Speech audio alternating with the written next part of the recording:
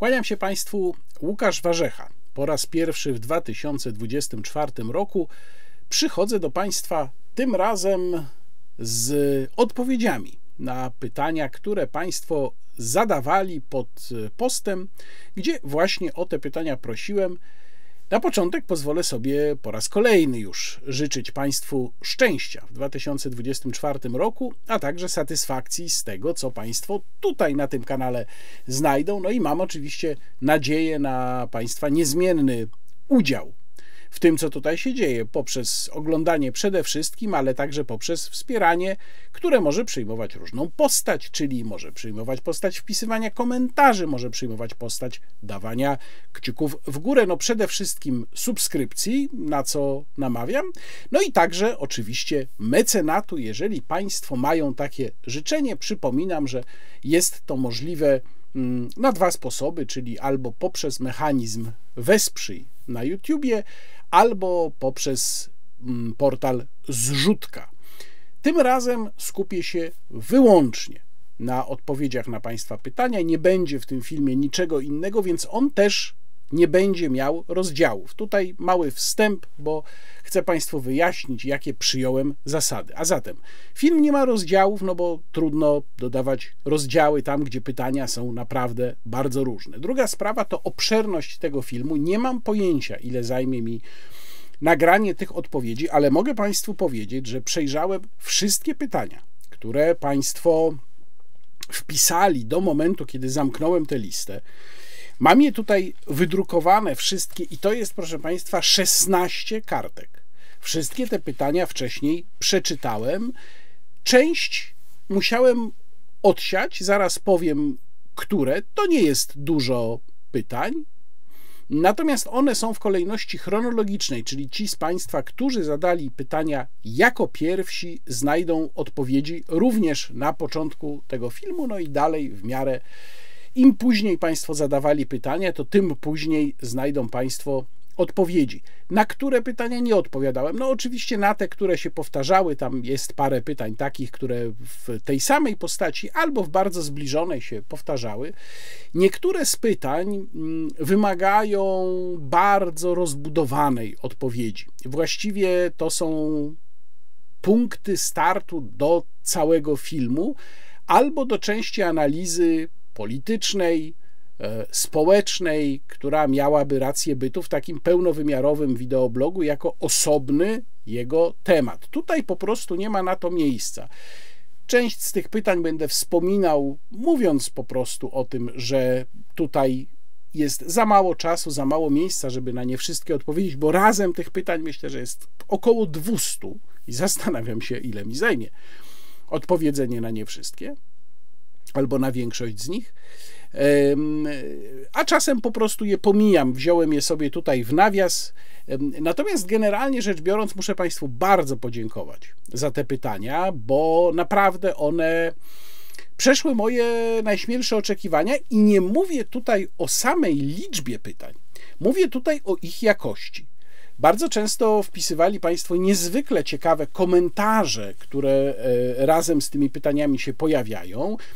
W wielu przypadkach również Państwa pytania i Państwa komentarze, które się tutaj pojawiły, zainspirowały mnie do przemyślenia pewnych spraw. Zanotowałem je sobie już jako punkt wyjścia do przyszłych tekstów lub też do przyszłych filmów, więc bardzo naprawdę Państwu za to dziękuję, bo z tych kilku sesji pytań i odpowiedzi, które do tej pory, pory dzięki Państwa pytaniom mm, nagrywałem, muszę powiedzieć, że ta obecna i Państwa obecne pytania chyba są najbardziej inspirujące, więc też z mojego punktu widzenia najciekawsze. Y, niektóre z tych pytań, bardzo niewiele, dotyczyło pewnych osobistych spraw, no to je tutaj również pominąłem, pominąłem bo taką mam y, zasadę. Żeby tego wstępu nie przedłużać, mm, myślę, że powiedziałem chyba o wszystkich ogólnych zasadach, którymi się kierowałem. Przystępuję do czytania pytań i odpowiadania na nie. Aha, i jeszcze jedna rzecz. Nie przytaczam tutaj ników, pod którymi Państwo zadawali pytania, bo czasem to są imiona i nazwiska, a czasem to są niki, które się składają z jakichś literek i cyferek. każdy z Państwa, jak rozumiem, po prostu rozpozna swoje pytanie. Pierwsze pytanie. Jak pan zamierza rozwinąć kanał? Książkowe polecanie to według mnie dobry pomysł. Czy ma pan problemy z cenzurą na YouTubie? Czy unika pan pewnych zwrotów, żeby oszukać algorytmy? Nie wiem jeszcze, jak rozwinę kanał i czy w ogóle będę go jakoś szczególnie rozwinął, bo moim zdaniem on osiągnął pewne optimum. Zobaczymy, co się jeszcze wydarzy. O polecankach książkowych wielokrotnie myślałem. Myślałem też o tym, żeby nagrać film lub po prostu dołączyć do któregoś z wideoblogów dział, w którym bym Państwu opowiedział o tym, jakie ja z kolei inne kanały na YouTube oglądam, bo mam takich kilka ulubionych, których być może Państwo nie znają, a może chcieliby Państwo na nie zajrzeć. I chyba to w którymś momencie zrealizuję. Czy będą regularne polecenia książkowe? Zobaczymy. Czy mam problemy z cenzurą na YouTubie?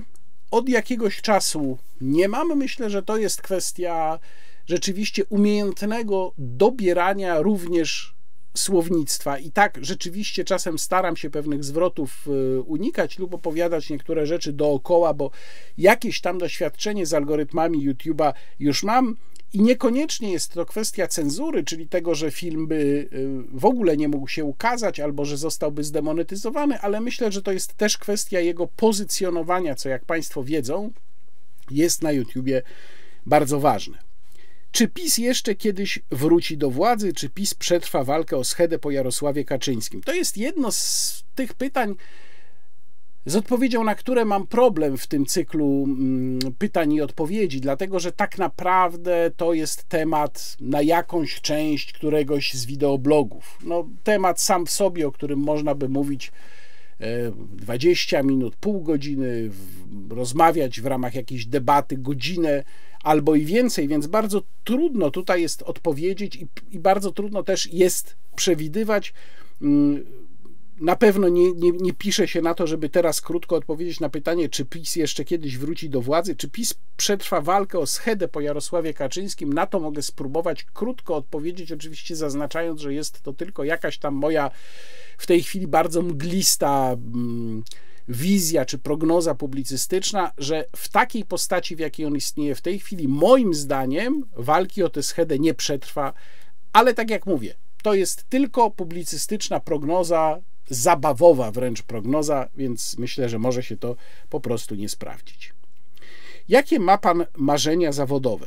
Czy na przykład książka opisująca szerzej zjawisko, które Pana zainteresuje, wywiad ze światowym przywódcą, milion subskrypcji na kanale? Hmm. Myślę, że hmm, Dobrze by było oczywiście zrobić wywiad, tak jak kiedyś udało mi się namówić pre, pana prezydenta Lecha Kaczyńskiego na wywiad rzekę, zrobić wywiad, nie wiem czy ze światowym przywódcą, ale no, są też polscy politycy, z którymi ciekawie byłoby porozmawiać, niezależnie od tego, co ja o nich myślę. Ja na przykład bardzo chętnie zrobiłbym wywiad rzekę z Donaldem Tuskiem, tylko że pewnie Donald Tusk na moich warunkach by tego nie zechciał zrobić. Milion subskrypcji na kanale, no nie, ten kanał nigdy nie będzie tak masowy i chyba nawet mm, dobrze. Ja myślę, że moje marzenia zawodowe są takie, żeby znaleźć wreszcie czas, o to też Państwo mnie pytają, będą takie pytania, znaleźć wreszcie czas na zrealizowanie tych pomysłów książkowych, które mam. Um, i drugie moje marzenie zawodowe, może bardziej ze sfery zawodowej, żebyśmy kiedyś mieli normalne, publiczne media. W pełni normalne, publiczne media. Jak widzi Pan przyszłość dla tygodnika, czy przyszłość tygodnika do rzeczy? Czy ma Pan informacje, co słychać u Pana Waldemara Łysiaka? E, nie, nie mam informacji, co słychać u Pana Waldemara Łysiaka. E, przyszłość tygodnika do rzeczy, no to nie jest właściwie pytanie do mnie, tylko bardziej do redaktora naczelnego, ale ja się tą przyszłością nie martwię. Uważam, że do rzeczy w obecnej sytuacji spokojnie sobie poradzi. Jakie jest Pana zdanie dotyczące tradycji katolickiej i zmian zachodzących w Kościele od czasu Vaticanum Secundum? Chodzi tu też na przykład o stosunek do Novus Ordo Misse. Taki na przykład profesor Cęckiewicz nie ukrywa swoich opinii. Mój stosunek do tradycji katolickiej jest bardzo pozytywny. Tej tradycji właśnie, która, właśnie, która się mm, zawiera w między innymi w starym rycie, rycie trydenckim. Miałem z tym rytem trydenckim do czynienia wiele, wiele mm, lat temu i to w takiej bardzo spektakularnej formie, kiedy wziąłem udział, e, to było chyba u progu studiów w tradycjonalistycznej francuskiej pielgrzymce do Chartres, no i ta pielgrzymka właśnie odbywała się z uczestniczeniem tych tradycyjnych mm, kapłanów, e, czy kapłanów odprawiających tradycyjną właśnie trydencką mszę, więc tak mój stosunek do tego jest jak najbardziej e, pozytywny, natomiast bardzo negatywny jest mój stosunek do regulacji, które mm, w tym względzie e, wyszły za pontyfikatu papieża Franciszka. Czy ma Pan określone preferencje techniczne, na przykład e, iOS, czy Android, Windows, czy Mac? No mam, tak. Zdecydowanie Android i zdecydowanie Windows. E, znam oczywiście argumenty wielbicieli iOS i, i, i Macintoshy, natomiast uważam, że tutaj pieniądze, których Apple żąda, są kompletnie nieproporcjonalne do korzyści, jakie oferuje. Do tego te systemy są znacznie bardziej zamknięte niż Android i Windows, i ja po prostu nie widzę żadnego powodu, żeby za to dopłacać. Zresztą zraża mnie taki, powiedziałbym, mm, fanatyzm części użytkowników Apple'a. Ja tego po prostu nie lubię. Wiem oczywiście, że to nie wszyscy i wiele osób kieruje się najzwyczajniej względami czysto utylitarnymi, używając sprzętu tej marki, ale mnie to po prostu zraża, że, że jest tam jakaś część fanatyków. Nie podoba mi się to, odrzuca mnie to od tej marki, zamiast mnie do niej zachęcać. Jaka jest Pana opinia na temat Leszka Sykulskiego i założonej przez niego partii? Tam zresztą pojawia się dalej jeszcze pytanie o Pana Leszka Sykulskiego, mm, które być może uda mi się tutaj znaleźć, ale nie jestem pewien. E, mm, ja na nie po prostu już nie będę odpowiadał osobno. Z tego co pamiętam, e, bo ja, żeby było jasne, ja te pytania wszystkie wcześniej przeczytałem mm, uważnie i zrobiłem sobie do niektórych notatki. Mm, tam było chyba pytanie, co się z panem Sykulskim stało. E, kiedyś był rozsądny, a teraz popłynął całkowicie w stronę otwartej prorosyjskości. Teraz nie jestem w stanie tego tutaj znaleźć, e, ale na 100% takie pytanie tutaj na liście było. Mój stosunek do pana Leszka Sykulskiego jest, y, powiedziałbym, najdelikatniej bardzo zdystansowany. To znaczy, ja uważam, że za poglądy nikogo nie można w Polsce prześladować i uważam, że pan Sykulski był szykanowany za swoje poglądy, natomiast ja wielokrotnie sygnalizowałem, że ja się z tymi poglądami dosyć głęboko nie zgadzam Uważam takie y, optymistyczne podejście do Rosji za ogromny błąd. Uważam i wielokrotnie też o tym mówiłem, że Rosja jest po prostu naszym przeciwnikiem samej natury mm, swoich racji strategicznych i trzeba to po prostu wkomponować y, w naszą politykę. To oczywiście nie znaczy, że y, my powinniśmy dążyć do tego, żeby mieć z Rosją wrogie stosunki, bynajmniej. Natomiast uważam, że nie ma tutaj mowy o żadnej kordialnej współpracy, mm, ani o tym, żeby Rosja y, naszym wrogiem nie była. Ten, to, to, ta wrogość jest jakby immanentnie wbudowana w nasze racje strategiczne, rosyjskie i polskie i ona oczywiście może mieć różne poziomy, mm, oby miała poziom jak najniższy, ja bym sobie tego życzył, natomiast obawiam się, że pan Leszek Sykulski widzi to zupełnie inaczej, widzi to w sposób moim zdaniem bardzo utopijny, dlatego ja z jego inicjatywą po prostu nie mam nic wspólnego, nigdy nie miałem i raczej nie zamierzam mieć. Dlaczego taki mądry człowiek nie dostrzega problemu masowego blokowania chodników, parkowania na torowiskach, stwarzania zagrożenia dla życia i zdrowia pieszych przez kierowców w wielkich miastach. Kierowcy nagminnie stwarzają zagrożenia i masowo łamią przepisy w każdy możliwy sposób i w centrach miast są bezkarni, a pan robi z nich ofiary i męczenników, gdy to są świnie i bandyci napisał jeden z pytających. No po pierwsze, proszę pana, kompletnie się z tym nie zgadzam i radziłbym powściągać język.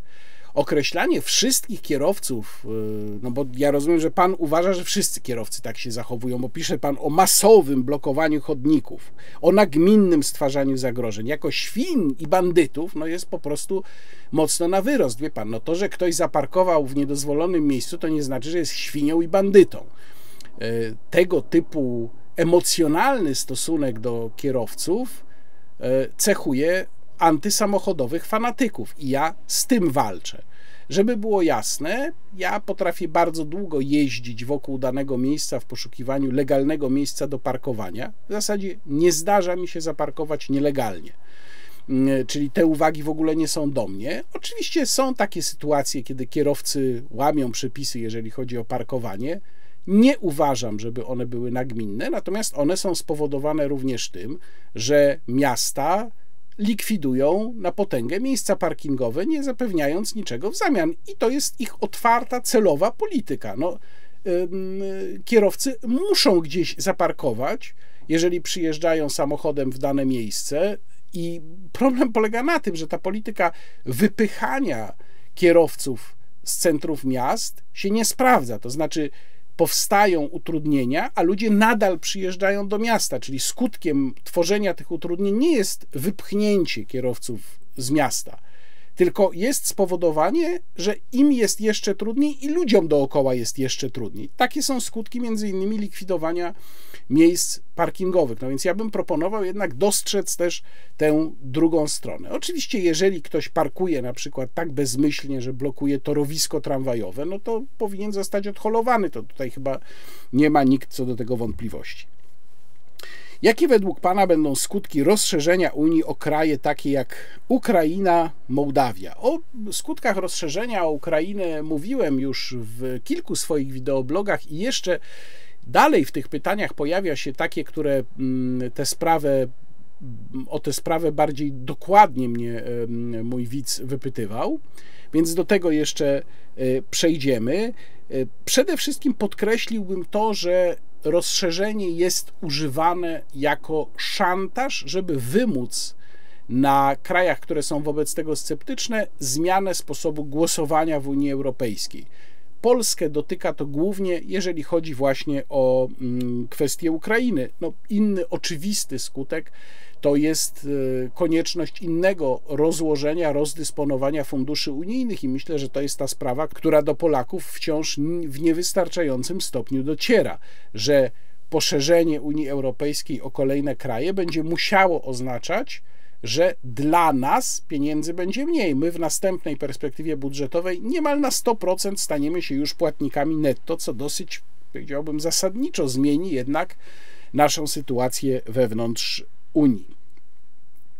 Które według Pana obietnice wyborcze nowej koalicji rządzącej, koalicji uśmiechniętej Polski, zostaną zrealizowane w 2024 roku, a które później lub w ogóle?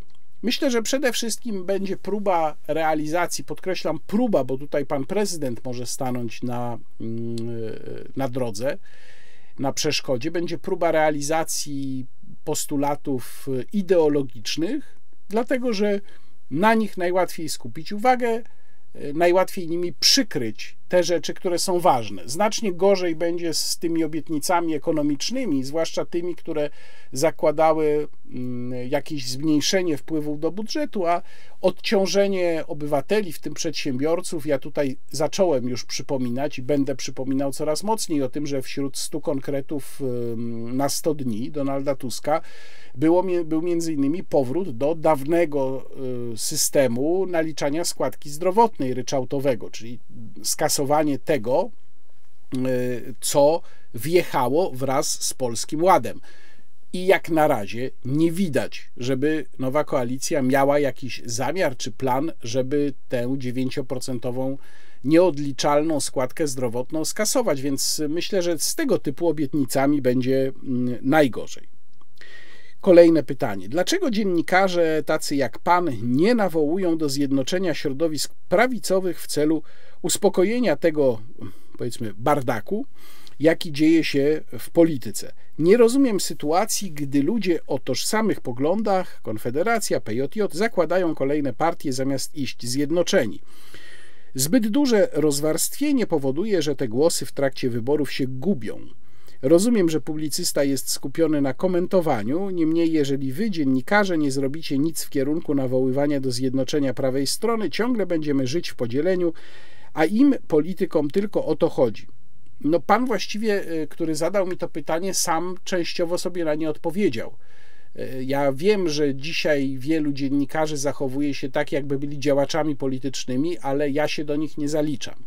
Więc ja nikogo nie będę nawoływał do zjednoczenia. Ja mogę najwyżej opisywać, jakie będą moim zdaniem skutki mm, takiego podziału albo skutki zjednoczenia. Natomiast ja nie jestem od tego, żeby kogokolwiek agitować za konkretnymi działaniami politycznymi czy partyjnymi. Co więcej, uważam, że pewnych rzeczy się po prostu nie da uniknąć, bo tak działa polityka. To znaczy takie marzenie o tym, że uda się połączyć prawicowe siły, no to, to jest trochę takie mm, marzenie no, idealistyczne, trochę infantylne nawet. Zawsze grają jakieś ambicje, zawsze jest kwestia podziału miejsc na listach, chociażby. No, tych rzeczy po prostu nie da się uniknąć. Uważam, że i tak to, że na przykład Konfederacja powstała i wciąż trwa jednak mimo wszystko jako konglomerat tych trzech sił, mimo problemów z Grzegorzem Braunem, jako konglomerat ruchu narodowego mm, y, Nowej Nadziei i y, Korony, to jest i tak już bardzo wielki sukces. To jest i tak już naprawdę bardzo, bardzo wiele. Więc y, myślę, że po prostu nie należy zbyt dużo oczekiwać, mm, a już na pewno nie należy oczekiwać, że dziennikarze, ci prawdziwi dziennikarze, zaczną się zajmować tworzeniem jakiegoś ruchu zjednoczeniowego, bo to nie jest po prostu ich rola. Jak według Pana powinien się zachować obecny rząd wobec aspiracji Ukrainy do Unii? Co by Pan doradzał w tej trudnej sytuacji?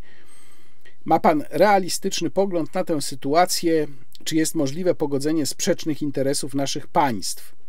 No, obecny czy, czy jakikolwiek inny powinien, powinien, moim zdaniem, zachować się tak samo. To znaczy, ja już to jasno powiedziałem kilkakrotnie. Uważam, że obecność Ukrainy w Unii Europejskiej po prostu nie leży w polskim interesie. Dlatego, nawet jeżeli ten proces negocjacyjny się rozpoczął, to uważam, że polski rząd działający w polskim interesie, tak jak ja go widzę i rozumiem, powinien blokować przystąpienie Ukrainy do Unii Europejskiej, przeciągać je jak się da. Jednym słowem, prowadzić do sytuacji, w której to wejście Ukrainy do UE nigdy nie nastąpi. Teoria wielkiego wybuchu pada, to może i teoria globalnego ocieplenia spowodowana działaniem ludzkości upadnie.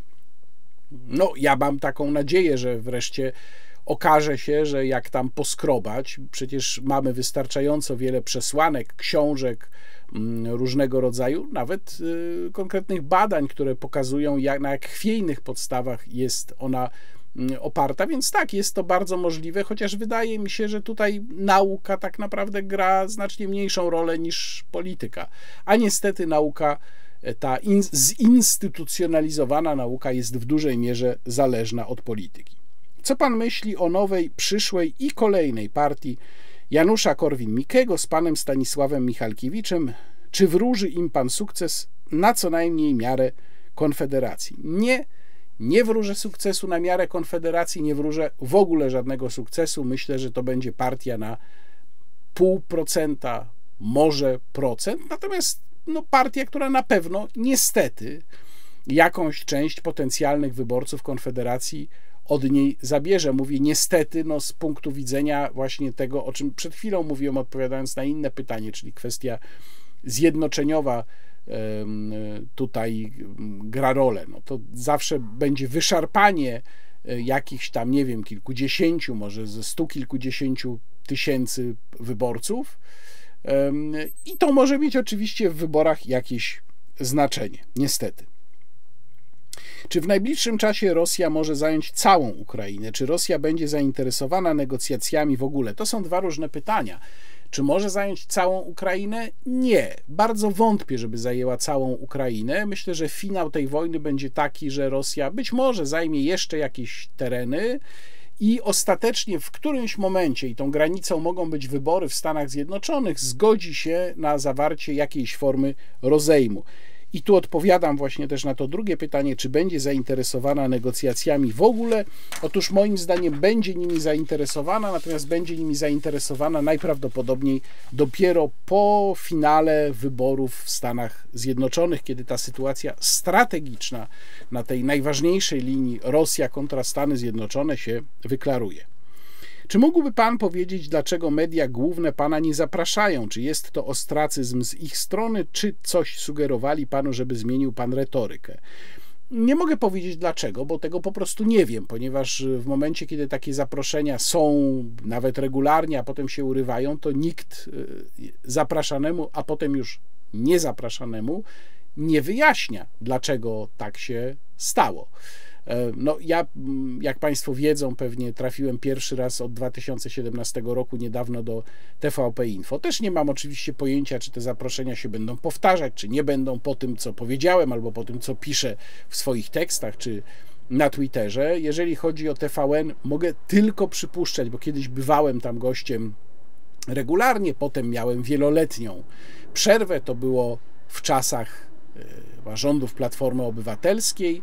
Potem znów tam trafiłem, byłem też dosyć regularnie, znowu, a potem znowu zniknąłem. Przypuszczam, przypuszczam, ale to jest naprawdę tylko moje przypuszczenie, że wynikało to z moich poglądów najpierw na politykę covidową, potem na kwestię wojny na Ukrainie. No nie jest to na pewno przypadek, bo takich przypadków oczywiście nie ma. Dlaczego w zasadzie nie pojawiam się w Polsacie? Też nie mam pojęcia, jakie tam czynniki grają. No, w każdym razie ja się nauczyłem, proszę Państwa, przez lata, że po prostu tym się nie należy przejmować. Będę, to będę. Nie będę, to jestem tutaj. Tutaj są moi najważniejsi widzowie. Oczywiście duża telewizja, mm, antena informacyjna dużej telewizji daje możliwość dotarcia do o wiele większej liczby osób i to się absolutnie liczy. To prawda. Natomiast mm, tutaj jest mój bezpośredni kanał komunikacji z państwem, kanał, który uważam za bardzo ważny. Poza tym mam swoje teksty, które piszę w miejscach, gdzie również one są czytane przez kilkadziesiąt lub nawet kilkaset tysięcy osób, więc jestem tam, to dobrze, nie ma mnie, też nie mam z tym problemu. To nie jest mój problem, tylko to jest problem tych, którzy mnie nie zapraszają. Jaki jest Pana idealny rząd, mając na uwadze dzisiejszych polityków? Kogo pan ceni? Czy są jakieś nieoczywiste osoby, które widziałby pan w roli mężów stanu? Bardzo trudne pytanie, na które nie podejmuje się odpowiadać prawie że z marszu. No, musiałbym naprawdę głęboko się zastanowić, jeżeli chodzi zwłaszcza o nazwiska. Mogę tylko powiedzieć, że jest dużo osób, które nie biorą udziału w polityce tej instytucjonalnej lub kiedyś brały, ale z niej odeszły i to są osoby często moim zdaniem bardzo wartościowe, które przynajmniej mogłyby pełnić rolę bezpośrednich doradców polityków, gdyby ci chcieli słuchać mądrych ludzi. Nie będę tutaj, jeżeli Państwo pozwolą, rzucał nazwiskami. Natomiast nie mam też przekonania, że takie osoby sprawdziłyby się w tych rolach czysto politycznych, bo jednak rola polityka sensu stricto, kogoś, kto musi na bieżąco zarządzać instytucją, musi zarządzać państwem, musi uczestniczyć w kreowaniu prawa, to jest coś innego niż rola eksperta. Nie zawsze ekspert się w takiej roli sprawdzi. Więc, y, żeby odpowiedzieć na to pytanie, musiałbym naprawdę zastanowić się znacznie, znacznie dłużej. Jaki system polityczny uważa pan za najlepszy dla naszego kraju? Bo mam wrażenie, że u nas wszystko potrafią zepsuć. No, proszę pana, e, oczywiście, że wszystko się da zepsuć. Natomiast jaki system uważam za najlepszy? Parę pytań na tej liście jest takich, które zahaczają między innymi o, o system demokratyczny. I może, jeżeli, jeżeli pan pozwoli, mówię tu do autora tego pytania, to ja na razie go uniknę, bo jak mówię, dalej te pytania się pojawiają w podobnej postaci, może trochę bardziej rozbudowanej, więc proszę słuchać dalej. Ja mam nadzieję, że dalej pojawi się odpowiedź na pańskie pytanie. Patriotyzm w polskich elitach istnieje, czy to marzenie idealisty? Trzeba by zastanowić się nad pytaniem, co to właściwie znaczy patriotyzm, bo myślę, że to jest jedno z tych pojęć, które każdy rozumie na swój sposób. I ja sądzę, że ludzie, którzy przez obóz, który stracił władzę, są postrzegani w większości jako agenci obcych sił, wielu z nich jest autentycznie przekonanych, że oni realizują najlepszy interes Rzeczpospolitej, czyli no, też są patriotami. Bardzo trudno się o takich sprawach mówi, bo trzeba by zacząć od dokładnego określenia definicji takiego pojęcia. A też z drugiej strony, w naszych y, bardzo plemiennych czasach, no, jest ta tendencja, ta skłonność, żeby każda ze stron widziała tę drugą jako niepatriotyczną, a tylko siebie jako patriotów, co też jest moim zdaniem błędem. Oczywiście nie neguję, że są ludzie, którzy w ogóle nie czują tego mm, patriotycznego imperatywu, jeżeli mogę tak powiedzieć, którzy po prostu realizują wyłącznie własny interes, no tacy Adamowie ponińscy dzisiejszych czasów. Albo, co gorsza, czyjś inny zewnętrzny interes. Na pewno tacy są. Natomiast ja bym jednak zakładał, że ich jest mniejszość. Problem polega na tym, że jesteśmy tak bardzo podzieleni, że nie umiemy już założyć bardzo często, mam nadzieję, że mnie się to udaje, że ta druga strona naprawdę realizuje interes tak, jak najlepiej rozumie interes Polski. Może się w tym bardzo głęboko mylić, ale że nie ma w tym złej woli. Przepraszam, no nie ma tutaj prostej odpowiedzi na to pytanie. Czy nie uważa pan, że przy całym tym szaleństwie klimatystycznym, co do oceny którego się zgadzamy, mamy jednak na świecie pewien problem z zanieczyszczeniem środowiska i warto pewne postawy prośrodowiskowe promować? Myślę, że ten problem może jest, ale on tak naprawdę jest dużo, dużo mniejszy niż wiele lat temu. Środowisko jest dzisiaj dużo czystsze i mam wrażenie, że to, co się wokół spraw klimatu czy zanieczyszczenia środowiska, bo to, żeby było jasne, są w ogóle dwie różne rzeczy, należy je od siebie odróżniać. Mm, one często są zupełnie oddzielne. Co się robi, jest bardzo, bardzo nadmiarowe. Wykracza zdecydowanie poza to, co naprawdę powinniśmy robić. Natomiast oczywiście no, taka codzienna dbałość o, o środowisko wokół nas, środowisko naturalne, jak najbardziej tak. Czy byłby pan zwolennikiem rozdziału władzy ustawodawczej i wykonawczej, to jest posłowie i senatorowie nie mogliby być członkami Rady Ministrów? Tak, jak najbardziej. Ja jestem wręcz przekonany, że to powinna być jedna z zasadniczych reform ustrojowych, gdybyśmy kiedykolwiek tworzyli nową polską konstytucję. Czy zdradzi pan, na kogo głosował w wyborach parlamentarnych? Nie, nie zdradzę, nigdy o tym nie mówię. Czy widzi Pan możliwość zmarginalizowania PO i PiS, tak jak stało się to z lewicą mm, po 2005 roku? Pytanie znów z gatunku tych, o których można by, na które można by długo odpowiadać poświęcić im dużą część e, wideoblogu.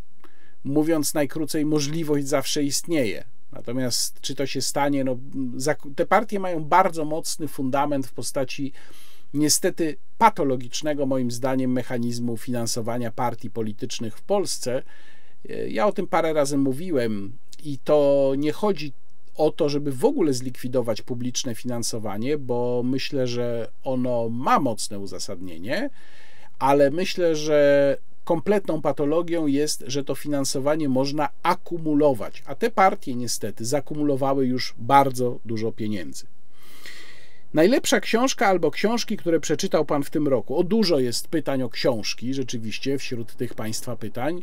Nie na wszystkie jestem w stanie szybko odpowiedzieć, ale tutaj mogę odpowiedzieć, że w tym roku, właściwie chodzi o zeszły rok, bo pytanie było wpisywane jeszcze w 2023 Powiedziałbym, że to było nadrabianie, przypominanie sobie i częściowo nadrabianie książek Janusza Zajdla, których kilka przeczytałem w pierwszych miesiącach ubiegłego roku y, i w szczególności Paradyzja. Gdybym miał wskazać jedną z tych książek, to bym wskazał na Paradyzję.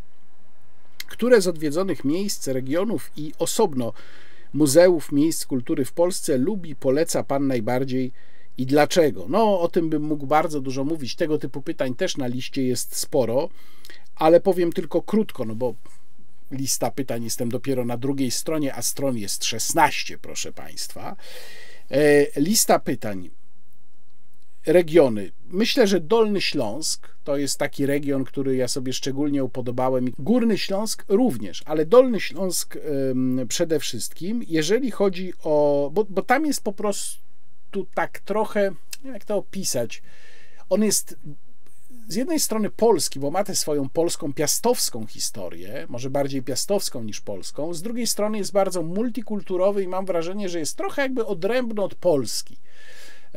Jak się jeździ po Dolnym Śląsku, to jest trochę tak, jakby się jeździło po Czechach, trochę może po Austrii, no bo to są te regiony historycznie. I mam też takie wrażenie, że może ze względu na oddalenie komunikacyjne od reszty Polski ten region jest stosunkowo mało wyeksplorowany, a jest naprawdę bardzo piękny i bardzo ciekawy. A jeżeli chodzi o instytucje, muzea, miejsca kultury, chyba po krótkim zastanowieniu wskazałbym na Muzeum Czartoryskich. To nowe zupełnie w sensie odnowione gruntownie Muzeum Czartoryskich w Krakowie. Warto naprawdę tam y, pojechać. Czy mógłby Pan powiedzieć nieco więcej o powodach zakończenia nagrywania podwójnego kontekstu? No, nie chcę tutaj wnikać w jakieś szczegóły, no mogę tylko powiedzieć, że y, obaj z Antonim Dudkiem zgodziliśmy się co do tego, że, że kończymy ten program. Może chyba nie, nie, nie zrobię tutaj żadnego, nie popełnię żadnego fopa, jeżeli powiem, że mm, inicjatywa zakończenia y, nie wyszła ode mnie. Natomiast nie ma między nami żadnego sporu, jesteśmy nadal mm, znajomymi, kolegami, lubimy się, więc wszystko się odbyło tak, jak w tego typu sytuacjach, myślę, powinno się odbywać. Jak wygląda Pana typowy dzień pracy, plus jak wygląda u Pana zbieranie informacji do artykułów, programów? No nie ma typowego dnia pracy, bo każdy jest trochę inny. Oczywiście jest pewien rytm tygodnia. Ja mam, ja naprawdę piszę bardzo dużo, więc to czasem jest po kilka tekstów dziennie. Natomiast nie myślę, że typowego dnia to naprawdę nie ma. Są takie dni, kiedy z zasady siedzę przez większość czasu przy komputerze. Są takie dni, kiedy zdarza się, że muszę wyjść, mam jakieś spotkania, biorę udział w jakichś konferencjach. No moja praca jest po prostu bardzo nieregularna z zasady i ja to w niej lubię. Y, a jak wygląda zbieranie informacji? To oczywiście zależy od tego, o jakim materiale mówimy, czy mówimy o krótkim felietonie, czy mówimy o jakimś długim tekście, czy mówimy o wideoblogu. Mm, jeżeli mówimy o felietonie, czasem jest to przypomnienie sobie jakiegoś cytatu i poszukiwanie źródła tego cytatu, bo w felietonie cytaty odgrywają istotną rolę. Czasem jest tak, że potrafię przez pół godziny szukać na swoich półkach książki, wiem, że ona gdzieś tam jest i potrzebuję w niej znaleźć jakieś konkretne miejsce, e, a nie ma tego w internecie. Książek papierowych czasem nic nie zastąpi. No i to potrafi być bardzo długi wstęp do napisania krótkiego tekstu, znalezienie tego konkretnego cytatu. Jeżeli chodzi o materiały takie jak wideoblog, jak długie teksty, w których trzeba się do czegoś w coś zagłębić, no to czasem jest naprawdę długa szperanina po internecie, czasem w poszukiwaniu dokumentów źródłowych, to w szczególności wtedy, kiedy chodzi o wideoblogi, albo jeżeli chodzi o teksty, które mówią o jakiejś bardzo konkretnej dziedzinie, która wymaga przytoczenia danych, przytoczenia przepisów. Takie też piszę, przede wszystkim do tygodnika do rzeczy. I ta szperanina potrafi być całkiem wciągająca, bo to jest czasami jak taki łańcuszek. Zaczyna się od jakiejś jednej kwestii, przechodzi się do kolejnej, potem okazuje się, że jest jeszcze kolejna. Natomiast rzeczywiście ten proces y, researchu, jeżeli mogę użyć tego słowa, bywa bardzo czasochłonny. Tak jak Państwu już wielokrotnie mówiłem, to co ja dla Państwa nagrywam, czyli wideoblogi, to czasami jest kilka, czasami kilkanaście godzin pracy nad samym scenariuszem, właśnie po to, żeby znaleźć konkretne przepisy, żeby przeczytać jakiś akt prawny lub przynajmniej te jego fragmenty, które dotyczą danej rzeczy. No i, i y, tu nawiązuję trochę do częstych sporów o pracę w niedzielę. Ja to bardzo często robię w weekendy. Bardzo często cały weekend albo część weekendu, często całą niedzielę zajmuje mi właśnie praca nad przygotowaniem takich materiałów. Krótko mówiąc, nie ma tutaj żadnej regularności. O co chodzi z tym kierownikiem jeziora? No, z kierownikiem jeziora chodzi o to, że Romanowi Kurkiewiczowi, e, takiemu lewicowemu publicyście, udało się stworzyć coś, co do mnie przylgnęło na lata. To jest bardzo rzadka sytuacja. Nie wiem, czy Roman Kurkiewicz ma tego świadomość. A działo się to kiedyś w Radiu Tok FM, lata, lata temu, gdzie razem występowaliśmy. Ja próbowałem coś powiedzieć i e, Kurkiewicz cały czas mi wchodził w słowo i mi przerywał. I kiedy ja w końcu e, zirytowany powiedziałem coś w rodzaju, e, czy mogę wreszcie skończyć, czy, czy, czy pozwolisz mi wreszcie skończyć, a Kurkiewicz powiedziała, co ty jesteś jakiś kierownik jeziora, żeby mi pozwalać mówić albo nie. No i to się właśnie stąd wzięło i tak już zostało. A jak było z tą aferą u sołtysa Chobielina? Czy podczas tej wizyty wciągał jakieś niedozwolone substancje? Nie no, nigdy ja niczego takiego nie mówiłem i nie było też żadnej afery. Ja byłem gościem Radka Sikorskiego w Chobielinie wtedy, kiedy pisałem wywiad Rzekę, no to znaczy kiedy rozmawiałem z Radkiem Sikorskim do wywiadu Rzeki, który się ukazał potem pod tytułem Strefa mm, zdekomunizowana. E, byłem, mieszkałem tam u niego w Chobielinie przez kilka dni. No to jest taka praktyka przy tego typu rozmowach, która jest, e, jak sądzę, normalna, no, że po prostu chodzi o to, że ta, te sesje pytań i odpowiedzi trwają odpowiednio długo. Więc tak sobie to wtedy ustawiliśmy. Natomiast nie było tam żadnej afery. Jeżeli coś potem się takiego pojawiło, no to, to naprawdę było mocno wyolbrzymione. Ja się domyślam, że pewnie chodzi o te mm, o te jakieś enuncjacje N. Applebaum, która coś tam takiego dosyć no, mało przyjemnego napisała kiedyś pod moim adresem nie będę tego komentował, bo N. Applebaum skądinąd za część jej książek bardzo szanuję, więc pozwolą Państwo, że spuszczę na te, na te wściekłe e, uwagi pod moim adresem e, zasłonę milczenia. Czy w Polsce jest potencjał ku temu, aby powstała w jakiejś niedalekiej przyszłości partia wolnościowa, nieobarczona przy tym żadnymi kontrowersyjnymi politykami, politykami która mogłaby wejść do Sejmu i mieć wpływ na debatę publiczną. Mm, wydaje mi się, że mnożenie bytów e, jest jedną z najgorszych e, taktyk czy strategii.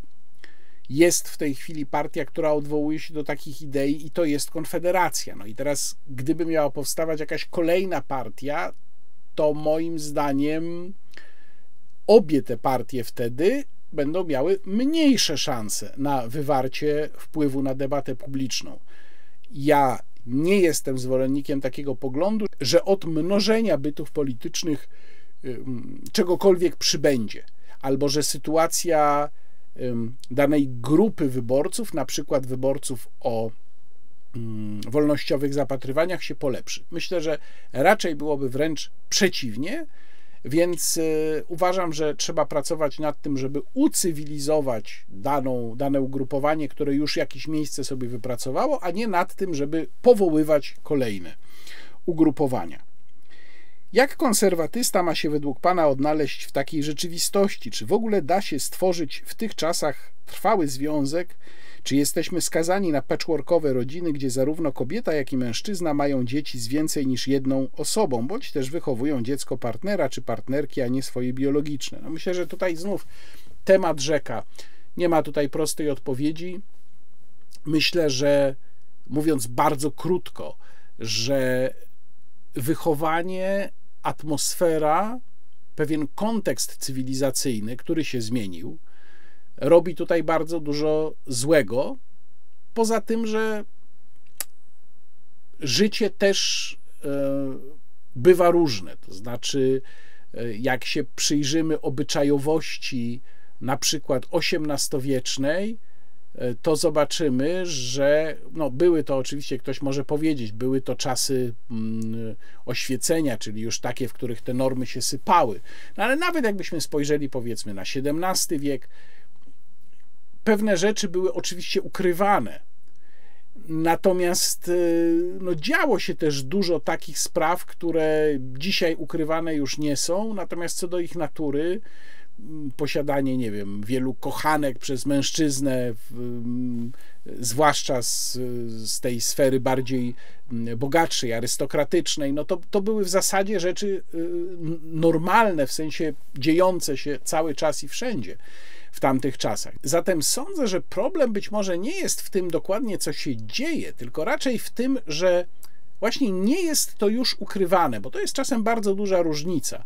Czy się o czymś mówi oficjalnie, czy e, jest to ukrywane jako coś, co owszem, no jest, wiadomo, wszędzie się dzieje, ale jednak jest w jakimś stopniu wstydliwe.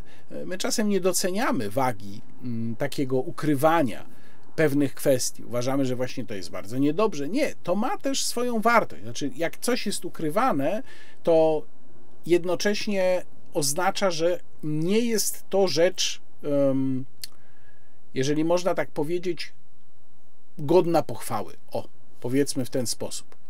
I problemem jest to, że wiele z takich spraw dzisiaj nie jest ukrywanych, jest traktowanych jako nawet powód do dumy, żeby wspomnieć tutaj choćby o tym, co się wypisuje o e, tak zwanych pracownicach seksualnych, na przykład. Czy lubi pan rok progresywny, który czerpał swoje inspiracje z muzyki klasycznej? Nie wiem, czy mogę powiedzieć, że lubię całość tego nurtu, natomiast no, słucham zespołów, które jak rozumiem do niego należą, chociaż ja raczej ich słucham ze względu na konkretny zespół i to, że podoba mi się ta muzyka, a nie ze względu na to, że one przynależą akurat do tego nurtu. Od mm, czasów e, licealnych jestem wielbicielem Pink Floyd, słucham Jethro Tull, słucham Genesis, z tym, że tego Genesis z Peterem Gabrielem, no i, i, i, i tuż po jego mm, odejściu. E, I tak, te zespoły i taką muzykę rzeczywiście bardzo lubię. Wspominał Pan kiedyś, że jest absolwentem 26 Liceum Ogólnokształcącego w Łodzi. Tak się składa, że ja też, rocznik 2017. I chciałbym spytać, jak pan wspomina ten czas i czy był pan na jakimś zjeździe absolwentów? No niestety na żadnym zjeździe absolwentów nie byłem, jakoś tak się złożyło. Natomiast wspominam ten czas bardzo dobrze. Pamiętam moją szkołę, mam niektóre znajomości, które jeszcze z tamtych czasów przetrwały, mimo że ja się przeprowadziłem lata, lata temu do Warszawy, no dłużej mieszkam w Warszawie niż, czy w aglomeracji warszawskiej niż mieszkałem w Łodzi. E, I to był bardzo dobry czas. Początek lat 90. to była jeszcze szkoła w starym stylu, a jednocześnie wyzwolona już z tego komunistycznego gorsetu. Ja chodziłem do klasy autorskiej. Dzisiaj już tak autorski program jak e, wtedy miała, jak wtedy zaprojektowała nasza wychowawczyni, w ogóle nie jest możliwy. Wtedy było tak, że wychowawca był w stanie w pewnych bardzo takich ogólnych ramach zaprojektować własny program nauczania dla takiej klasy i moja klasa nazywała się klasą prawnojęzykową. Mm, ja dzisiaj, jak sobie myślę o tym, jak tam były poukładane mm, przedmioty, ile godzin czego było, e, to myślę, że był to bardzo dobry układ, który chyba już w dzisiejszych realiach, realiach dzisiejszego prawa oświatowego by po prostu nie był możliwy. Ja na przykład miałem przez całe 4 lata liceum po 5 godzin tygodniowo angielskiego, francuskiego, druga część klasy to było do wyboru, miała niemiecki i języka polskiego. Przez całe 4 lata tak było. Więc tutaj był duży nacisk właśnie na języki obce i na język polski, na ten, na ten, ten humanistyczny kierunek. Bardzo dobrze wspominam swoje liceum. Uważam, że to naprawdę była dobra szkoła. E, czy uważa pan, że Łódź teraz się bardzo zmieniła i stała się o wiele ładniejszym miastem w porównaniu do tego, co było 10 lat temu? I czy uważa pan, że prezydentura Hanny Zdanowskiej rozwinęła Łódź? Hmm. Trudno mi jakoś bardzo stanowczo oceniać to, co się dzieje w Łodzi, bo ja po prostu bywam w moim rodzinnym mieście rzadko, to znaczy, no nie wiem, powiedzmy raz na miesiąc, raz na półtora, więc kilka razy w roku i wtedy też raczej tak za bardzo po Łodzi nie spaceruję. Natomiast nie widzę jakichś wielkich pozytywów prezydentury Hanny Zdanowskiej. No to, co tam się ostatnio wyprawia, gdzie na przykład kamienica mojej cioci została praktycznie odcięta przez fatalnie zorganizowany remont ulicy Legionów. Mm, to jest naprawdę skandal. Niektóre inwestycje, takie jak słynna stajnia jednorożców, budzą naprawdę zdziwienie nie wiem, mam takie wrażenie, że Łódź po prostu nie ma kompletnie szczęścia do prezydentów i że to jest miasto bez jakiegoś, już od dawna niestety, od lat 90., bez jakiegoś e, szczególnego na siebie pomysłu. Czy uważa Pan, że globalne ocieplenie to poważny problem? Jeśli tak, to jak się powinno temu skutecznie przeciwdziałać? Mm, nie, nie uważam, żeby to był na tyle poważny problem, żeby należało podejmować e, tak daleko idące kroki, Tłumaczyłem to wielokrotnie, rozwijając temat, więc tutaj rozwijać go nie będę. Mówiąc najkrócej, uważam, że podjęto w Unii Europejskiej niezwykle daleko idące działania, y, ogromnie kosztowne, opierając się na bardzo, ale to bardzo chwiejnych hipotezach, bo nawet nie teoriach, a jedynie hipotezach. Zaciekawił mnie Pan e, swoją muzyką. Czy mógłby Pan polecić coś na początek dla prostego laika, albo coś, co warto słuchać na początek. Rozumiem, że chodzi tutaj przede wszystkim o muzykę dawną. Przez muzykę dawną rozumiem taką, która zaczyna się w średniowieczu, kończy się mniej więcej na klasycyzmie, czyli mówimy o bardzo długim czasie, bo od powiedzmy XIII-XIV wieku do wieku XIX, powiedzmy, że do połowy wieku XIX, więc bardzo trudno mi coś polecić w tak długim okresie. Ja sam swoje słuchanie zaczynałem od baroku, a konkretnie, bo bardzo dobrze to pamiętam, od nagrania e, wariacji goldbergowskich Glena Goulda, znaczy wariacji goldbergowskich oczywiście Jana Sebastiana Bacha, ale w wykonaniu Glena Goulda i to było to nagranie z 1981 roku. Natomiast ja bym tego nie polecał na początek. Co bym polecał na początek, to sięgnięcie po nagranie któregoś z tych najbardziej znanych utworów. Y, jeżeli mówimy o baroku, to któregoś z barokowych mistrzów, czyli na przykład muzyki na wodzie y, Jerzego Fryderyka Händla, czy y, koncertów brandenburskich Jana Sebastiana Bacha, albo Wielkiej Mszy Hamol Jana Sebastiana Bacha, no to już może trochę trudniejsza muzyka niż koncerty brandenburskie.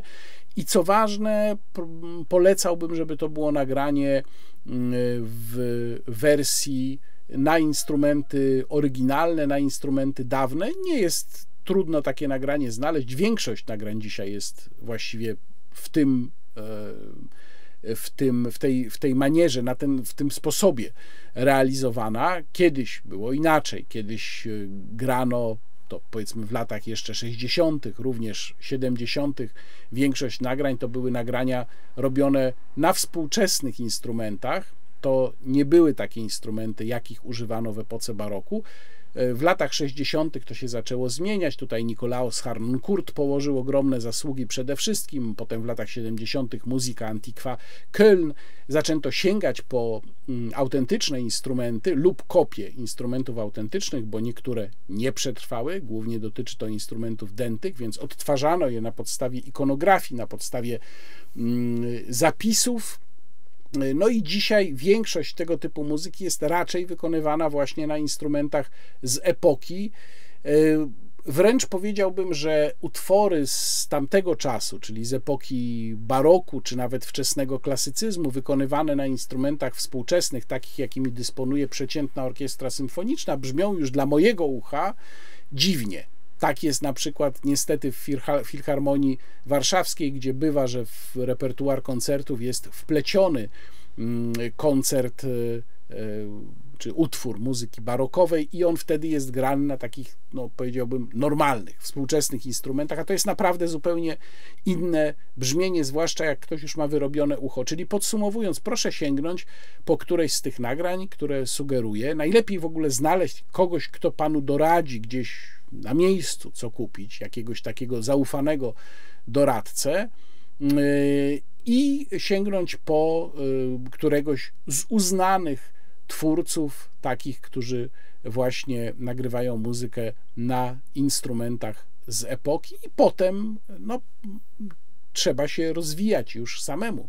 Mm, jest muzyka trudniejsza, jest muzyka łatwiejsza. Generalnie rzecz biorąc, jeżeli chodzi o muzykę baroku, to w większości jest to muzyka, w mojej opinii, bardzo łatwa do słuchania. Niekoniecznie tak jest na przykład z muzyką wcześniejszą, dajmy na to mszę Skena Depre, są trudnymi utworami, chociaż brzmią pięknie, ale, ale, ale żeby chociaż troszeczkę się w nich rozsmakować, no to nie jest już takie proste. Ale tutaj już zaczynam wchodzić w detale i mówić o temacie, który mnie bardzo wciąga i który bardzo lubię, i mówię już o tym po prostu za długo.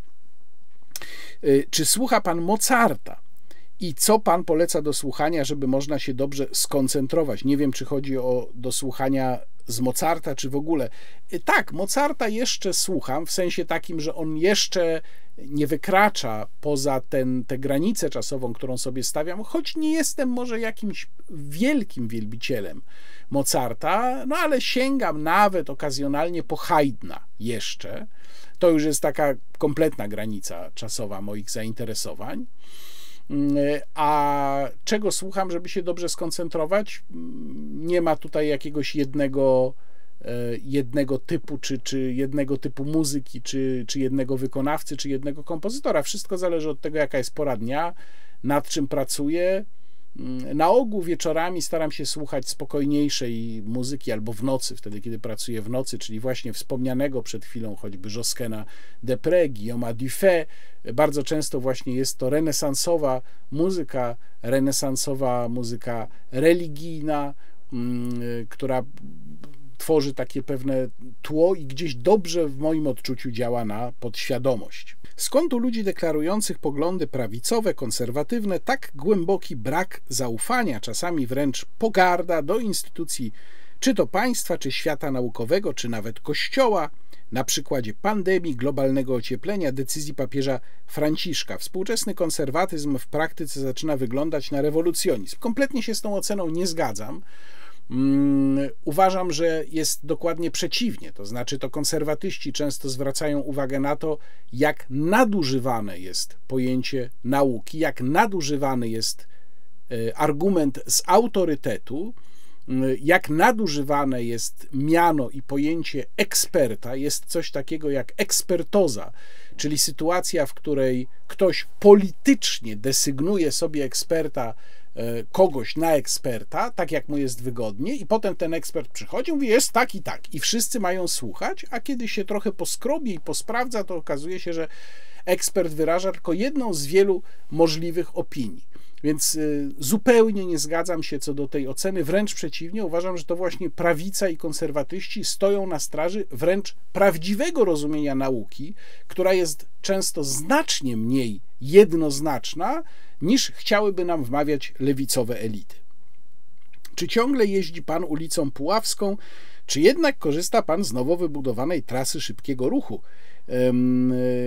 Mowa tutaj o, o, moich okolicach, w których mieszkam, proszę zobaczyć, jak różne są te pytania, prawda? Przed chwilą pytanie o, o sprawy, można powiedzieć, zasadnicze, wcześniej o muzykę, a teraz o to, którędy jeżdżę. E, tak, odpowiadam pytającemu, korzystam e, z tamtej trasy, ale to zależy dokładnie, w którą stronę, w który rejon miasta jadę, bo e, no i co mi pokaże też w danym momencie nawigacja, którędy jest szybciej. Pierwsze rozbudowane pytanie, skąd według Pana bierze się w dzisiejszych czasach tragicznie niski, zatrważający poziom rozumienia wolności wśród społeczeństw, zwłaszcza wśród Polaków? Czy to jeszcze pokłosie komunizmu, czy raczej przesiąknięcie konsumpcjonizmem, niską kulturą życia społeczno-politycznego, nowoczesnymi technologiami, mm, gnuśnością, obojętnością? E, to jest bardzo trudne pytanie i znów nie odpowiem na nie właściwie, dlatego że ono by wymagało długich studiów. Tych przyczyn jest pewnie wiele. Mogę się tylko zgodzić co do diagnozy, że rzeczywiście ten poziom e, wyczucia wolności, e, tego czym rozumienia, czym ona jest, jest bardzo niski. Ja o tym wielokrotnie pisałem, zresztą wskazując na to, że ten mit o Polakach jako o narodzie miłującym wolność jest właśnie już teraz tylko tym mitem, niczym więcej. Drugie pytanie. Czy rozważa Pan zorganizowanie lub wzięcie udziału w szerokiej, najlepiej kilkugodzinnej debacie z wieloma różnymi publicystami w związku z przypadającym w przyszłym, w tym roku, dwudziestoleciem członkostwa Polski w Unii Europejskiej? Mm, no, oczywiście, gdyby była taka debata i gdybym miał do niej zaproszenie, to wziąłbym w niej udział, jasna sprawa, bardzo chętnie. Natomiast czy ja y, będę ją organizował. No, no, nie mam takich planów, ani, ani takich możliwości, ani, ani takich y, mocy również finansowych, żeby się za coś takiego zabrać. E, jaka jest Pana opinia na temat podwyżek mandatów i punktów karnych? Czy poprawiło to bezpieczeństwo na drogach? I co Pan sądzi o aktywności Pana Zboralskiego, który zabierałby prawo jazdy nawet za najmniejsze wykroczenia? No, tak jak powiedziałem, już wielokrotnie mówiłem, ja się raczej nie odnoszę w, tych, w tej sesji pytań i odpowiedzi do konkretnych osób. Łukasz Zboralski jest moim mm, kolegą redakcyjnym, jest sekretarzem redakcji do rzeczy. No, mogę tylko powiedzieć najdelikatniej, że nie jestem e, wielbicielem jego twórczości w tej roli eksperta e, od BRD. Natomiast jeżeli chodzi o podwyżki mandatów i punktów karnych, myślę o tym bardzo źle. Uważam, że to ma charakter nadmiernie represyjny. Nie zostało to poprzedzone żadnymi solidnymi badaniami, nie zostało to poprzedzone żadną oceną skutków tego, co się stanie, skuteczności tych zabiegów również ja to traktuję po prostu jako takie, mm, taki zabieg populistyczny, wpisujący się w generalną kampanię po prostu przeciwko kierowcom. Mam pytanie odnośnie sytuacji związanej z panem Brownem, a właściwie chodzi mi o zrzutkę pieniędzy, którą ktoś na znanym portalu dla niego zrobił, a która następnie została przez ten portal zablokowana. Jak pan się do tego odnosi? No, portal się tłumaczył tym, że mm, jak zrozumiałem, że niektóre cele tej zrzutki mogłyby y, naruszać prawo. Powiem szczerze, nie wczytywałem się w to, nie przyglądałem się tej sytuacji. Uważam każdą generalnie taką sytuację, w której z jakichś politycznych powodów jakaś tego typu zbiórka zostaje zablokowana, podkreślam z politycznych powodów, nie na przykład dlatego, że okazało się, że ktoś wymyślił sobie mm, y, powód albo i, i zbiera pod fałszywym powodem pieniądze, albo że ktoś tych pieniędzy nie przekaże osobie, y, na którą zbiera, tylko z powodów politycznych, uważam, że zawsze jest to potencjalnie niebezpieczne. Co sądzi pan o Napoleonie? Czy oglądał pan najnowszy film o Napoleonie? Nie, nie oglądałem. Zniechęciły mnie recenzje, prawdę mówiąc. Po pierwsze, dlatego, że ja jednak jestem dosyć uczulony na punkcie tego, że film, mm, który mówi o postaci historycznej, powinien o niej mówić w sposób y, rzetelny. Przeczytałem kilka recenzji, które były bardzo krytyczne, jeżeli chodzi o tę warstwę historyczną. Po drugie, nie jestem w stanie znieść filmu o przywódcy Francji, w którym aktorzy mówią po angielsku. No przepraszam, po prostu nie. Jeżeli film jest o historii Francji, to ja chcę, żeby aktorzy mówili po francusku i chcę, żeby to był film francuski, nie angielski. A co sądzę o Napoleonie, no to naprawdę tutaj można by nagrać cały długi film na ten temat. Ja bym powiedział bardzo krótko tylko tyle. Uważam, że Napoleon w polskiej historii jest przesadnie idealizowany i to ta idealizacja ma w sobie coś z tego y, y, sentymentu starego subiekta rzeckiego, opisanego w lalce Bolesława Prusa. Powinniśmy na tę postać patrzeć znacznie bardziej realistycznie. Ja też pamiętam zawsze, kiedy jestem w y, sukiennicach, bo to jeżeli dobrze pamiętam, tamten obraz wisi. Mówi, myślę tutaj oczywiście o Somosierze Michałowskiego mm, i zawsze pamiętam o tym, że Napoleon rzucił Polaków przeciwko Hiszpanom. I to była naprawdę, to jest mało. E, w, w, w, polskiej pamięci ta sprawa właściwie nie istnieje, a przecież Polacy po prostu uczestniczyli w narzuceniu straszliwej francuskiej opresji stłamszeniu Hiszpanów po prostu. No to, to tutaj naprawdę nie ma być z czego dumnym. My pamiętamy tylko o Somosierze, myśląc o tym jako o pewnym e, bohaterstwie, bohaterskim czynie. No ale pamiętajmy o tym, w jakim kontekście w ogóle ta szarża się odbywała. Co pan sądzi o Kościuszce? Czy był pan w muzeum na kopcu Kościuszki? Nie, nie byłem, muszę powiedzieć. Mm, a co sądzę o Kościuszce? No znów to jest temat rzeka. Powiem bardzo krótko e, sądzę dobrze o Kościuszce. I tyle. Która z odbytych przez Pana podróży jest dla Pana dotychczasową podróżą życia i czy ma Pan taką podróż w marzeniach do zrealizowania?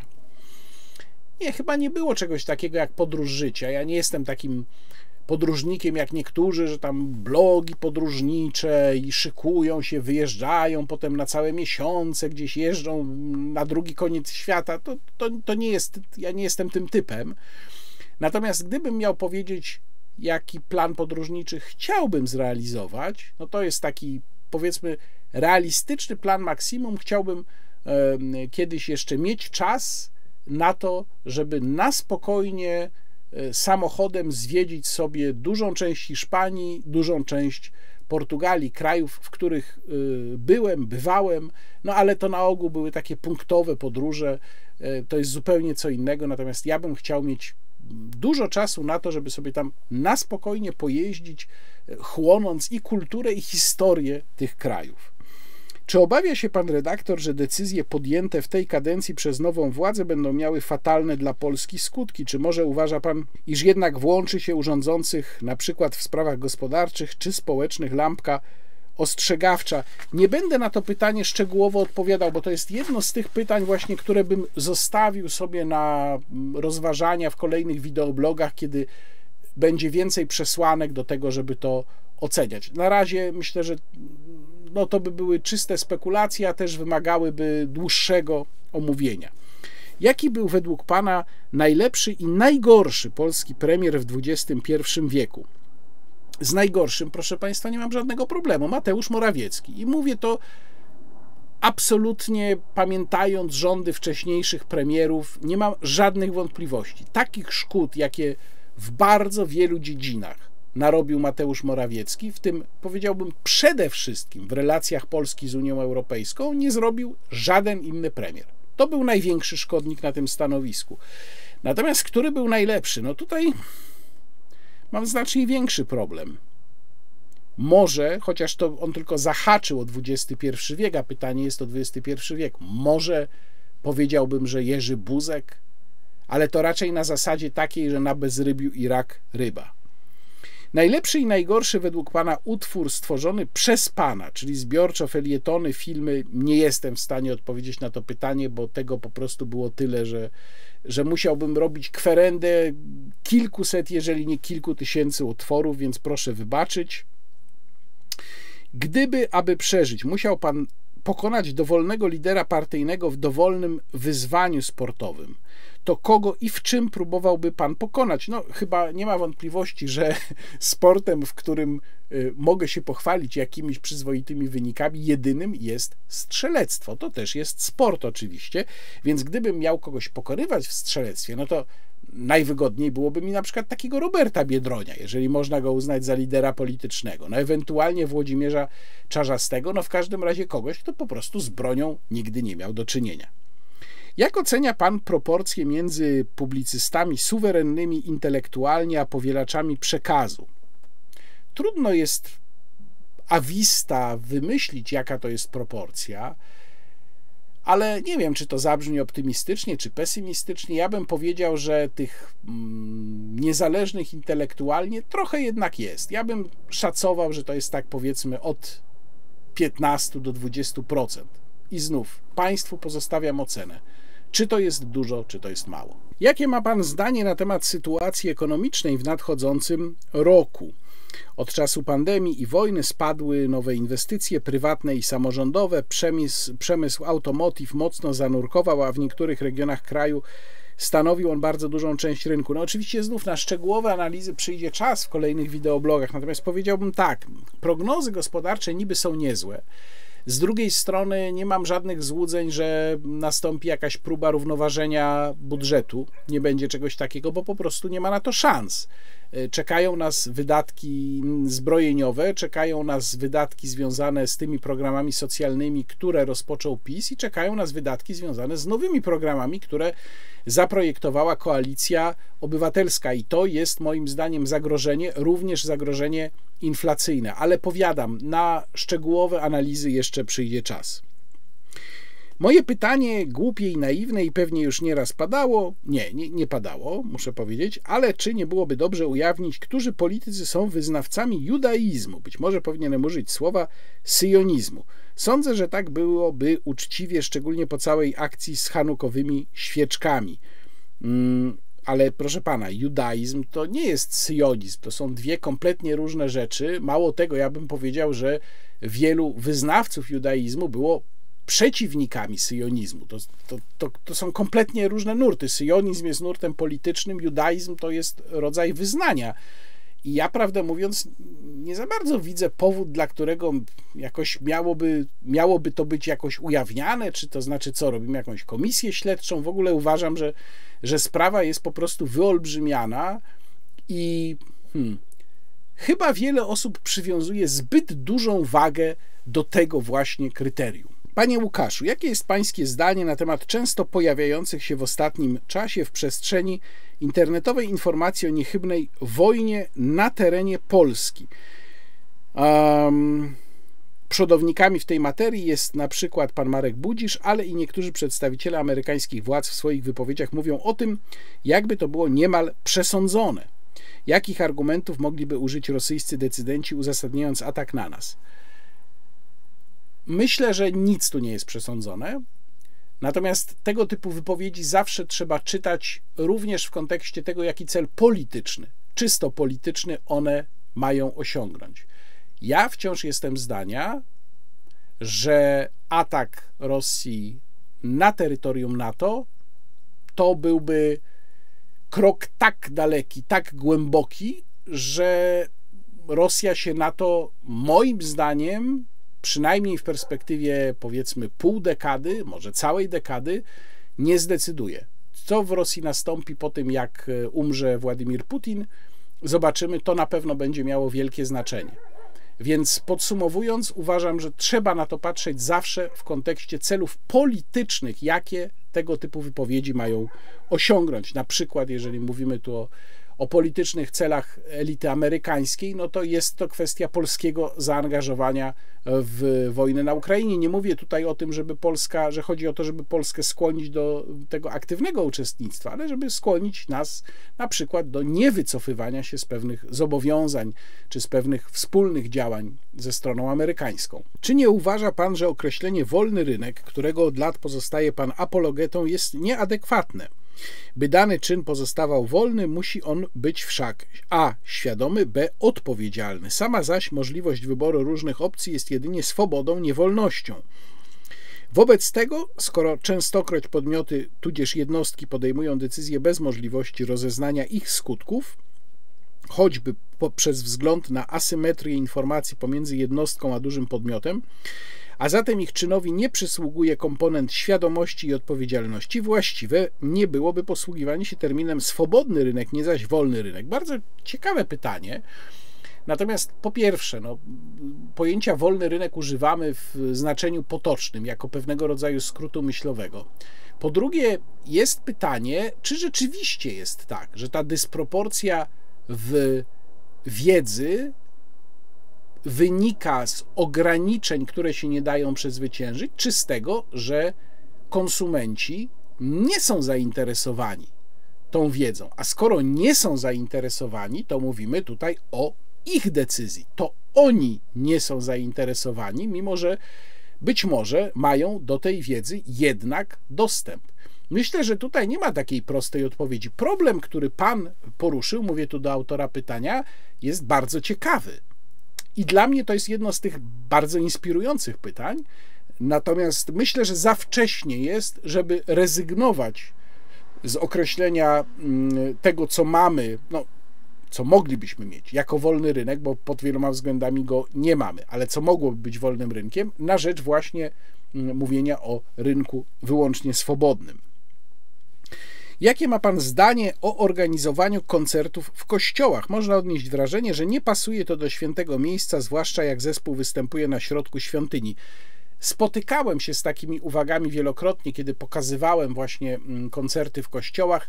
Takie koncerty są w trakcie festiwalu Muzyka Divina, w trakcie festiwalu rezonanse. Wielokrotnie y, warszawski, promowany przeze mnie zespół La Tempesta Jakuba Burzyńskiego również występował w kościołach. Moje zdanie na ten temat jest takie, że jest to bardzo dobre miejsce na koncerty. Jeżeli proboszcz świątyni nie ma z tym problemu, wpuszcza zespół na miejsce, publiczność zachowuje się zawsze, ja nie widziałem innej sytuacji jeszcze, w sposób bardzo przyzwoity i z szacunkiem dla miejsca. Nie widzę żadnego problemu. Dobrze, że świątynie żyją również koncertami muzyki klasycznej. Podkreślam tutaj muzyki klasycznej, bo uważam, że większym znacznie problemem są innego rodzaju koncerty, a one czasem też się odbywają. Odnosząc się do zakazu handlu w niedzielę, nie uwzględnił pan argumentu o dylemacie więźnia, który podniósł Janusz Korwin-Mikke, to znaczy, że ktoś może nie chcieć pracować w niedzielę, ale nie zrezygnuje z tego, bo każdy myśli, że pracodawca kimś go może zastąpić, zatem wszyscy naraz mogliby zrezygnować, ale każdy z osobna się boi. Przeto władza może wkroczyć w tym wypadku ze swoim rozwiązaniem. Moim zdaniem, jak to u JKM, problem jest nieco wydumany. Po prostu znieśmy ten e, zakaz, gwarantując pracownikom to, że mają na przykład dwie niedziele wolne w miesiącu, a, a, a to, o czym pan tutaj pisze, no to jest moim zdaniem dzielenie włosa na czworo. Dlaczego Janusz Korwin-Mikke nigdy nie odniósł większego sukcesu wyborczego? Nie można tego tłumaczyć tylko jego kontrowersjami. Jest przecież wielu polityków, którzy odnieśli sukces wyborczy na poziomie krajowym, będąc wielce kontrowersyjnymi, na przykład Silvio Berlusconi, czy, czy Donald Trump, czy, czy, czy, czy Bolsonaro. E, tak, tylko że oni wszyscy e, te kontrowersje umieszczali w pewnym spektrum tego, co się będzie sprzedawać. E, to były zawsze kontrowersje w jakiś sposób wypracowane. One wynikały z tego, że było zapotrzebowanie na takie kontrowersje, natomiast u Janusza Korwin-Mikkego wygląda to inaczej. To jest kontrowersja dla samej kontrowersji. To jest kontrowersja, która ma pomóc panu Januszowi utrzymać grono wiernych wyznawców na tyle duże, żeby on sam mógł dzięki temu gronu jakoś tam funkcjonować i po prostu z niego również żyć, natomiast zdecydowanie za małe, żeby osiągnąć jakikolwiek realny cel w polityce. I ja po latach obserwacji pana Janusza Korwin-Mikkego jestem absolutnie przekonany, że to jest po prostu celowe działanie, że to jest przemyślana strategia, która właśnie tak ma działać i taki odnosić skutek. Czy nie sądzi pan, pomijając czyn Grzegorza Brauna, że świętowanie w polskim Sejmie święta, które przez Żydów jest odbierane jako triumf Żydów nad Gojami, zwłaszcza w czasie, gdy w Palestynie ma miejsce żydowskie ludobójstwo, jest przynajmniej niestosowne. W dodatku przez przedstawicieli kabalistycznej sekty Chabad Lubawicz, czy można mieć w sytuacji takiego nadskakiwania Żydom przez prezydenta, rząd i Sejm, którzy nic nie robią, tylko kłaniają się w pas i kłaniają się za to, co się stało, pretensje do prostych ludzi, że na tej podstawie sądzą, że Żydzi rządzą Polską. Pierwsza sprawa. Jeżeli chodzi o Hanukę, no to jest, ja, ja te interpretacje widziałem e, kilkakrotnie po tym wydarzeniu ona jest oczywiście całkowicie błędna. To znaczy, y, wiele świąt żydowskich, ale nie tylko żydowskich, nie jest interpretowanych w ten sposób, że o, Żydzi zwyciężyli nad Gojami. Y, to jest święto upamiętniające wydarzenie opisywane w Starym Testamencie i jest to po prostu triumf narodu wybranego, zresztą nad okupantem. Więc jakby w ogóle interpretowanie tego w ten sposób, że to Żydzi wygrali z Gojami i to jest coś nagannego, jest kompletnym nieporozumieniem. Mówimy o wydarzeniu sprzed kilku tysięcy lat. Druga sprawa, co też tłumaczyłem, to nie jest sekta Chabad Lubawicz. To jest e, wspólnota hasycka. Wspólnot hasyckich w judaizmie jest wiele, one mają jakieś tam swoje cele. Judaizm nie jest religią scentralizowaną w przeciwieństwie do katolicyzmu, więc tych wspólnot hasyckich pod różnymi hasłami działających jest dużo. Jeżeli chodzi o kabałę, kolejny mit. Ludzie prawdopodobnie mylą kabałę, która jest e, częścią żydowskiego, judaistycznego mistycyzmu, z kabałą w sensie kabalarstwa, w sensie wróżbiarstwa. I dlatego im się to jakoś tam łączy, że to jest jakiś zabobon. No, proszę Państwa, mój apel – naprawdę proszę sprawdzać informacje, proszę się czegoś dowiedzieć o tym, jak to wygląda w judaizmie, a nie powielać jakieś mity kompletne, świadczące po prostu o braku wiedzy. Y, natomiast jeżeli chodzi o drugą część tego pytania, a jeszcze przepraszam, jeżeli chodzi o pierwszą część tego pytania, ja y, również swoje stanowisko w tej sprawie już wyrażałem. Nie mam nic przeciwko temu, żeby w polskim Sejmie odbywały się uroczystości związane ze, ze świętami religijnymi tych narodów, które tworzyły Rzeczpospolitą tradycyjnie. I też o tym mówiłem, to jest e, oczywiście to są grekokatolicy, to są oczywiście katolicy, chrześcijanie, nie tylko katolicy, również protestanci, e, to są również polscy muzułmanie, to są również Żydzi. E, jeżeli chodzi natomiast o drugą część tego pytania, no to tutaj się zgadzam, że reakcja była nieproporcjonalna, nadmierna. Um, uważam, że zdecydowanie przesadzona tak jak już mówiłem i tłumaczyłem, powinno się po prostu tę sprawę zamknąć e, krótkimi kilkoma zdaniami, informacją o tym, że była to, był to wyczyn jednego posła, koniec, kropka, zamykamy sprawę. Czy uważa pan, że dobrze by się stało, gdyby Unia Europejska się po prostu rozpadła? Nie. Uważam, że nie dobrze by się stało. Uważam, że dobrze by było, gdyby Unia Europejska wróciła do swoich korzeni poprzez znaczące samoograniczenie, powiedziałbym regres nawet, duży regres w kompetencjach, które posiada już w tej chwili, nie mówiąc o tych, które są dla niej dalej planowane. Czy nie uważa pan, że powinno się zacząć poważnie rozmawiać o zmianach w ustawie zasadniczej? Moim zdaniem jest to bubel prawny. Tak, uważam, że Polska potrzebuje już w tej chwili nowej konstytucji, bo ta pokazuje, pokazała w ciągu ostatnich e, co najmniej 10 lat bardzo wiele swoich niedostatków, natomiast szansa na to, e, bo tu musiałaby być naprawdę szeroka zgoda obozu politycznego, szansa na to moim zdaniem niestety jest nikła, więc pewnie zostaniemy z tą konstytucją jeszcze na wiele, wiele lat. Dlaczego wybrał Pan ten zawód? Czy jest jakaś książka, książki, dzieła, które uważa Pan za szczególnie ważne, przełomowe? Rozumiem, że chodzi o w kontekście wyboru tego zawodu. Tak odczytuję to pytanie. Mm, no to powiedziałbym, że pewnie moja fascynacja z czasów e, szkoły średniej, fascynacja Gombrowiczem, a pewnie także książka sygnowano Ernest Hemingway, która mi wpadła w ręce chyba pod koniec podstawówki, może na początku liceum. To był taki zbiór, gdzieś to mam jeszcze, zbiór y, krótkich reportaży Ernesta Hemingwaya, które mnie bardzo um, zafascynowały. Czy jest taka postać z historii powszechnej, którą ceni Pan wyjątkowo? E, jeśli tak, to dlaczego? No, jest trochę takich postaci. Uzasadnienie zajęłoby dużo czasu, więc ja tylko hasłowo bardzo wymienię e, Margaret Thatcher za jej absolutną stanowczość i, i twardość, również w tym, jak organizowała życie społeczne i gospodarcze w Wielkiej Brytanii. Jan Paweł II, który był nie tylko przywódcą Kościoła jako papieżem, ale był również głową państwa watykańskiego i politykiem, bo musiał być politykiem, bo każdy papież jest w jakimś stopniu politykiem.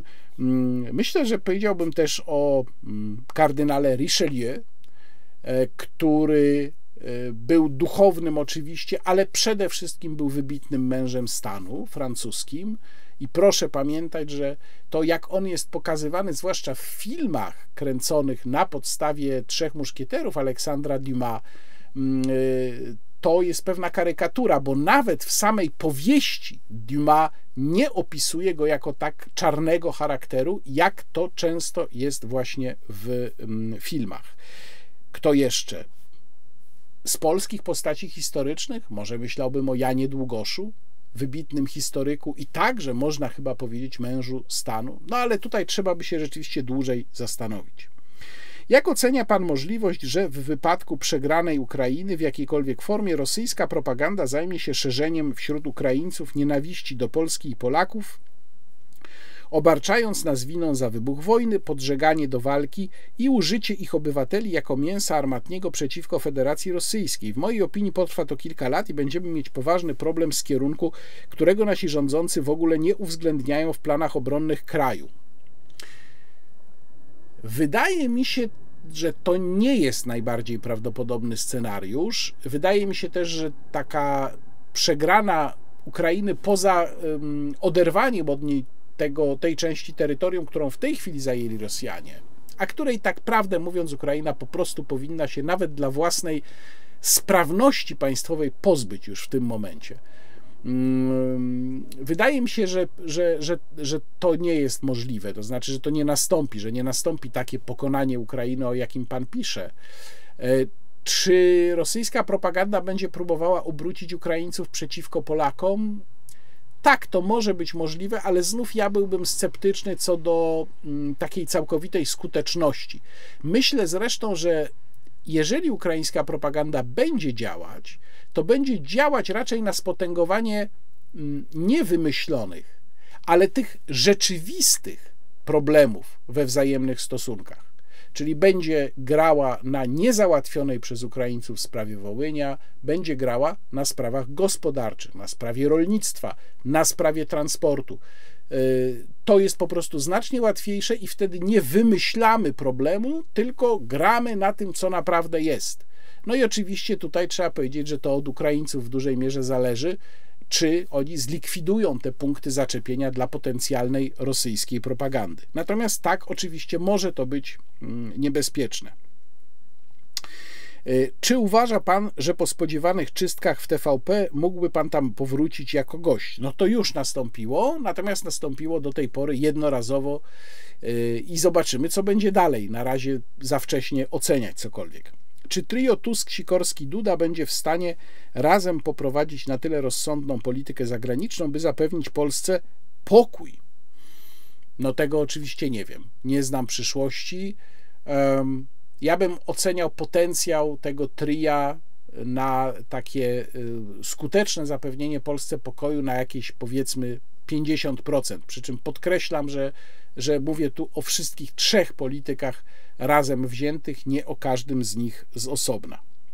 Czy mógłby Pan zorganizować spotkanie z fanami? Y, nie, nie mógłbym po prostu dlatego, że nie dysponuję takimi środkami, zdolnościami organizacyjnymi, nie mam żadnej redakcji, jestem po prostu sam, mówię tutaj do Państwa sam, y, nie jestem w stanie takiego przedsięwzięcia samodzielnie się podjąć. Czy świętuje Pan Hanukę? Nie, nie świętuje Hanuki. Y, które nagranie bachowskich kantat ceni Pan najbardziej? Suzuki, Gardiner, Kopman. Myślę, że z tych trzech wybrałbym Gardinera. Może też dlatego, że mm, Gardiner to były te najwcześniejsze wykonania, bardzo, które poznałem, a bardzo często ma się sentyment do tego, co się usłyszało najpierw. Czy jakieś kantaty są Pana szczególnie ulubionymi? No myślę, że tutaj nie będę specjalnie oryginalny, kiedy powiem, że kantata o kawie, bardzo ją lubię. Jauchzet Gott in allen Landen, Wachet auf, Wachet auf ruft uns die Stimme, Ich habe genug, no chyba takie bym wymienił. To, to, to są oczywiście te bardziej znane tytuły, ale one są naprawdę bardzo piękne. Jeżeli chodzi o Jauchzet Gott in allen Landen, to była jedna z pierwszych kantat Bacha, jakie w ogóle na płycie kupiłem i to było takie dosyć stare wykonanie, znaczy wtedy ono nie było jeszcze stare, w tej chwili to myślę, że to jest wykonanie sprzed chyba co najmniej 30 lat, jak nie więcej, z Emą Kergby w roli głównej. No dzisiaj Emma Kergby już no mocno starsza pani, natomiast tamten jej przepiękny po prostu sopran rozbrzmiewa w tej, w tej arii. No, to jest naprawdę wzruszające. To jest absolutnie wzruszające. Y, czy zna Pan niezwykle cenne moim zdaniem nagrania na kanale Netherlands Bach Society? Tak, tak, te znam i czasem słucham, lub szwajcarski Bach Stiftung. Nie, tego akurat nie znam. Ale dziękuję za polecenie. Czy uważa Pan, że wszystkie gry wideo są dla dzieci i nie niosą ze sobą wartościowych treści? Nie, nie uważam tak, chociaż sam po prostu nie mam na to czasu. E, nie gram, już od dawna nie gram. Kiedyś grywałem w różne rzeczy, natomiast teraz nie gram, bo, bo stwierdzam z latami, że im jestem starszy, tym tego czasu jest mniej i może szkoda go tracić właśnie na granie. Czy pańskim zdaniem chrześcijaństwo jako religia lub jako system wartości przetrwa, odzyska dawny blask w Europie i w Polsce? Że przetrwa, to ja nie mam żadnych wątpliwości. Czy odzyska dawny blask? Chrześcijaństwo, Kościół katolicki przechodziły przez bardzo różne koleje losu i myślę, że często bywało tak, że w danym czasie ludzie myśleli o ten dawny blask już zniknął. Czy go odzyskamy? A dzisiaj my patrzymy na tamten czas, kiedy to pytanie było zadawane i myślimy, o to wtedy był ten blask. Więc ja byłbym tutaj jakoś spokojny, chociaż nie mam wątpliwości, patrząc też na to, co się dzieje w Watykanie i co robi obecny papież, że tak jeżeli chodzi przynajmniej o Kościół katolicki, to y, wchodzi on w bardzo trudną fazę swojego istnienia, ale proszę też pamiętać, że był moment, opisuje to wspaniale Jean Raspail w swojej powieści Pierścień Rybaka, kiedy y, w Kościele katolickim było aż trzech papieży jednocześnie. Więc, y, no być może, nie wiem, wszystko jeszcze przed nami. Czy w Pana opinii istniejąca mm, do tego czasu względnie spokojna sytuacja międzynarodowa, nie cechująca się co do zasady wojnami na dużą skalę, takimi jak na przykład na Ukrainie, ustąpi światu wojen jako chętnie używanych narzędzi do realizacji celów politycznych. Jest to możliwe.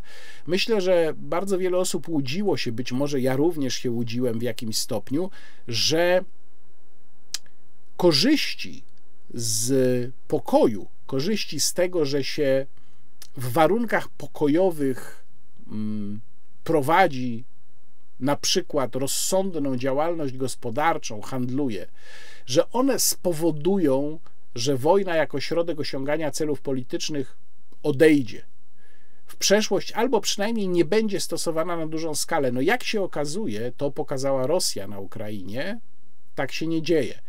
I myślę, że to niestety może być przełamanie pewnego tabu, to może być pokazanie również pewnej skuteczności w osiąganiu swoich celów, i to może być niebezpieczne. Natomiast czy rzeczywiście tak się stanie, oczywiście tego nie wiem. Pierwsze pytanie dotyczy współpracy z magazynem Kontra i środowiskiem Klubu Jagiellońskiego. Czy pańska aktywność w tym obszarze będzie rozwijana? Y, no, Kontra i Klub Jagielloński to są dwa osobne środowiska, chociaż współpracują ze sobą, ale żeby było jasne, Kontra to nie jest część Klubu Jagiellońskiego. Ja bym bardzo chciał, żeby środowisko magazynu Kontra i sam magazyn się rozwijał. Wiem, że los magazynu będzie się w najbliższych miesiącach decydował. Mam nadzieję, bardzo mocno trzymam kciuki, bo to jest naprawdę bardzo fajny projekt. Jeżeli Państwo jeszcze nie znają, to polecam y, i stronę magazynu Kontra wstawiam w opisie filmu, żeby łatwiej było Państwu tam trafić. Jeżeli chodzi o klub jagielloński, to mam z klubem jagiellońskim y, dobre e, relacje. No nie jestem już co prawda w Radzie Klubu, mm, bo tam się zmieniły władze, jest nowa kadencja, natomiast y, relacje są, są bardzo dobre. Biorę udział w dyskusjach, czasem polecam teksty. Czy to będzie w jakiś sposób rozwijane, no to już nie zależy ode mnie, tylko zależy od klubu jagiellońskiego. Skoro padło słowo kontra, to drugie pytanie dotyczy twórczości Józefa Mackiewicza. W jakim stopniu jest ona panu znana i czy uważa pan, że przesłanie tejże twórczości jest dramatycznie aktualne w dzisiejszych czasach? No tak, jest mi znana absolutnie. Ja mogę chyba powiedzieć, że jestem wielbicielem Józefa Mackiewicza, jego twórczości powieściowej. To nie tylko kontra, którą przeczytałem jako pierwszą powieść Józefa Mackiewicza, ale to też znakomite, nie trzeba głośno mówić. To też świetna sprawa pułkownika Miasojedowa, e, Karierowicz, to też e, Droga donikąd. No, przeczytałem chyba większość powieści mm, e, Józefa Mackiewicza. Watykan w cieniu czerwonej gwiazdy. Ja bym powiedział tak. Mackiewicz jako powieściopisarz, który rzeczywiście realizował w praktyce, w swojej twórczości pisarskiej zasadę, że tylko prawda jest ciekawa, jest po prostu super. Mackiewicz jako mm, człowiek bardziej publicysta, śledzący komunizm w różnych układach światowych, chyba trochę mniej mnie przekonuje. Mam wrażenie, że tutaj ta jego podejrzliwość i jego organiczny antykomunizm, który generalnie mi się podoba, bo się z nim w dużej mierze utożsamiam, mm, zaprowadziły go w pewnych momentach na manowce. Ja miałem już takie odczucie, czytając właśnie Watykan w cieniu czerwonej gwiazdy. Natomiast generalnie rzecz biorąc, Mackiewicz jak najbardziej ok. Czy rozważa Pan udział w rozmowie w podcaście Dwie lewe ręce, jeśli byłoby zaproszenie z ich strony? Oczywiście, jak najbardziej, bez żadnego problemu. Dlaczego podczas ostatnich wyborów, o, to, to jest kilka pytań, które tego dotyczą, yy, więc yy, już na następne nie będę odpowiadał, bo uważam, że moja odpowiedź na to, które teraz nastąpi, wyczerpuje temat. Dlaczego podczas ostatnich wyborów umożliwiono niektórym, na przykład słynna komisja we Wrocławiu, głosować e, głosowanie dużo później niż to powinno być. Przecież wybory jasno są określone do godziny 21, kiedy to publikowane są też pierwsze sondażowe wyniki, a tutaj ponad 6 godzin dłużej trwało głosowanie. Wydaje mi się to, delikatnie mówiąc, nieuczciwe. Jeżeli ktoś do, odwleka głosowanie do wieczora, to musi liczyć się z tym, że może nie zdążyć i tyle. Nie, nie zgadzam się z panem. Zawsze było tak, że głosowanie zasadzało się na zasadzie, kto ustawi się w kolejce do danego momentu, ten może zagłosować. Zawsze tak było. Natomiast oczywiście ta sytuacja wyjątkowo wysokiej frekwencji spowodowała, że te kolejki faktycznie stały bardzo długo. No proszę sobie wyobrazić sytuację, w której w jakimś punkcie, w, jakiejś, w jakimś e, punkcie głosowania jest wyjątkowo dużo ludzi i z tego powodu zabrakło kart do głosowania. W związku z czym głosowanie się zatrzymuje w związku z czym ludzie czekają, nadchodzi godzina formalnego zakończenia głosowania, oni nadal stoją. No to co, co zrobić? Przecież to nie jest ich wina, że tych kart do głosowania nie ma. A z kolei nie można rozdzielać sytuacji na takie i takie, kiedy ludzie po prostu przyszli późno. No, godzina zamknięcia lokalu powinna być godziną, w której odcinana jest kolejka. Ja się z tym stanowiskiem zgadzam, nie widzę w tym niczego niewłaściwego. Czemu nie było protestu wyborczego ze strony PiS? No, nie było protestu wyborczego ze strony PiS, bo nie było do niego podstaw. E, PiS po prostu nie znalazł faktycznych podstaw do tego, żeby złożyć protest wyborczy, e, co się pokrywa zresztą z moją diagnozą tej sytuacji. Dalej jeszcze pojawia się mm, pytanie, w dalszej kolejności pojawia się pytanie, jak rozumiem, ono dotyczy również tej mm, turystyki związanej z głosowaniem. E, ale to też nie jest nic nielegalnego. Ja sam nie głosowałem w swoim miejscu e, zamieszkania. Oczywiście, akurat w moim przypadku była to kwestia tego, że ja się przemieszczałem. E, wracałem gdzieś tam z, z południa Polski tego dnia, ale zdążyłbym spokojnie do swojego lokalu wyborczego, tutaj gdzie mieszkam, zaraz przy granicy Warszawy. E, natomiast ja chciałem zagłosować tam, mając zaświadczenie o prawie do głosowania, chciałem zagłosować tam, gdzie wiedziałem, że jest y, kandydat, który będzie mi szczególnie odpowiadał. Chciałem na konkretną osobę zagłosować, więc tam się zatrzymałem po drodze, akurat przejeżdżałem przez takie miejsce e, i tam zagłosowałem. To jest dozwolona praktyka. Można brać zaświadczenie o prawie do głosowania, można się też zapisać do głosowania, jak Państwo wiedzą, w innym miejscu. To nie jest nic nielegalnego. Można się tu oczywiście zastanawiać nad tym, jakie to daje efekty, jeżeli się to odbywa w większej skali, no ale to nie oznacza, że należy ludziom, ograniczyć prawo do głosowania poza miejscem ich y, zamieszkania.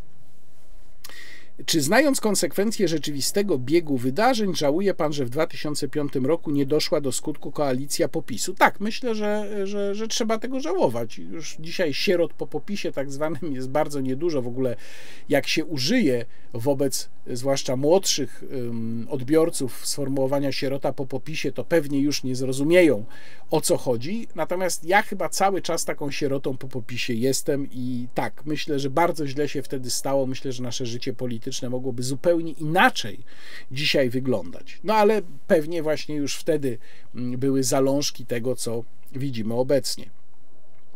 Czy poparłby Pan jakąś antyfrekwencyjną reformę prawa wyborczego, na przykład tak zwany test wyborcy, system kurialny, badanie alkomatem, prawo wyborcze dla posesjonatów, względnie jakąś inną zmianę pozwalającą odsunąć lub zniechęcić do udziału w wyborach osoby niezorientowane w podejmowanych decyzjach? Tak, poparłbym zdecydowanie, jestem tego dużym zwolennikiem, jednocześnie mając świadomość, że jest to kompletnie nierealne Mm, no bo tym samym ktoś, kto by wysunął taką propozycję, oczywiście naraziłby się potężnie mm, obywatelom, zresztą no, wymagałoby to zmiany konstytucji, więc również z tego powodu jest to nierealne. Y, myślę, że to powinien być taki system, mm, który nie pozostawiałby żadnej uznaniowości, to jest też bardzo ważne. On by musiał być maksymalnie sformalizowany, oczywiście o szczegółach tutaj można by rozmawiać. Dlaczego popiera pan Polski Związek Łowiecki? Jestem myśliwym z ponad 20-letnim stażem i dla mnie jest to patologiczna organizacja. Podobnie lasy państwowe. Uważam, że powinno się to wszystko poddać prywatyzacji. Byłoby dużo taniej i łatwiej zostać myśliwym i posiadać broń. No, mm, po pierwsze, nie wiem skąd teza, że ja popieram Polski Związek Łowiecki. Znaczy, Polski Związek Łowiecki jest oficjalną strukturą zrzeszającą polskich myśliwych. E, są w nim ludzie e, dobrzy, którzy dobrze pracują na rzecz e, myśliwych, i są w nim ludzie gorsi. Pewnie bardzo dużo można by rozmawiać o reformie samego PZE. Ja zresztą też w takich dyskusjach uczestniczyłem, również mm, w magazynie Brać Łowiecka. Natomiast nie bardzo rozumiem skąd stwierdzenie, że ja popieram PZE. To w ogóle samo stwierdzenie jest absurdalne, bo mm, PZE nie jest, no nie wiem, partią polityczną, żeby go popierać. Po prostu jest, prawda? A druga sprawa, lasy państwowe. E, nie, ja bym jednak nie był zwolennikiem takiej prostej prywatyzacji. Można też rozmawiać o tym, czy w jakimś stopniu prywatnej własności nie należałoby tu dopuścić, może jakieś dzierżawy. Natomiast myślę, że w tej sprawie trzeba rzeczywiście działać bardzo ostrożnie. To jest pewien od dziesięcioleci wypracowany model, jeżeli chodzi o obecność państwa w polskich lasach. I pewnie dużo by się dało zmienić na korzyść w strukturze samych lasów państwowych, w przejrzystości być może ich działania, ale czy należałoby tutaj po prostu lasy prywatyzować? Ja byłbym jednak tutaj bardzo ostrożny. Jak Pana zdaniem w dzisiejszym świecie ma odnaleźć się liberalny konserwatysta z klasy średniej? W świecie, gdzie króluje propaganda, socjalizm, głupota, klimatyzm, cenzura, dyktat lewackiej ideologii, zarówno na świecie, jak i w kościele, jak się odnaleźć w tym świecie? Samoorganizacja, protesty, modlitwa, pozytywistyczna praca u podstaw i konsekwentny dialog, tracę nadzieję. No cóż, ja nie mam tu dla pana jakiejś złotej rady czy jakiegoś panaceum. E, zawsze mówię w takiej sytuacji po prostu róbmy swoje za mistrzem młynarskim. Natomiast e, no myślę, że proszę obserwować ten kanał, proszę czytać teksty nie tylko moje, ale innych osób, które mają podobne poglądy i takie, z którymi może się pan utożsamiać.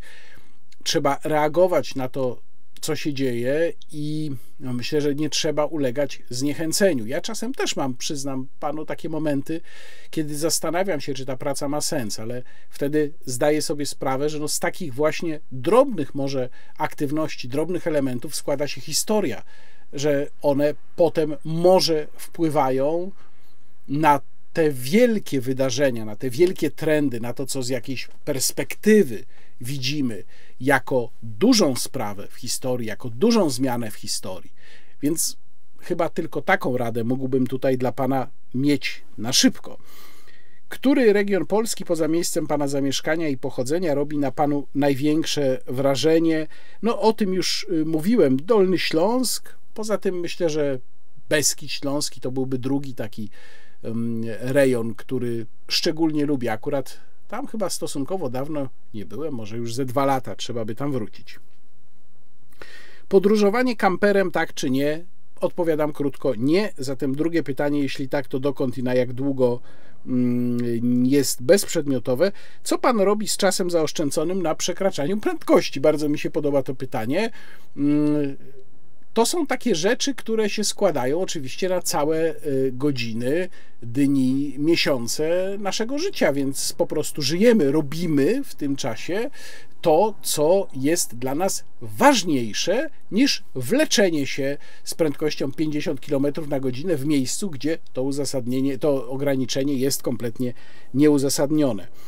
E, kiedy wreszcie książka i o czym to pytanie o książkę pojawia się wielokrotnie. E, mogę powiedzieć tyle, że być może będę mógł Państwu coś zaproponować w ciągu kilku miesięcy. Nie chcę na razie więcej o tym mówić. Mam również własne pomysły. Problem jest po prostu z czasem. Mm, mam nadzieję, że przynajmniej jedną z tych rzeczy uda mi się wprowadzić w życie i to inną niż ta, o której przed, chwili, przed chwilą powiedziałem, w ciągu powiedzmy roku czy dwóch. E, no, przepraszam, że tak enigmatycznie, ale póki to wszystko jest na etapie planów i na etapie projektów, nie chcę o tym na razie więcej mówić. Jakie inwestycje w sprzęt do nagrywania poczynił Pan w ostatnim roku? W ostatnim roku nowa kamera, ta do której w tej chwili mówię, z jeszcze lepszą rozdzielczością i większymi możliwościami. Ona również służy mi do transmisji na żywo. Co pan zamierza kupić, poprawić w kwestiach wyposażenia do nagrań w 2024 roku? Jeszcze się nad tym nie zastanawiałem, ale miałem tam jakieś pomysły dotyczące, mm, no właśnie, kamery. To muszę jeszcze nad tym pomyśleć. Ile razy zaskarżył Pan do Wojewódzkiego Sądu Administracyjnego bezczynność instytucji w udzielaniu odpowiedzi na zadane pytania? Z jakim rezultatem, a jeśli nie było takich skarg, to dlaczego? Rzeczywiście nie zdarzyło mi się jeszcze zaskarżyć instytucji, po prostu dlatego, że to jest jakiś wysiłek, wolę go zużyć, wolę ten czas zużyć też na, na co innego, ale chyba to zrobię po raz pierwszy, bo tu muszę Państwu powiedzieć, że Ministerstwo Pracy, Rodziny i Polityki Socjalnej, pani minister Dziemianowicz-Bąk nie odpowiedziało mi w y, ustawowym terminie dwóch tygodni na pytania dotyczące stosowania feminatywów w ministerstwie. Pytałem tam między innymi o to, czy urzędnicy są zobligowani do stosowania tej kuriozalnej formy ministra zamiast formy minister oraz co im grozi, jeżeli się do tego nie dostosują, o ile oczywiście są do tego zobligowani. Więc będę musiał no, najpierw kulturalnie zatelefonować do mm, działu prasowego ministerstwa i zapytać, czy może tam y, pracownicy tego działu uważają, że ich nie obowiązuje ustawa o dostępie do informacji publicznej, a jeżeli to nic nie da, to rzeczywiście skarga na bezczynność do WSA na dyrektora urzędu powędruje. Czy często chodzi pan na strzelnicę i z czego najchętniej pan strzela? E, staram się być na strzelnicy co najmniej raz w miesiącu. Czasem to jest dwa, czasem nawet trzy razy w miesiącu. Wliczając w to zawody, to bywa i cztery razy w miesiącu. No to bardzo różnie, ale e, raczej staram się nie rzadziej niż raz w miesiącu a strzelam po prostu z własnych pistoletów. Ja akurat mam licencję zawodniczą tylko na pistolet, ponieważ mam swoje pistolety, to właśnie pistolety, to właśnie z nich mm, strzelam. E, tu znów pytanie o książki. Ja już na to częściowo odpowiadałem. Nic więcej na razie nie chcę mówić. Te plany są, one się być może będą konkretyzować. Bardzo bym sobie tego życzył. Jakie jest Pana zdanie o tak zwanej neo-KRS? Kiedy rozmawiam ze znajomymi, którzy są fanami Platformy Obywatelskiej, ich głównym zarzutem jest praworządność odmieniana przez wszystkie przypadki. Czy Pana zdaniem PO jest lepszą partią, jeśli chodzi o praworządność, czy taką samą jak PiS? E, moje zdanie na temat KRS jest takie, że spór nie jest prawny, że żadna ze stron tutaj nie ma przeważających racji prawnych, mimo że obie bardzo starają się tak to pokazać. E, więc spór jest po prostu polityczny, to jest spór o kontrolę nad sądownictwem w gruncie rzeczy. Natomiast jeżeli chodzi o praworządność, jest to absolutnie puste hasło w tej chwili w Polsce. Mm, również dlatego, że ten najwyższy organ, y, który, mm, jeden z dwóch najwyższych organów, który, który powinien praworządności pilnować, jest de facto dysfunkcjonalny. Mam tu na myśli Trybunał Konstytucyjny. Mm, niestety, bardzo żałuję. Czy PO jest lepszą partią, jeśli chodzi o praworządność, niż PiS? No, na razie obserwując ich działania z tych pierwszych kilku tygodni funkcjonowania, mam wrażenie, że nie nawet w pewnych obszarach jest być może gorszą partią. Zobaczymy, jak to się będzie dalej rozwijało. Mm, pomijam tutaj kilka pytań, y, które są zdecydowanie zbyt obszerne na ten cykl pytań i odpowiedzi wymagałyby rozbudowania, wymagałyby głębszej analizy politycznej, to jest między innymi na przykład pytanie o perspektywy Konfederacji, więc bardzo przepraszam osoby, które te pytania zadawały. Jeżeli Państwa pytanie się nie znalazło w tym cyklu, proszę zrozumieć, jestem nawet nie w połowie listy pytań, a mamy już prawie dwie godziny nagrania, a to są naprawdę bardzo obszerne pytania. Celowo i świadomie zaznaczyłem je sobie jako e, te na które tutaj po prostu nie jestem w stanie odpowiedzieć.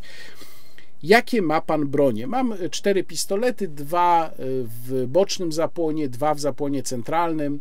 Jeżeli chodzi o to, z czego strzelam, to jest Zigzauer Mosquito 022 LR z tej broni strzelam na zawodach, jeżeli chodzi o boczny zapłon i jeżeli chodzi o centralny zapłon, to jest CZ75B Omega.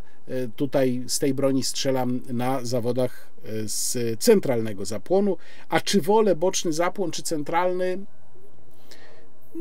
z jednego i z drugiego strzelam chętnie. No oczywiście każda z tych broni ma swoje zalety. Może w bocznym zapłonie fajne jest to, że ten odrzut jest mniejszy, więc na przykład łatwiej jest strzelać e, bez e, odpoczynku, oddać trzy czy cztery strzały z tak zwanego resetu i czasem to dobrze wychodzi. One wtedy mają większe, bywa, że mają większe skupienie. No, przy centralnym zapłonie to raczej przy strzelaniu tarczowym nie jest możliwe. Czy dziennikarze, publicyści opcji konkurencyjnych, mam na myśli tych lewicowo-liberalnych czy innych głównonurtowych, są prywatnie sympatyczni, ludzcy, czy też mają jakieś kompleksy wyższości i takiemu warzesze ręki nie podadzą? Nie, proszę Państwa, ludzie są po prostu bardzo różni. Bardzo. I tu naprawdę nie ma to nic wspólnego i nie ma żadnej w moim odczuciu korelacji z y, poglądami. Ja znam bardzo naprawdę miłych i, i, i um, dobrych koleżeńsko dziennikarzy o poglądach lewicowych. Y, no nie muszę tu mówić o Jakubie Dymku, ale powiedzmy Robert Walenciak jest też taką osobą, a jednocześnie znam dziennikarzy o zapatrywaniach konserwatywnych czy prawicowych, którzy są po prostu chamskimi bucami, więc tu naprawdę nie ma jakiejkolwiek reguły.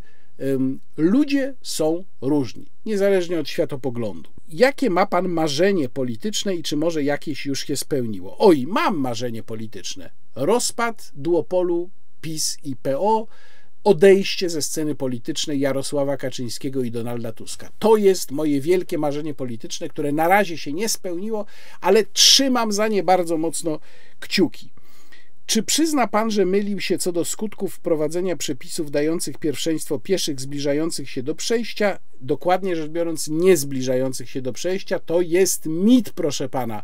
Przepisy mówią o pierwszeństwie pieszych wchodzących na przejście. Takie sformułowanie użyte jest w przepisie. Pierwszeństwo ma pieszy wchodzący, nie zbliżający się do przejścia.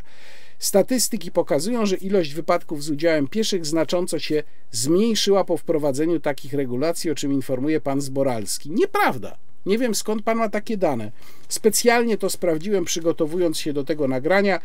Jeszcze raz, bo już te dane podawałem, w 2021 roku na przejściach dla pieszych doszło do 2586 wypadków, a w 2022 do 2693. W 2021 e, śmierć w tych wypadkach poniosło 159 osób, w 2022 161 osób. Więc nie wiem skąd pan wziął te informacje, że znacząco się zmniejszyła liczba wypadków. Nie zmniejszyła się. Gdyby pan mógł wybrać, w jakim kraju poza Polską mógłby pan na stałe mieszkać, to jaki byłby to inny kraj, jakimi kryteriami przy wyborze kraju by się pan kierował? No, tutaj powiem szczerze, że no to jest bardzo ciekawe pytanie. Um, mam takie kraje, które mnie fascynują i, i, i, chciałbym być może czysto teoretycznie się do nich przeprowadzić, choć Polska to jest mój kraj, no ale rozumiem, że rozmawiamy teoretycznie ale jednocześnie nie jestem entuzjastą ich ustroju. Na przykład bardzo podoba mi się Hiszpania, e, no ale to, co się politycznie dzieje w Hiszpanii, jest nie do zaakceptowania, więc może położona tuż obok Portugalia, a może w zupełnie drugą stronę, może Szwecja, tylko że tutaj znów miałbym problem ustrojowy. Podoba mi się Szwecja, kraje skandynawskie, Półwyspu Skandynawskiego podobają mi się bardzo jako kraje geograficznie, krajobrazowo, um, przestrzeń, no ale to, co tam się znów dzieje społecznie i politycznie, absolutnie nie. Więc może Stany Zjednoczone, ale Stany Zjednoczone, tu trzeba by znów sprawdzić, w jakim stanie ten układ polityczny, prawodawstwo najbardziej by mi odpowiadał. Nie ma tutaj jakiejś prostej odpowiedzi. No ale Polska, Polska to jest mój kraj i tutaj raczej zamierzam mieszkać do końca życia. Czy zetknął się pan kiedyś z poglądami pana Bogusława Wolniewicza i jakie ma pan zdanie na temat tego filozofa? Tak, oczywiście zetknąłem się, chociaż ja nie studiowałem filozofii, więc ta najbardziej formalna taka strona dokonań pana profesora Wolniewicza tego nie studiowałem, ale znam go oczywiście z poglądów bardziej publicystycznych, bo była to postać, można powiedzieć, wybitna i też niezwykle oryginalna, również ze względu na jego przeszłość, na jego drogę, ewolucję jego poglądów.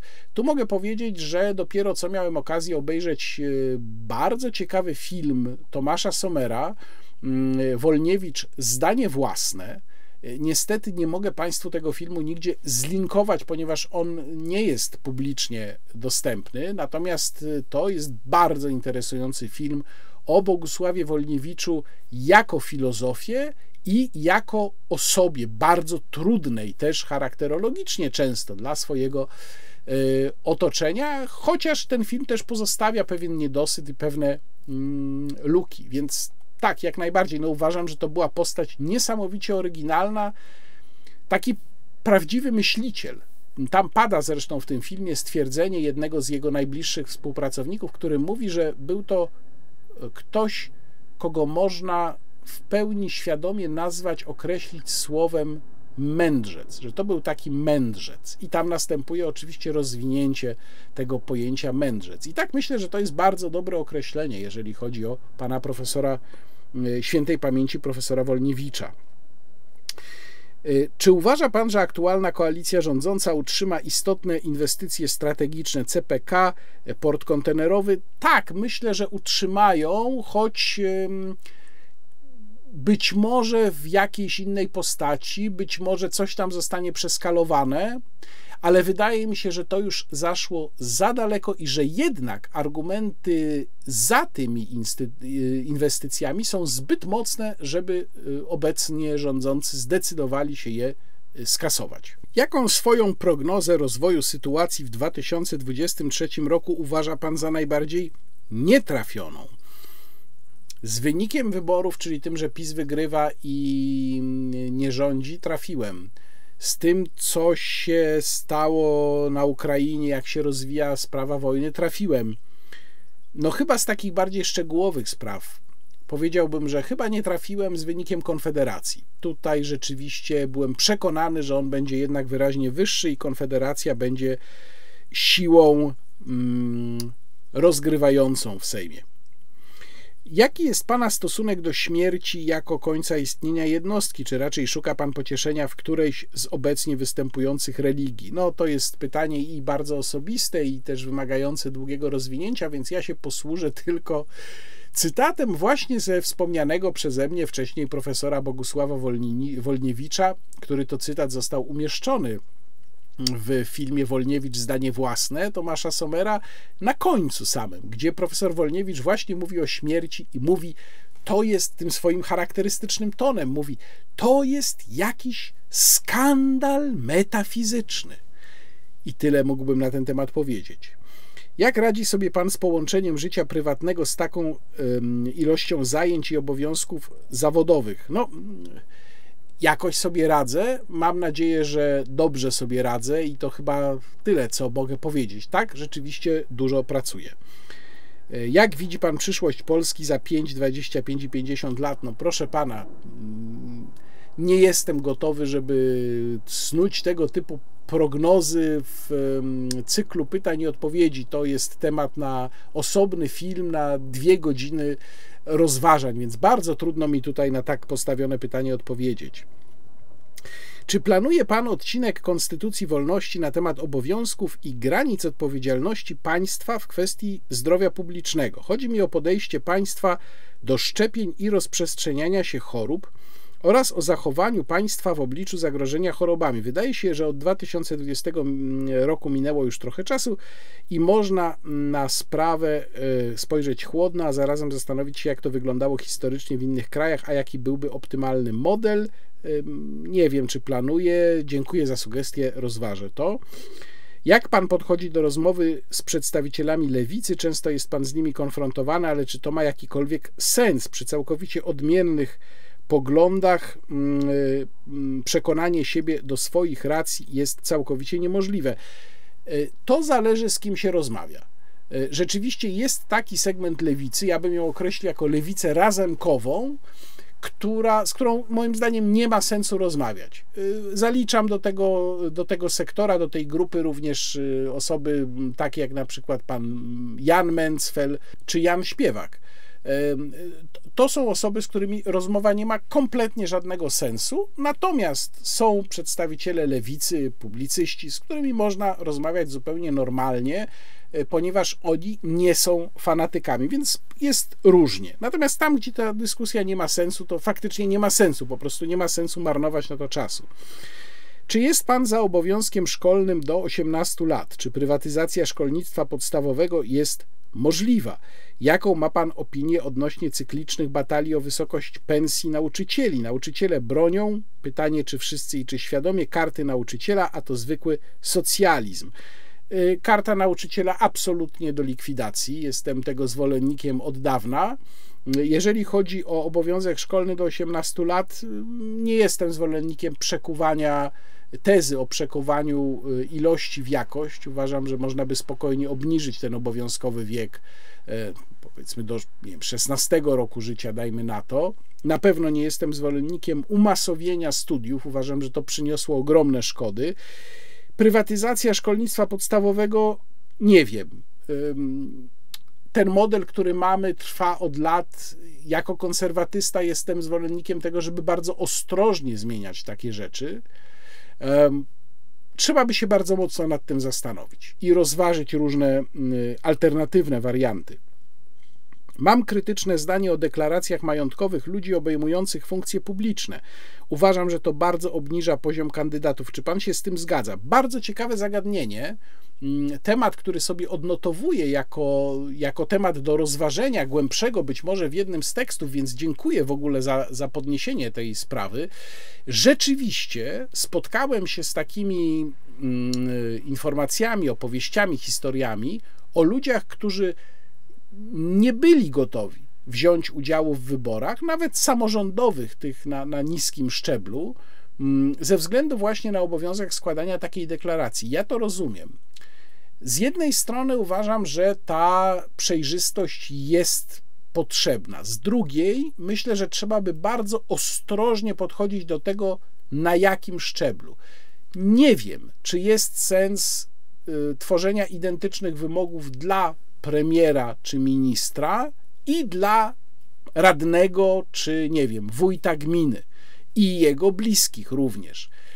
Sprawa jest delikatna i skomplikowana, no bo mamy tu starcie pewnych wartości. Z jednej strony prawa do prywatności, no ale też nikt nikomu nie każe przecież brać udziału w wyborach i angażować się w życie polityczne z drugiej prawa obywateli do informacji. Natomiast pan podnosi tu ważny aspekt, czy to nie zraża ludzi, którzy y, właśnie dobrze by się w tych rolach sprawdzili. Znów nie mam tu gotowej odpowiedzi. Bardzo dziękuję za skierowanie tego pytania. Będę się nad tym zastanawiał. Za które ugrupowanie polityczne trzyma pan kciuki, albo z którym pan sympatyzuje, kibicuje? żadnemu nie kibicuję. To znaczy, no, ja patrzę na to, co konkretne ugrupowanie robi, oceniam konkretne kroki. Nigdy jako publicysta nie wyrażałem swojego poparcia dla konkretnego ugrupowania w całości i nie zamierzam tego robić. Y, pytanie już było, czy ma Pan jakąkolwiek wiedzę o oszustwach wyborczych z ostatnich wyborów. Odpowiadałem na to, mówiąc o tej y, tak zwanej turystyce wyborczej nie jest to oszustwo o jakichkolwiek innych oszustwach, takich sensu stricto. Nie mam wiedzy, moim zdaniem brak protestów wyborczych ze strony Prawa i Sprawiedliwości wskazuje dosyć jednoznacznie, że e, takich przesłanek, żeby, żeby szukać tutaj jakichś oszustw e, lub żeby podejrzewać jakieś oszustwa, po prostu nie było. W dziale kulturalnym w różnych odcinkach chwalił Pan budynki czy architekturę z różnych epok. Chyba nigdy nie było architektury współczesnej. Jakie ma Pan na jej temat zdanie? Czy są jakieś realizacje, które się Panu podobają? Nie kojarzę, prawdę mówiąc. W ogóle myślę, że architektura współczesna jest w większości koszmarna, prawdę powiedziawszy.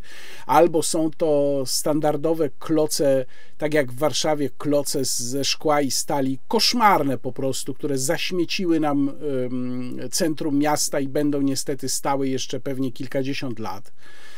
No, dramatycznie to wygląda, jest zrobione bez żadnego pomysłu, nie ma w tym żadnej inwencji, nie ma w tym żadnego piękna, nie ma w tym żadnej oryginalności.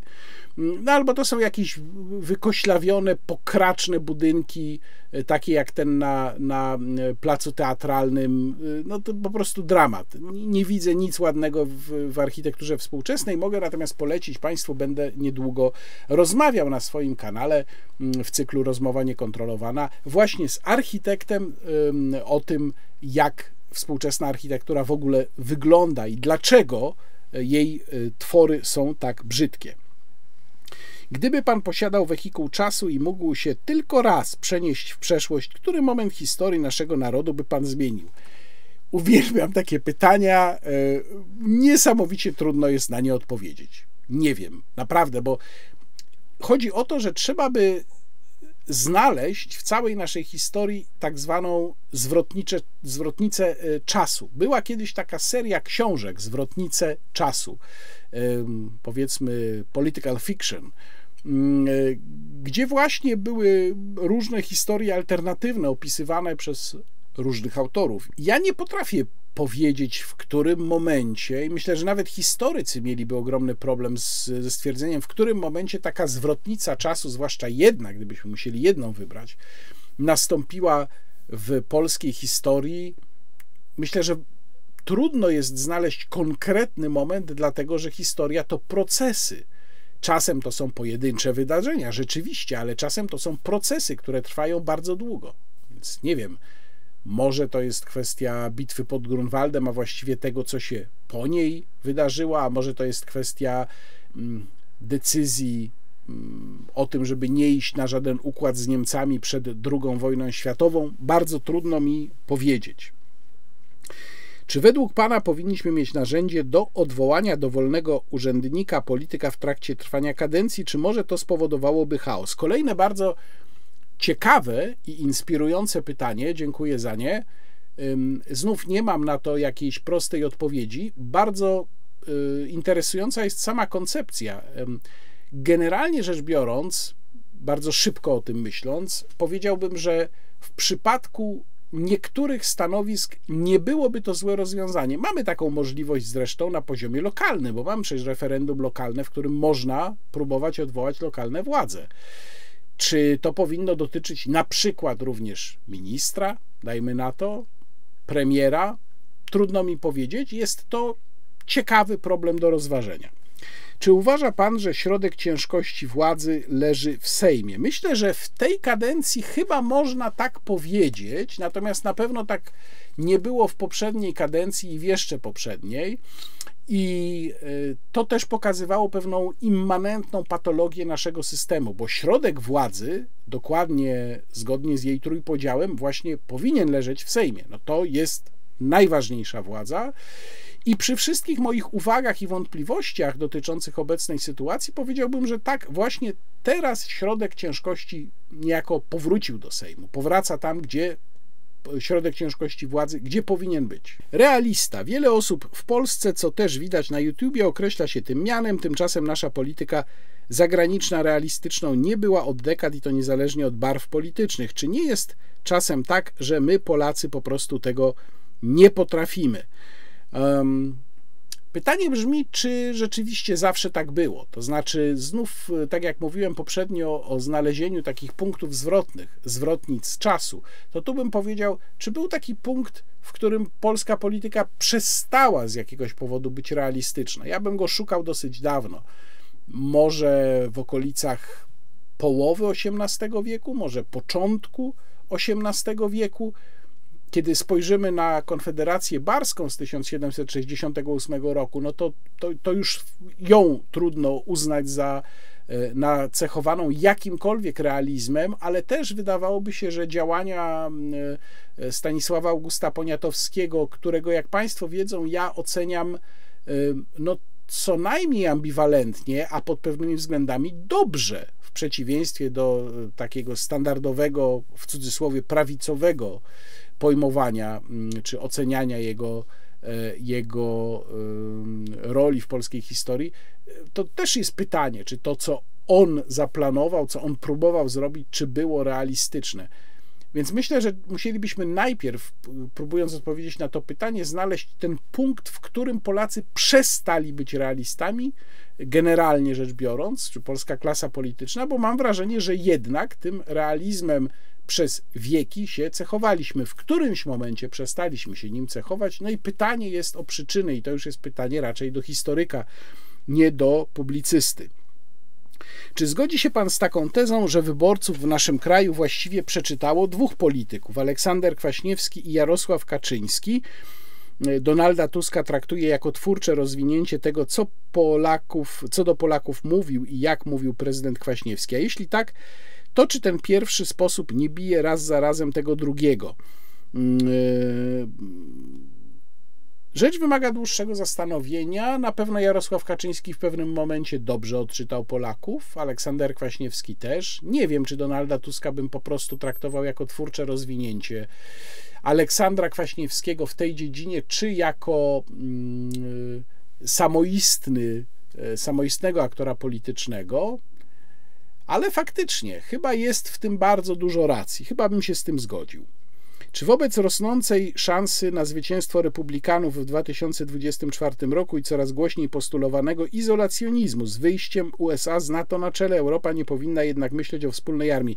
Ja myślę, że nawet jeżeli takie głosy się pojawiają, to nie zostanie to zrealizowane. Myślę, że ten izolacjonizm, jeżeli wygra Donald Trump, będzie realizowany poprzez ograniczenie przede wszystkim e, pomocy dla Ukrainy e, na pewno no, na 99,9% nie poprzez jakieś wycofanie się z NATO. Uważam, że to jest po prostu nieprawdopodobne ze względu na rolę, jaką NATO odgrywa y, jako narzędzie dla Stanów Zjednoczonych, jednak w utrzymywaniu pewnej nie tylko globalnej równowagi, ale też przewagi, również y, w kwestiach y, surowcowych, co jest jednak dla Stanów Zjednoczonych bardzo ważne.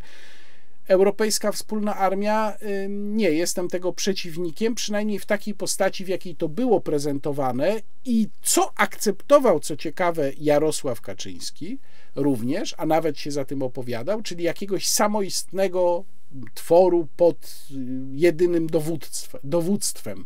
Uważam, że wręcz dublowanie takich struktur z NATO mogłoby być niebezpieczne co nie oznacza, że Europa, Unia Europejska nie może mieć jakichś swoich doraźnych kontyngentów, mechanizmów, działań obronnych i tak dalej, ale pod warunkiem, że nie będzie to w żaden sposób dublowało zdolności obronnych i struktur Sojuszu Północnoatlantyckiego.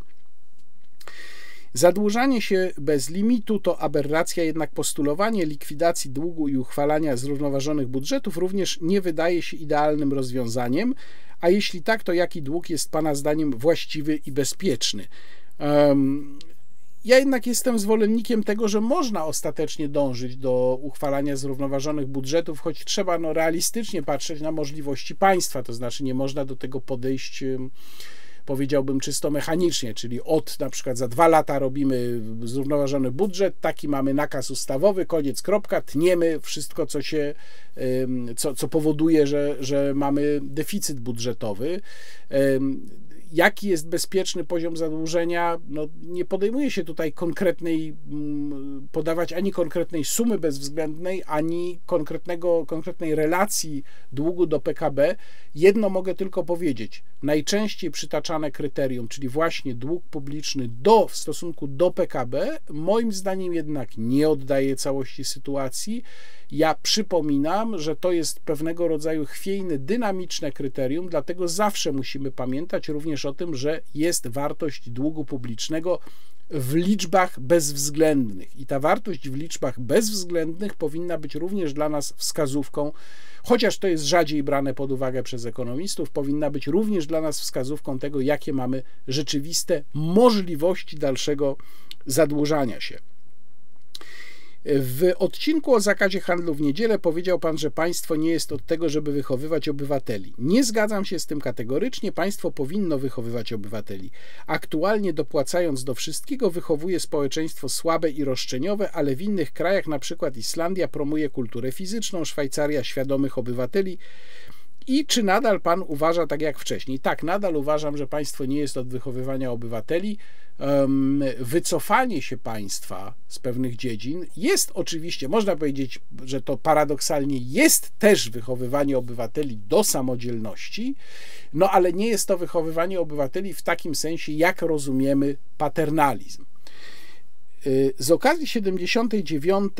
rocznicy wybuchu Powstania Warszawskiego wrzucił pan film analizujący tę tematykę. Chciałbym zapytać, co uważa pan y, o prawdopodobieństwie scenariusza, który bez wybuchu powstania mógłby się ziścić mm, w postaci tak zwanego scenariusza budapesztańskiego. W Budapeszcie podobne powstanie nie wybuchło, natomiast z uwagi na długie walki o miasto zostało ono zniszczone w 80%. Dodatkowo liczbę ofiar cywilnych szacuje się na kilkadziesiąt tysięcy. Zgadza się, choć jak porównamy sobie wygląd dzisiejszego Budapesztu z wyglądem Warszawy, to moim zdaniem Budapeszt wygląda dużo lepiej, a znam to miasto, bo jeździłem tam przez wiele lat dosyć regularnie. E, natomiast no, trzeba też pamiętać, że Węgrzy byli po stronie Rzeszy Niemieckiej. To jest jednak trochę inna sytuacja niż w przypadku Warszawy. Ja w ogóle jestem jednak przeciwnikiem tworzenia tego typu scenariuszy jako argumentu na cokolwiek, bo po prostu tak się w historiografii nie argumentuje.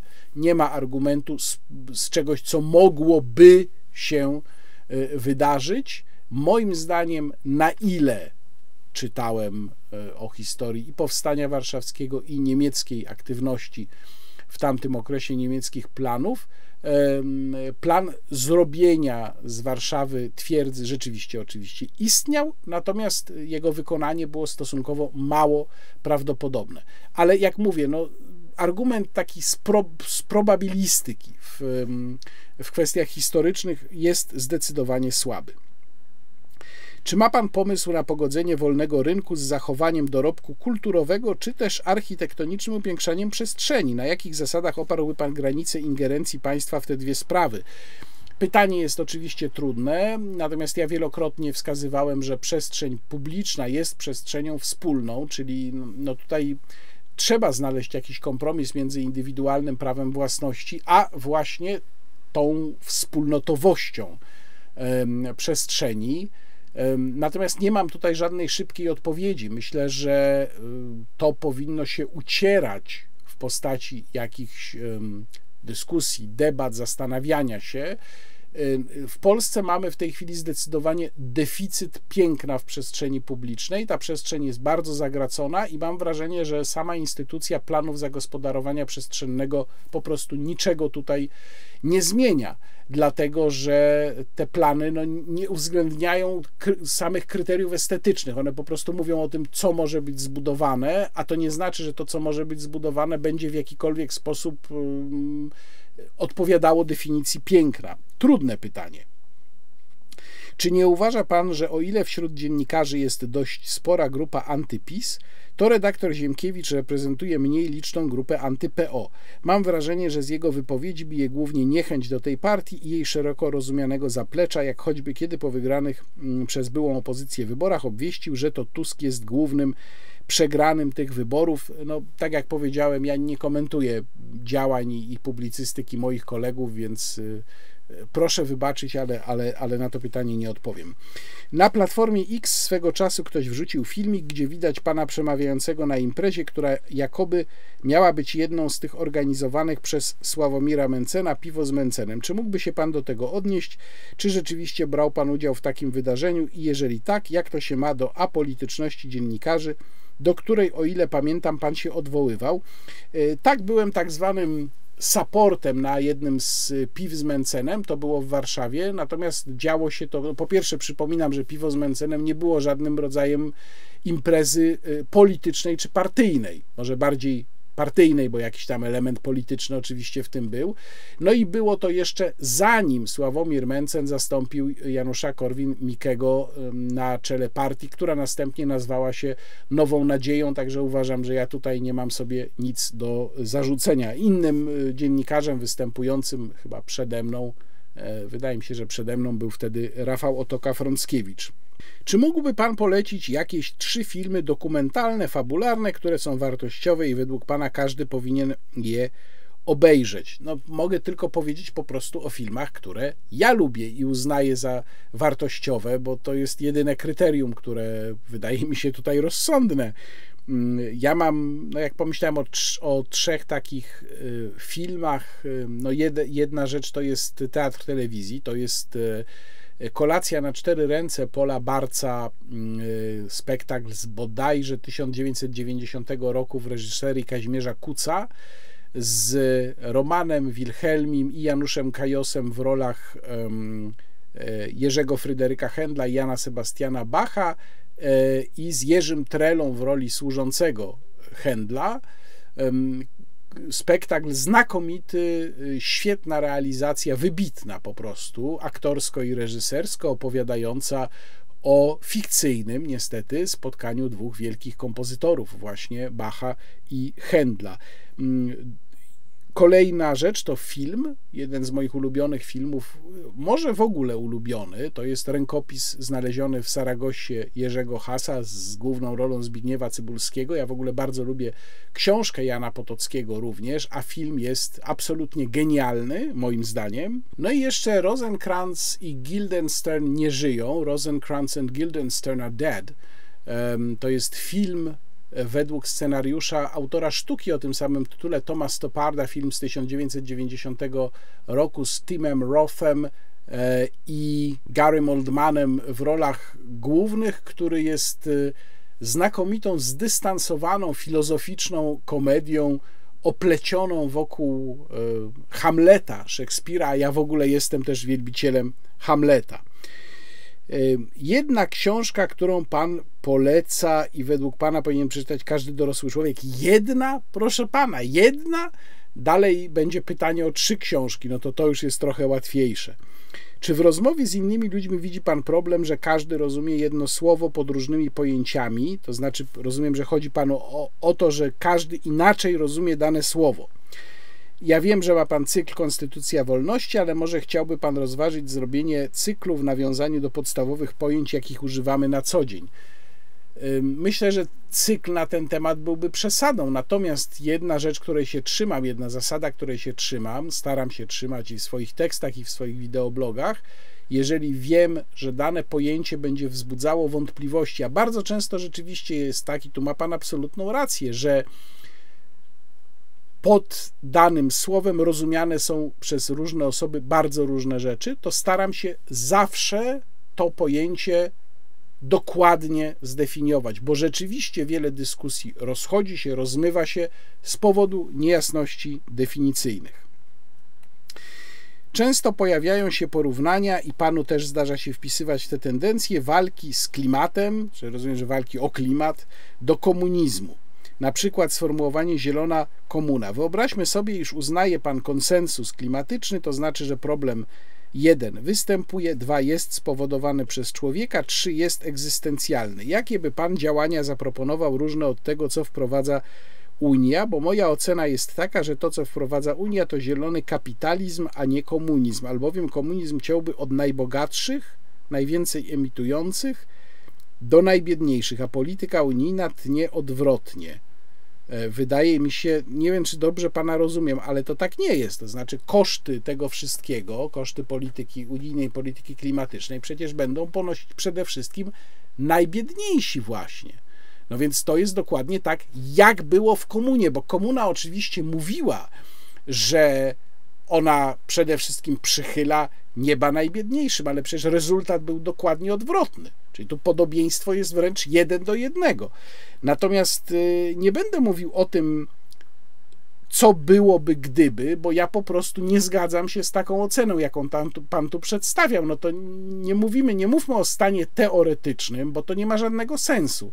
Mówmy o tym, co rzeczywiście jest, a nie uważam, żeby w tym wypadku y, problem był egzystencjalny i żeby uzasadnione były tak daleko idące działania, jakie się w Unii podejmuje. Czy w scenariuszu, w którym Konfederacja lub jakaś inna prawdziwie prawicowa partia uzyskała możliwość rządzenia i zaprosiłaby pana na urząd ministerialny lub wcześniej zaprosiła na listy, to czy przyjąłby pan taką ofertę? Nie rozważam tego, nie palę się do tego, natomiast no, W życiu się też nigdy nie mówi nigdy. Nie wiem. Bardzo wiele zależałoby od tego, co by to było. Ja też znam swoje ograniczenia i y, no raczej nie podjąłbym się takiej roli, w której um, wiedziałbym, że moje kompetencje nie są do tej roli odpowiednie. Zbyt wiele mamy osób, które w ten sposób się zachowują, które ponosi ambicja, które są gotowe podjąć się, bo ja wiem, roli ministerialnej na przykład, chociaż nigdy nie kierowały żadnym nawet większym zespołem ludzi. No i potem z tego wynikają kłopoty i przede wszystkim straty dla państwa, więc myślę, że dobrze by było, gdyby więcej osób miało taką świadomość, e, jaka jest granica ich kompetencji. Jak to jest możliwe w świetle prawa, że takie kwiatki jak więzienia CIA w Polsce lub wciąganie Polski w jakieś dziwne układy z Ukrainą odbywają się poza realną kontrolą narodu? Przecież to są deklaracje, decyzje ewidentnie szkodliwe dla Polski. No myślę, że to, o co pan pyta, to jest przede wszystkim kwestia przejrzystości działań władzy. I tutaj zgadzam się, że bardzo wiele powinno się zmienić. Ten przykład, który pan podawał, czyli kwestia tego, co się działo z projektem traktatu polsko-ukraińskiego. Wiemy o tym trochę więcej z książki Zbigniewa Parafianowicza Polska na wojnie. No, no to się działo rzeczywiście gdzieś za kulisami. My nie wiedzieliśmy tak naprawdę, jaki jest los tego projektu, na jakim on jest etapie. I myślę, że tutaj jest pole do kiedyś tam w przyszłości, oczywiście, do zmian ustawowych. Są pewne rzeczy, które nie powinny być przed opinią publiczną ukrywane, zdecydowanie. E, ja tradycyjnie pytam, nie załapałem się dotąd na odpowiedź, a kiedy pan pytał wcześniej, o pański stosunek do instytucji małego świadka koronnego i systemu, który skazuje na wieloletnie wyroki więzienia tylko i wyłącznie z pomówienia nawróconych przestępców. No, proszę wybaczyć, ale ja nie jestem karnistą, nie jestem prokuratorem, nie jestem policjantem, nie potrafię odpowiedzieć na tak postawione pytanie. Nie mam zdania na każdy temat. No, gdybym dostał jakąś konkretną historię do oceny, to pewnie mógłbym ją ocenić. Rzeczywiście wiem, że takie sytuacje się zdarzały, kiedy na podstawie takich zeznań mm, ktoś był oskarżany, potem funkcjonował jako oskarżony przez bardzo długi czas, potem okazywało się, że to oskarżenie było dęte, więc być może z tą instytucją jest coś nie tak, ale ja na tyle dobrze jej nie znam, żeby wyrażać jakieś swoje stanowcze zdanie na ten temat. Co pan sądzi o ostatnim dokumencie Fiducia Supplicans Dykasterii Nauki Wiary, zwanej przez niektórych w nowych wiadomościach TVP, jak to było? Dynasterią, dyskanterią, dyskanterią e, i ogólnej sytuacji Kościoła katolickiego w Niemczech. No, sądzę o tym dokumencie bardzo źle. Uważam, że on, on wprowadza zamęt w kościele. Papież Franciszek ma tendencję do tego, żeby szukać tego, źródeł tego zamętu, czy osób um, czyniących jego zdaniem zamęt wśród tych, którzy właśnie raczej opowiadają się za uporządkowaniem Kościoła, ale to jest charakterystyczne dla tego pontyfikatu. Natomiast nie mam żadnych wątpliwości, że Kościół katolicki w Niemczech no, schodzi kompletnie na manowce i tutaj zresztą napięcie, które się pojawiało pomiędzy episkopatem niemieckim a E, polskim już również tego dowodziło. Znaczy, ja tutaj oczywiście stoję całkowicie po stronie opinii polskiego episkopatu. W ostatnim wideoblogu pojawiło się za panem coś nowego, skrzynka cyferki. Co to jest, jeśli można? To nie jest nic nowego. Pan pewnie myśli o tym tutaj, e, przepraszam, o tym, co jest tutaj. To jest taka szafeczka, w której ja trzymam między innymi tytonie do fajki i ona tam stoi już od dobrych paru lat. Co Pana zdaniem stało się Leszkowi Sykulskiemu? O to jest właśnie pytanie, którego wcześniej nie mogłem znaleźć, a na samym początku już było pytanie o Leszka Sykulskiego, więc nie będę go tutaj powtarzał. Co Pan myśli o planach i programach wysłania ludzi na Księżyc i Marsa? No na Księżycu to ludzie już byli, ale rozumiem, że tu chodzi o wysłanie na bardziej permanentny pobyt. Czy myśli Pan, że ludzie udźwigną wyzwanie życia na Marsie na stałe? Czy nie wydaje się panu, że skoro nie będzie można się wycofać, wszystko będzie musiało być stale monitorowane ze względu na zagrożenia naturalne, a scjentyzm naturalnie stanie się mitem założycielskim? osady mimowolnie zmienią się w niby obozy koncentracyjne, no to brzmi trochę tak, jakby mnie pan pytał, rysując scenariusz jakiejś kolejnej powieści Janusza Zajdla, no oczywiście ja się nie podejmuję odpowiadać tutaj w sposób rozbudowany na takie pytanie, bo to jest znów na długą dyskusję, być może na jakimś kanale popularno-naukowym. Ja powiem tylko jedno, co bardzo mnie uderza zawsze, kiedy oglądam filmy lub czytam o niezrealizowanych różnego rodzaju projektach, dajmy na to takich jak powiedzmy upowszechnienie samolotów pionowego startu i lądowania do przewozu pasażerów. Był taki okres bodajże w latach 60., kiedy wyobrażano sobie, że tego typu samoloty będą właśnie z y, nawet takich lądowisk na dachach wieżowców obsługiwały wszystkie duże miasta, głównie amerykańskie. Nie sprawdziło się to. Otóż bardzo często jest tak, że tego typu koncepcje, i myślę, że to jest również ten przypadek, rozbijają się o finanse. Po prostu okazuje się, że ze względów finansowych pewnych rzeczy kompletnie nie opłaca się robić i nie da się ich zrealizować.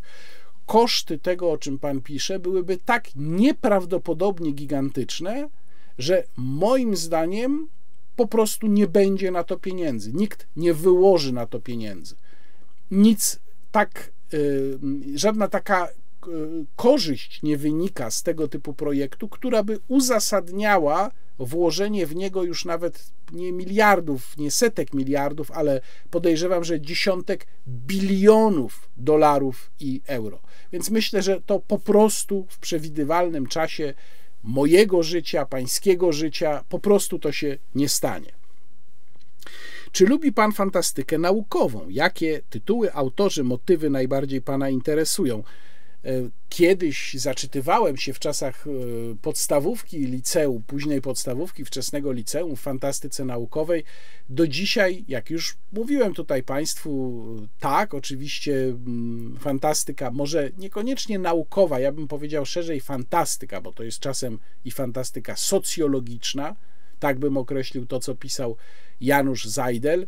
Fantastyka czasem filozoficzna, to co pisał Stanisław Lem. Mam na półce właściwie pełny zbiór jego pism z powieściami, zresztą no niekoniecznie takimi, niekoniecznie yy, mieszczącymi się w dziedzinie fantastyki naukowej, bo nie jest taką powieścią, czy to Szpital Przemienienia, czy Śledztwo.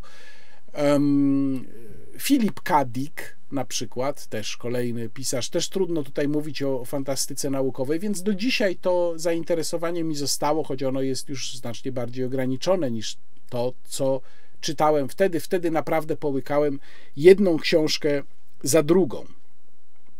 W ilu mówi pan językach? Rozumiem, że poza językiem polskim.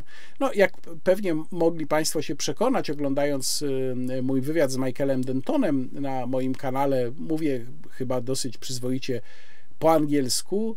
E, poza tym pozostała mi szczęśliwie umiejętność y, przynajmniej takiej podstawowej komunikacji en français z czasów, kiedy uczyłem się francuskiego w e, liceum i tu naprawdę jestem bardzo wdzięczny mojej nauczycielce ówczesnej przez chyba dwa lata, która nas uczyła przez dwa albo trzy lata, pani Agnieszce Górskiej, bo właściwie wszystko to, co ja do dzisiaj z francuskiego pamiętam i to, że jestem w stanie jakoś tam porozumieć się, będąc we francuskojęzycznym kraju, mniej lub bardziej płynnie, ale jednak to zawdzięczam jej. No i Muszę się też pochwalić, że od kilku miesięcy, i proszę z tego nie wyciągać żadnych daleko idących e, wniosków, e, ich lerne die deutsche Sprache. No i staram się, oczywiście jestem gdzieś tam na początku tej drogi, dopiero na podstawowym poziomie. Natomiast bardzo mi się to podoba. Uważam, że nauka języków e, bardzo nas rozwija, że pozwala ćwiczyć umysł. Ja w ogóle bardzo lubię języki obce. Zawsze żałowałem, że nie miałem okazji e, w, uczyć się niemieckiego, no więc postanowiłem w wieku dosyć już dojrzałym zabrać się za tę naukę i tam e, troszeczkę sobie właśnie, jeżeli chodzi o niemiecki, Mm, próbuję się czegoś nauczyć, zobaczymy jak to dalej pójdzie. Jeden semestr tej nauki na poziomie podstawowym na razie mam za sobą, ale też nie żałuję, że w liceum wybrałem francuski zamiast niemieckiego. Natomiast uważam, że nigdy nie jest za późno, człowiek się zawsze rozwija. Ja po prostu lubię języki obce, chociaż muszę przyznać, że niemiecki no, jest trudny. Rzeczywiście gramatycznie jest trudny, to jest spore wyzwanie. Czy określa się pan e, jako libertarianin i dlaczego? nie, nie określam się jako libertarianin, e, określam się jako liberalny konserwatysta i w różnych sprawach czasem górę bierze liberalizm, liberalne podejście, klasyczne liberalne czasem e, górę bierze podejście konserwatywne, natomiast mam dużą sympatię dla libertarian. Pewnie w wielu rzeczach bym się mm, tutaj nie zgadzał. Mogę też Państwu zdradzić, że będę miał przyjemność w lutym, jeżeli dobrze pamiętam, e, na ten miesiąc wyznaczony jest termin, poprowadzić taką debatę pomiędzy przedstawicielem konserwatyzmu, panem profesorem Wielomskim, a jednym z przedstawicieli mm, Instytutu imienia Ludwiga von Misesa, czyli instytutu, który propaguje między innymi poza liberalizmem klasycznym również libertarianizm. I to będzie dyskusja właśnie o tym, y, no, jakie są różnice pomiędzy tymi dwoma mm, orientacjami ideowymi, a także czy, mówiąc już w dużym uproszczeniu, czy libertarianin e, może być patriotą. Więc myślę, że to naprawdę będzie ciekawe. Już teraz zapraszam. E, trzy najlepsze, najważniejsze książki w Pana życiu. Mm, no tutaj miałem ogromny problem, ogromny, e, ale powiedziałbym tak, Ferdydurkę to bardziej może jako nie konkretna książka, ale jako książka, która reprezentuje całość twórczości Witolda Gombrowicza, którą byłem zafascynowany w liceum i dzięki której też zdobyłem e, trzecie miejsce w olimpiadzie polonistycznej w, w, w, w skali całego kraju. E, I także, e, która mnie na pewno, ta twórczość mnie na pewno ukształtowała w dużej mierze, więc stąd Ferdydurkę. Myślę, że z drugiej strony Pan Tadeusz to jest książka, którą niezmiennie uważam za bardzo dla Polaków ważną, która w sposób również bardzo ironiczny miejscami mówi o naszym narodowym charakterze, o naszych zaletach i o naszych wadach. I z tego punktu widzenia Myślę, że każdy Polak powinien ją co najmniej kilka razy w życiu przeczytać, a poza tym ja po prostu lubię ten mickiewiczowski język, tę mickiewiczowską frazę, to się bardzo dobrze czyta. I chyba jako trzecią książkę, chociaż może to jest no nie tyle książka, sztuka teatralna, ale też traktuje to w ten sposób, to powiedziałbym, że Macbeth. I to znów Macbeth mm, trochę jako ta konkretna sztuka o władzy, o skłonności do zła, o ludzkim charakterze, o tym, jak władza potrafi skorumpować, mm, a trochę też jako symbol całej twórczości Szekspira, której jestem wielkim fanem. Co pan jako były członek UPR sądzi o nowej partii Janusza Korwina-Mikke i powrocie pana Stanisława Michalkiewicza do polityki? Było już takie pytanie, bardzo podobne Sądzę, że nic z tego nie będzie, y, same szkody. Jak pan ocenia pontyfikat papieża Franciszka? Jak pan ocenia, jak pan postrzega biskupa Rzymu jako polityka, pionek wielkich korporacji i mocarstw, czy może jednak gracz? gracz? Y, postrzegam pontyfikat papieża Franciszka bardzo źle. Uważam, że on ma absolutnie destrukcyjne działanie dla Kościoła katolickiego że wprowadza ogromny zamęt, że papież Franciszek jest aktywistą, niestety jest bardzo słabym teologiem. Mm, ta jego słabość teologiczna się odzwierciedla w różnych y, niedookreślonych, niejasnych wypowiedziach, również tych wypowiedziach, które są mm, już ujęte w ramy dokumentów różnego rodzaju, nie tylko takich wypowiedziach luźnych, swobodnych, gdzieś tam w samolocie czy E, podczas jakiejś e, publicznej rozmowy. Mm, jednym słowem, myślę, że to jest dla Kościoła naprawdę fatalny, absolutnie fatalny pontyfikat. Natomiast czy ktoś papieżem kieruje, kto ma na niego wpływ, tego oczywiście nie wiem. Takie informacje czasem się pojawiają, mówiące o pewnych koteriach, środowiskach, które na papieża Franciszka mogą wpływać. Ja sądzę, że, że papież mimo wszystko uważa, że to, co on robi dla Kościoła, jest słuszne. To znaczy, ja go nie podejrzewam o to, że on celowo działa na niekorzyść Kościoła katolickiego. Niemniej oceniam, że rezultat, suma jego działań są po prostu, dają po prostu absolutnie fatalne, fatalne skutki. Ryż czy ziemniaczki? Co pan preferuje? No to, proszę pana, zależy do czego. E, czy można prosić o krótkie opisanie obrazów wiszących na ścianie za pana plecami? No, można. E, tutaj, to co Państwo tutaj widzą, to jest obraz dachów Wilna. E, wyżej tutaj, no to jest oczywiście reprodukcja obrazu Jana Sebastiana Bacha, pióra Gottloba, obraz z 1748 roku, taki najsłynniejszy na którym Jan Sebastian Bach trzyma tutaj nuty, to są konkretne nuty, to jest tak zwany kanon triplex, utwór, który Jan Sebastian Bach e, był zobligowany żeby napisać, e, wstępując do tak zwanego Towarzystwa Mitzlerowskiego, a ten, ta reprodukcja przykrywa e, rysunek Rafała Zawistowskiego, który mam od lat. Z kolei tutaj to jest e, obraz autorstwa mojej prababci. E, potem tutaj nade mną wisi mój pradziadek Bronisław Dyl, a z kolei tutaj widzą Państwo zdjęcie grupowe. E, to jest siła, w, to jest drużyna Sokoła. Siła, przepraszam, no mówię w tej chwili w innym kierunku E, jest to 7 września 1919 roku i jedyna osoba z zegarkiem na ręku, ten pan, którego tutaj widać, to jest z kolei mój e, pradziadek Józef Warzecha. Tutaj jest obrazek pokazujący e, powstanie Śląski zresztą później. Tutaj jest obrazek pokazujący mm, Sandomierz, a to jest takie moje stare Y, zdjęcie, jak jeszcze byłem młodszy i szczuplejszy. Ten z kolei pradziadek Bronisław Dyl y, jest w mundurze armii generała Halera. Czy Biała Fabryka to ulubiony pana budynek w Łodzi? Nie zastanawiałem się nigdy nad tym, jaki jest mój ulubiony budynek w Łodzi.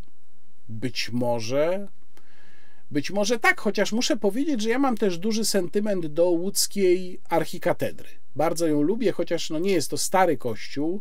Z tego co pamiętam, to jest kościół chyba z końca XIX wieku albo początku XX, to jest neogotyk, ale, ale lubię łódzką archikatedrę.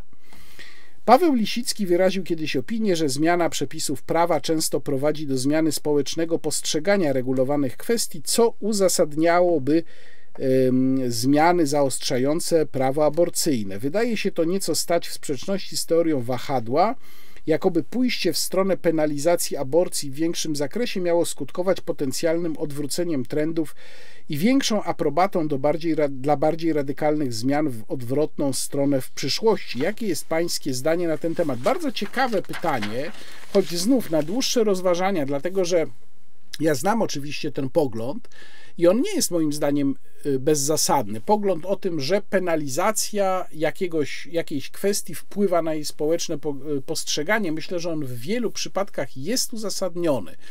Natomiast czy w każdym przypadku i czy w tym przypadku?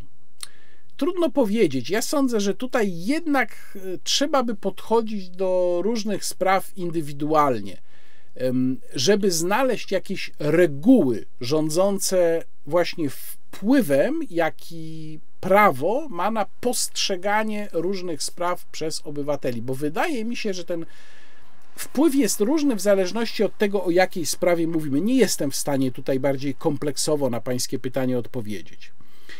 Jak Pana zdaniem należy interpretować podziękowania premiera, rozumiem, że chodzi o premiera Donalda Tuska dla Lecha Wałęsy? Czy to nie symboliczny powrót dawnych agentów bezpieki? Jeżeli w ogóle muszą skądś wracać. Mm, prawdę mówiąc, umknęły mi te podziękowania.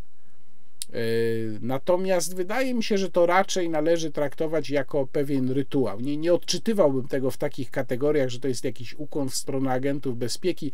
Raczej odczytywałbym, że to jest y, jeden z rytuałów, elektorat tego oczekuje, Wałęsa nas popierał, no to trzeba mu podziękować. Więc nie, nie przywiązywałbym do tego aż takiej wagi. Które wydarzenie minionego roku sprawiło, iż wzniósł pan oczy do nieba i zakrzyknął na cycki świętej Agaty, co się tutaj odpiernicza? Jednym słowem, największy największy absurd Anno Domini 2023.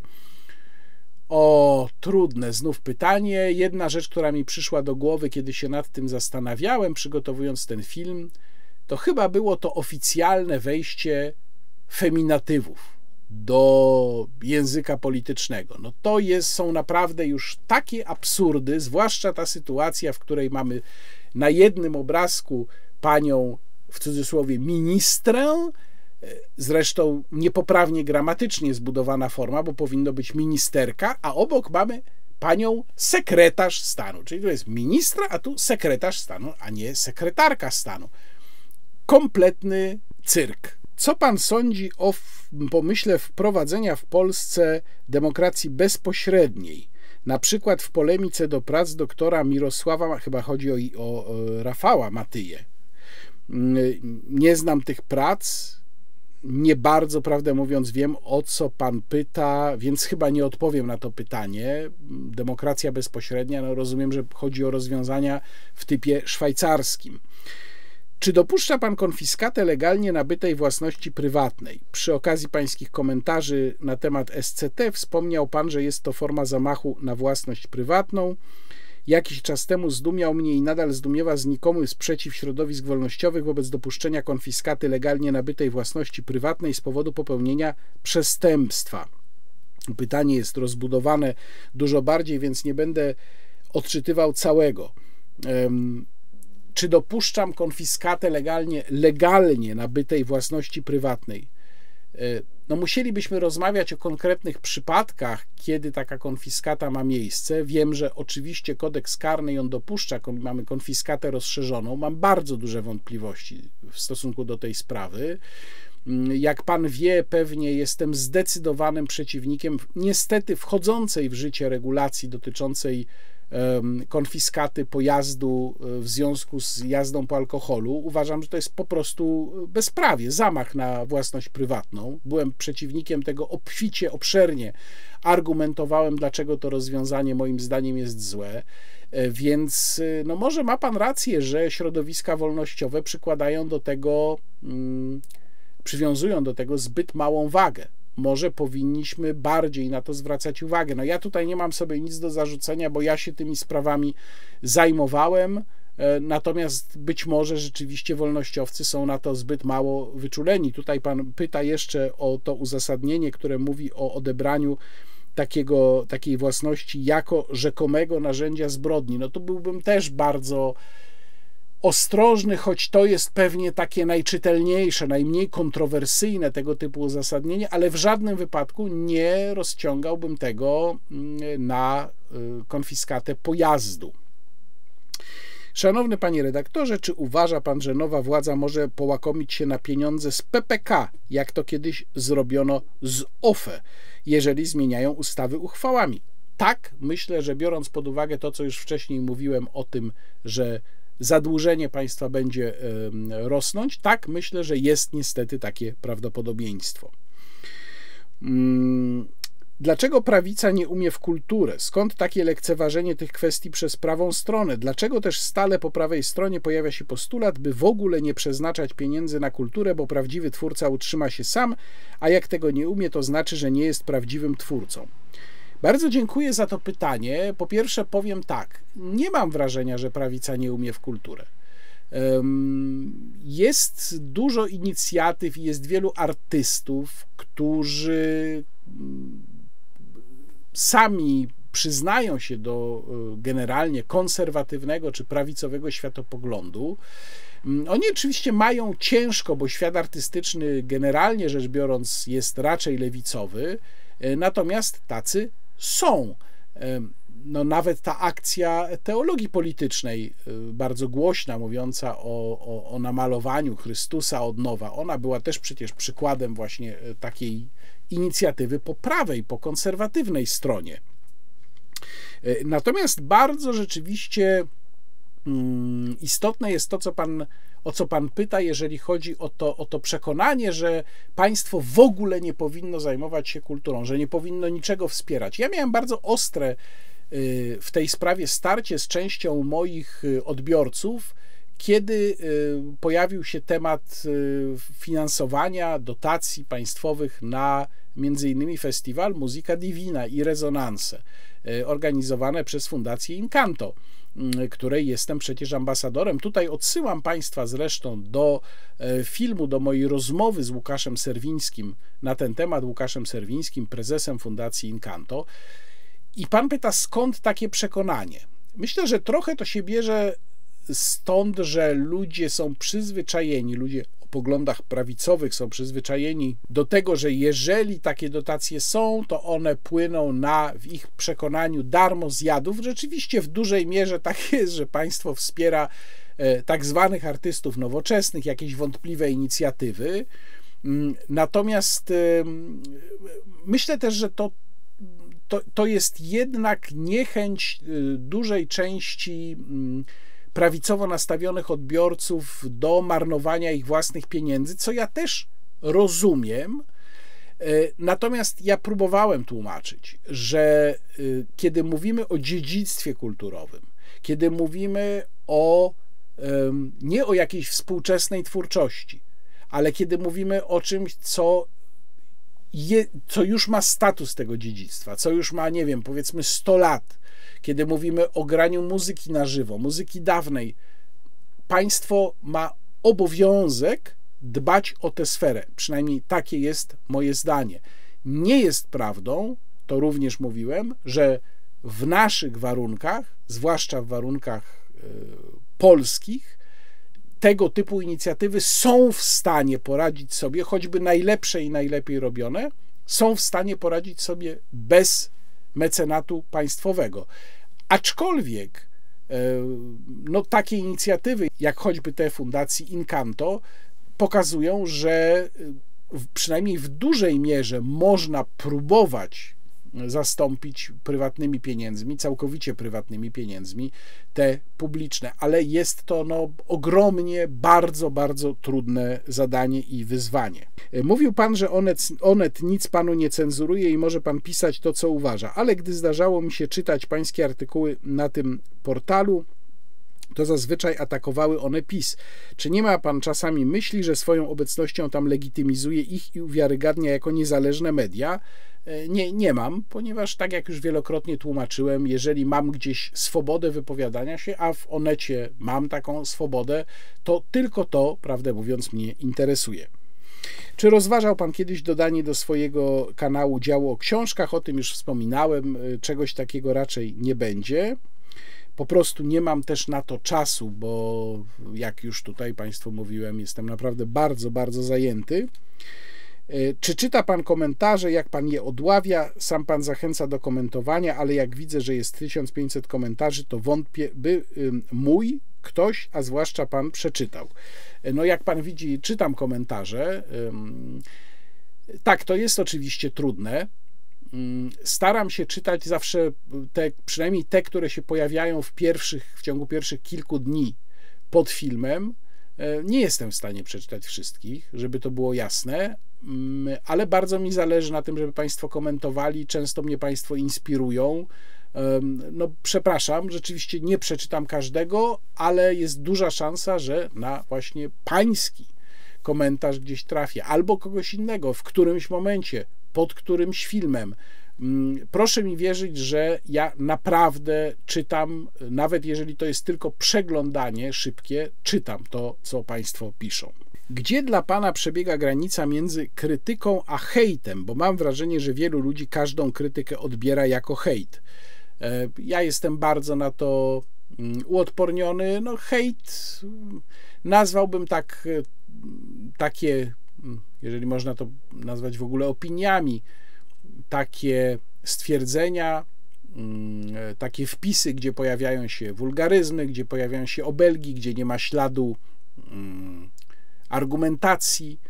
Natomiast moje stanowisko w sprawie tej walki z hejtem wyrażałem, wyraziłem je również w jednym z wideoblogów, kiedy takie wzmożenie po stronie celebrytów YouTube'owych nastąpiło, dotyczące właśnie walki z hejtem i te apele, żeby ją ułatwić, a może żeby w ogóle instytucjonalnie walczyć z hejtem. Nie, nie i nie, absolutnie Ja sobie z tym radzę sami, każdy sobie również może z tym poradzić sam, a jeżeli sobie nie radzi, to być może nie powinien się zajmować na przykład umieszczaniem filmów w internecie, ale to już mówiłem. Czy jeśli działania władzy powodują ubóstwo, choroby, kalectwo, a nawet śmierć, a odpowiedzialni nie ponoszą za to kary, według Pana ludzie mają prawo reagować przemocą wobec konkretnych e, członków obozu władzy? Mm, e, tak, mają prawo. Ja zresztą zrobiłem o tym kiedyś film w cyklu Konstytucja Wolności i link tutaj e, umieszczę Państwu. To był film o tak zwanym prawie oporu jus resistendi. E, tak, mają prawo, jest to prawo, które wywodzi się jeszcze z głębokiego średniowiecza. E, czy gdyby wymieniał pan samochód, to brałby pan pod uwagę zakup hybrydy czy elektryka? Elektryka na pewno nie, być może hybrydy, ale tak się składa, że akurat niedawno samochód wymieniłem i wymieniłem go na bardzo, na samochód z bardzo tradycyjnym, wolno ssącym silnikiem 2,5 litra, bez żadnych dodatków, więc bardzo jestem z tego zadowolony. Czy gra pan w szachy, czy gra pan w brydża? Odpowiedź jest dwa razy nie, natomiast bardzo lubię grać w Scrabble. Jeśli PiS to partia lewicowa, socjalistyczna, czy często pan podkreśla, to czy na prawym skrzydle sceny politycznej jest jeszcze miejsce dla dużego gracza? Skąd takie ugrupowanie miałoby czerpać kadry? No to jest znów pytanie raczej na dłuższy wideoblog, na jakąś dłuższą analizę. Myślę, że dużo powie nam los Konfederacji, no bo to ona jest takim graczem, że ten gracz już istnieje. Ja uważam, że nie ma tutaj miejsca raczej na kolejnego gracza, stąd zresztą moje opinie, które już wcześniej tutaj Państwu przekazywałem dotyczące partii Janusza Korwin-Mikkego, pomijając już samo to, jak pan Janusz Korwin-Mikke zorganizuje tę partię, więc myślę, że jakieś miejsce jest. Czy na dużego gracza po prawej stronie nie wiem. Myślę, że na takiego gracza powiedzmy kilkunastoprocentowego. To tak, no ale jak mówię, ten gracz już jest. Zobaczymy, czy on wykorzysta ten potencjał. Jaką ma Pan opinię na temat renty wdowiej i pomysłu wypłacania emerytury wraz z rentą rodzinną? W ogóle nie analizowałem tego zagadnienia, a bez przeanalizowania go nie czuję się na siłach e, wypowiadać. Czy w 2024 roku będzie można z Panem porozmawiać w małych miastach, na przykład na spotkaniach autorskich? No na pewno jakieś spotkania będą, będę o tym dawał znać, ale proszę Państwa, to wygląda tak, że ja sobie tego sam nie organizuję. Ja jeżdżę bardzo chętnie, jeżeli ktoś mnie zaprasza. To musi być ten zapraszający, musi być jakiś lokalny klub, jakieś stowarzyszenie, no tak to na ogół wygląda. I wtedy ja nie mam z tym problemu, bardzo chętnie umawiam się na spotkania, ale to nie ja organizuję te wyjazdy, nie ja je planuję. Więc jeżeli Państwo chcą, żebym się pojawił w Państwa miejscowości, no to proszę zorganizować taką grupę lub proszę się z kimś skontaktować, lub jeżeli Państwo sami prowadzą takie stowarzyszenie, proszę wysłać do mnie wiadomość. Można na przykład przez maila do kontaktów biznesowych, który tutaj na YouTubie jest dostępny i ja z całą pewnością Państwu odpowiem. Wydaje się Pan tytanem pracy. Bardzo dziękuję. Nieustanne bycie na bieżąco z nowinkami, informacjami, przygotowywanie materiałów, pisanie artykułów, udział w programach, umawianie gości, przygotowywanie się do rozmów. Z boku wygląda to tak, jakby Pana doba miała ponad 24 godziny. Czy ma Pan jakieś wskazówki, zwłaszcza dla młodszych odbiorców kanału, jak zachować taką świetną organizację czasu? Tylko proszę nie używać argumentu, że lubi pan swoją pracę i to samo przychodzi. Już Szekspir zauważył, że w najdzikszym zamęcie, wirze, nawałnicy, namiętności potrzeba dyscypliny. Bez niej nie da się pasji składnie wyrazić. Co ułatwia panu zachowanie tej dyscypliny? Bardzo dziękuję za tę pochlebną opinię, bo ja sam mam czasem takie wrażenie, jakbym jeszcze tego czasu trochę niestety marnował. Natomiast nie mam tutaj jakiejś właściwie dobrej rady. No, muszę też przyznać, że do, do, pewnych zadań trudno mi jest się zabrać, ale ja mam coś takiego w sobie, że e, rozumiem, że wszystko trzeba zacząć od czegoś, znaczy samo się nie zrobi. Powiem panu, co jest dla mnie takim trudnym momentem. Bardzo często jest tak, że mam pomysł na tekst, wiem dokładnie, co się w nim powinno znaleźć, no ale trzeba jeszcze usiąść i go napisać. I to jest ten właśnie e, trudny moment. E, bo to już jest praca ze słowem, to trwa godzinę, półtorej, dwie godziny, potem trzeba ten tekst przeczytać. No ale po prostu trzeba to zrobić. Nie wiem, nie, nie potrafię tutaj podać żadnej złotej recepty. Myślę, że może dobrą sprawą jest zastanowienie się nad różnego rodzaju zjadaczami czasu. Ja kiedyś, y, czy czasem w takie mm, pułapki też wpadałem różnego rodzaju i jeżeli się potrafi te zjadacze czasu, te aktywności, które tak naprawdę marnują nasz czas, jeżeli potrafi się je wyeliminować, to będziemy w ten czas wtedy bogatsi. Czy jakiś dziennikarz miał wpływ na Pana wybór drogi zawodowej? Czy któryś jest dla Pana wzorem? No na pewno miał. Mój tata miał wpływ. Dziennikarz, y, no dzisiaj już na emeryturze, ale y, pracujący przez większość życia w y, polskim radiu. Wcześniej zaczynał też w gazecie i ja byłem tak, szczerze, wpatrzony w mojego ojca przez wiele lat i to myślę, że to w bardzo dużej mierze zdecydowało o tym, że wybrałem właśnie ten zawód. A jeżeli chodzi o taki wzór oficjalny, no tutaj Państwo tego nie widzą, ale na półce nade mną stoi cały y, zbiór pism Stefana Kisielewskiego i myślę, że Stefan Kisielewski, jeżeli chodzi o polską publicystykę, to jest mm, właśnie ten wzór, do którego mi najbliżej. Jaki sport najbardziej lubi Pan uprawiać? Żadnego Jestem typem kompletnie asportowym, chociaż, jak już wcześniej wspominałem, strzelam. Strzelectwo formalnie rzecz biorąc też jest sportem. Jestem członkiem Polskiego Związku Strzelectwa Sportowego. Powiedzmy sobie szczerze, liczba subskrypcji pana kanału nie odzwierciedla jego jakości. Wielu mniej zdolnych twórców ma znacznie większe zasięgi. Jak pan to robi, że się tym nie zniechęca, tylko pracuje dalej?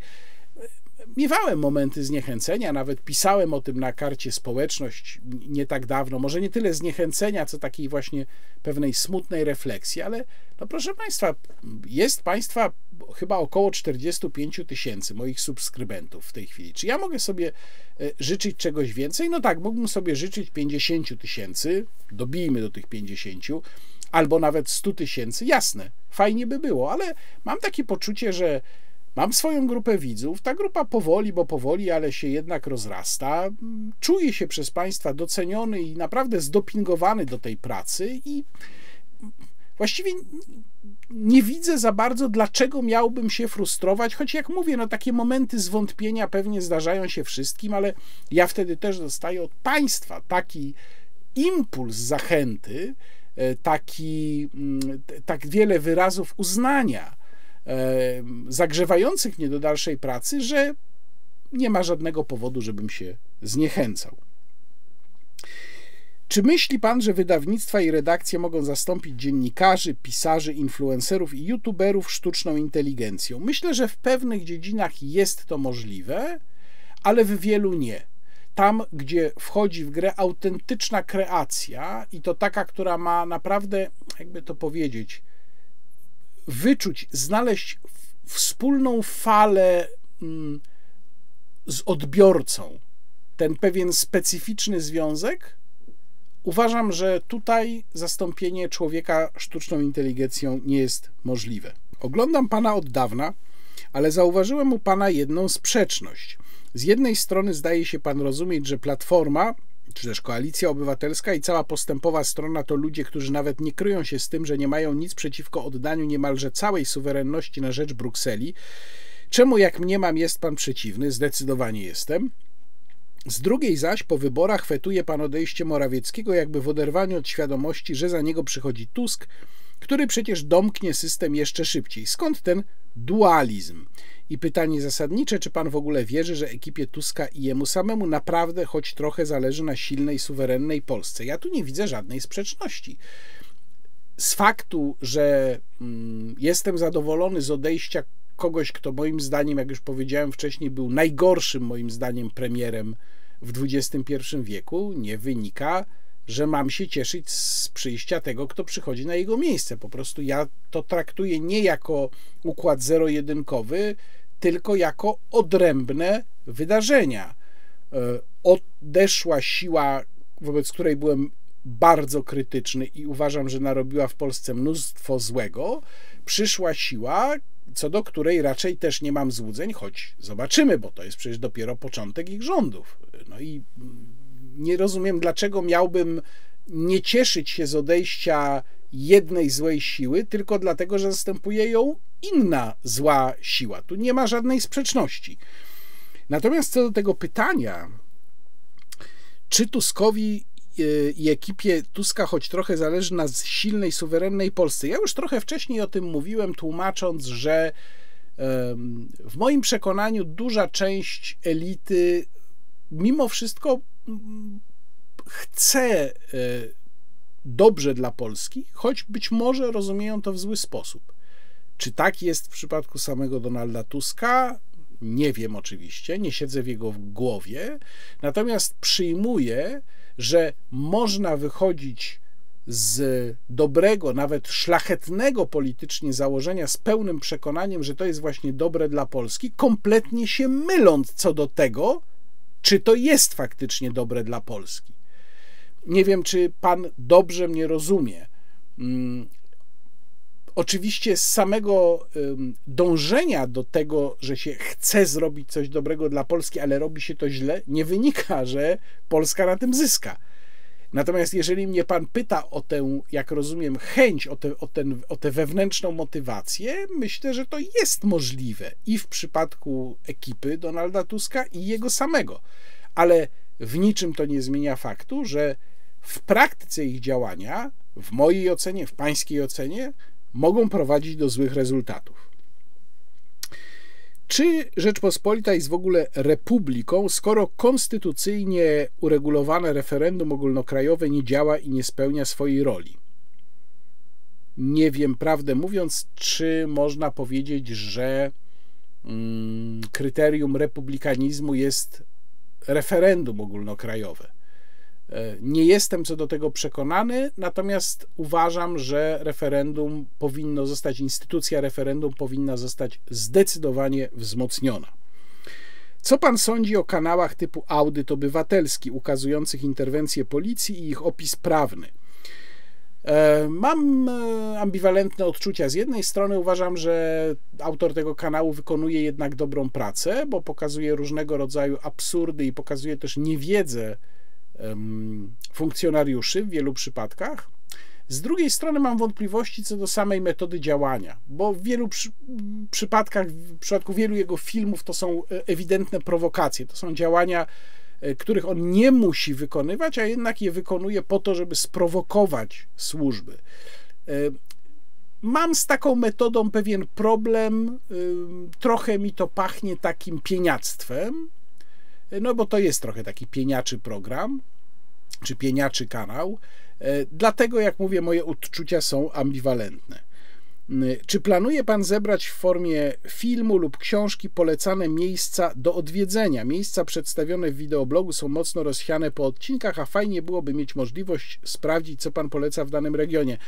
Nie planuję tego zebrać e, w formie wideo, moich tych opowieści z wideoblogów, bo technicznie rzecz biorąc byłoby to koszmarnie trudne. Natomiast no, pan jest kolejną osobą, która sugeruje mi jakieś zebranie tego w formie książkowej. Nie wiem, jakby to miało wyglądać. Coraz częściej mi to chodzi po głowie jako jeszcze jeden z pomysłów. Być może byłoby wydawnictwo, które byłoby tym zainteresowane. No pewnie trzeba by tutaj sporą pracę jednak wykonać po raz kolejny, ale może rzeczywiście taki taki subiektywny przewodnik po Polsce miałby jakąś wartość. Jeżeli tak Państwo uważają, proszę dać znać w komentarzu. Kiedy pan wraca do TVP? Okej, okay, żartowałem. No, e, już e, wróciłem raz na razie, raz i jak mówię, kolejny raz w tym filmie. Zobaczymy, co będzie dalej. Czy według pana jest jeszcze jakakolwiek szansa na to, by odbić nasz kraj z rąk obcych służb, które w 100% sterują naszą polityką? Jeśli tak, to proszę o zarys rozwiązań. W ogóle nie jestem przekonany, czy obce służby sterują naszą polityką. Myślę, że tu musielibyśmy naprawdę mocno w ten temat wejść, zacząć się zastanawiać, co to znaczy sterują, które służby. Wie pan, ja myślę, że bardzo często ludzie ulegają takiemu złudzeniu, że rzeczywistość wokół nich jest w jakiś sposób uporządkowana przez jakieś zakulisowe wyższe czynniki. a rzeczywistość jest po prostu zbyt skomplikowana, żeby dało się ją tak poprowadzić. No co to znaczy obce służby sterują naszą polityką? Polityka to również są ludzie, to są ich wybory, to są wybory powszechne, to są jakieś nagłe społeczne emocje. Tym się nie da wszystkim sterować. Da się jakąś tam może częścią, wycinkiem, ale nie wszystkim, więc myślę, że pańska diagnoza w ogóle jest hmm, chyba jednak błędna. Polski współczesny polityk, którego uważa pan za przyzwoitego człowieka. No niestety mogę tu powiedzieć o jednej takiej osobie i nie jest to polityk czynny, a jest to Marek Jurek. Sprzęt muzyczny, na którym najczęściej słucha pan muzyki, no najczęściej słucham na jednym sprzęcie, tym, który stoi e, tutaj, e, nie widzą państwo, ale na moim biurku i to jest e, wieża firmy Denon. To jest mój podstawowy sprzęt do słuchania Muzyki, muzyki słucham czasem z radia internetowego, natomiast przede wszystkim słucham jej z płyt. Nie słucham w ogóle muzyki z serwisów streamingowych. E, serwisy streamingowe mnie odrzucają. Ja lubię mieć muzykę na płycie, tak jak się ma książkę. E, mam wtedy takie poczucie, że jestem właścicielem tej muzyki, czy tej kopii muzyki. Mam również do tego książeczkę, którą mogę przeczytać, więc słucham muzyki z tradycyjnych płyt CD z odtwarzacza firmy Denon. Czy jest pan za wprowadzeniem ustawowego karania za świadome wprowadzanie w błąd opinii publicznej przez polityków i urzędników państwowych oraz instytucje im podlegające? Udowodnione sądownie kłamstwo eliminowałoby z życia publicznego. Kolejny bar, kolejne bardzo ciekawe pytanie. Przyznam, że nie zastanawiałem się nad tym, natomiast sama koncepcja, sam pomysł wydaje mi się niezwykle interesujący. To znaczy, żeby wprowadzić przepisy, które zróżnicują konsekwencje E, kłamstwa, czy w ogóle wprowadzą taką kategorię, bo przecież normalnie w prawie jej nie ma, to znaczy nie, nie ma możliwości karania za kłamstwo, które nie narusza niczyich dóbr osobistych. A tu rozumiem, że Pan mówi o sytuacji, w której karane byłoby właśnie tego typu kłamstwo, ale w przypadku funkcjonariuszy publicznych. To jest bardzo interesująca koncepcja. Nie mam na to gotowej odpowiedzi, ale muszę się rzeczywiście nad tym zastanowić, rozważyć to, bo jest to niezwykle ciekawy, myślę, że godny uwagi pomysł. Kiedy Polacy skończą małpować Zachód? Y, nigdy. Kto Pana zdaniem zarządza Unią? Szaleni ideolodzy, agentura obcych mocarstw, lobby korporacyjne, a może po prostu banda idiotów? Proszę Pana, no wszyscy po trochu. Znaczy, naprawdę tutaj nie ma jednego czynnika. Ja już o tym też wielokrotnie mówiłam, analizując jakieś konkretne unijne pomysły i mm, wydaje mi się, że tutaj mm, nakłada się na siebie mnóstwo czynników. Mówiąc w największym skrócie, to są lobby różnego rodzaju, takie, które na danej polityce zarabiają, to rzeczywiście jest presja różnego rodzaju autentycznych idiotów, którzy są jednocześnie pożytecznymi idiotami i tych lobbystów, i polityków. To są politycy, którzy szukają łatwych politycznych wehikułów. To jest unijna biurokracja. No, moglibyśmy naprawdę cały taki schemat zbudować, natomiast myślę, że nie ma tu jakiegoś jednego decydującego czynnika i może w tym jest tragedia. To znaczy, ten, ten kierunek jest nadawany przez bardzo wiele różnych środowisk, które niestety nawzajem się wspierają, czasem ze sobą walczą oczywiście, ale na ogół się wspierają i popychają Unię generalnie w bardzo złym kierunku. Jak wytłumaczyć fakt, że w mediach głównego nurtu wśród najbardziej eksponowanych twarzy dziennikarskich, właściwie jedynym, którego co bardziej świadomi widzowie szanują, Widać to w plebiscytach i komentarzach oraz co do którego trudno zgadnąć jego poglądy polityczne jest redaktor Rymanowski. Można by zadać pytanie w dwóch formach: albo dlaczego nie ma więcej redaktorów rymanowskich, albo dlaczego jeszcze nie został on wycięty jako niepasujący do obecnej rzeczywistości. No i co w ogóle stało się z dziennikarstwem, że profil przykładowej Moniki Olejnik, czyli model agresywnego wykłócania się z gościem albo Roberta Mazurka, ciągłego przerywania, zagadywania wywiadu jest akceptowany w środowisku. I to jest, proszę pana, temat na bardzo długą analizę o tym, co się w ogóle dzieje z dziennikarstwem. Też nie czuję się tutaj na siłach, żeby się tego tematu podejmować. Mm, myślę, że widzowie tęsknią za pewną normalnością i elegancją, i właśnie dlatego Bogdan Rymanowski zdobywa te wysokie mm, oceny. Natomiast obawiam się, że on jest w tym zawodzie, przynajmniej w tym głównym nurcie, że on jest niestety dinozaurem. To znaczy, to jest bardzo dobre pytanie, które pan zadaje. Dlaczego on jest aż tak widoczny? Dlaczego on jest taką, powiedziałbym, samotną wyspą?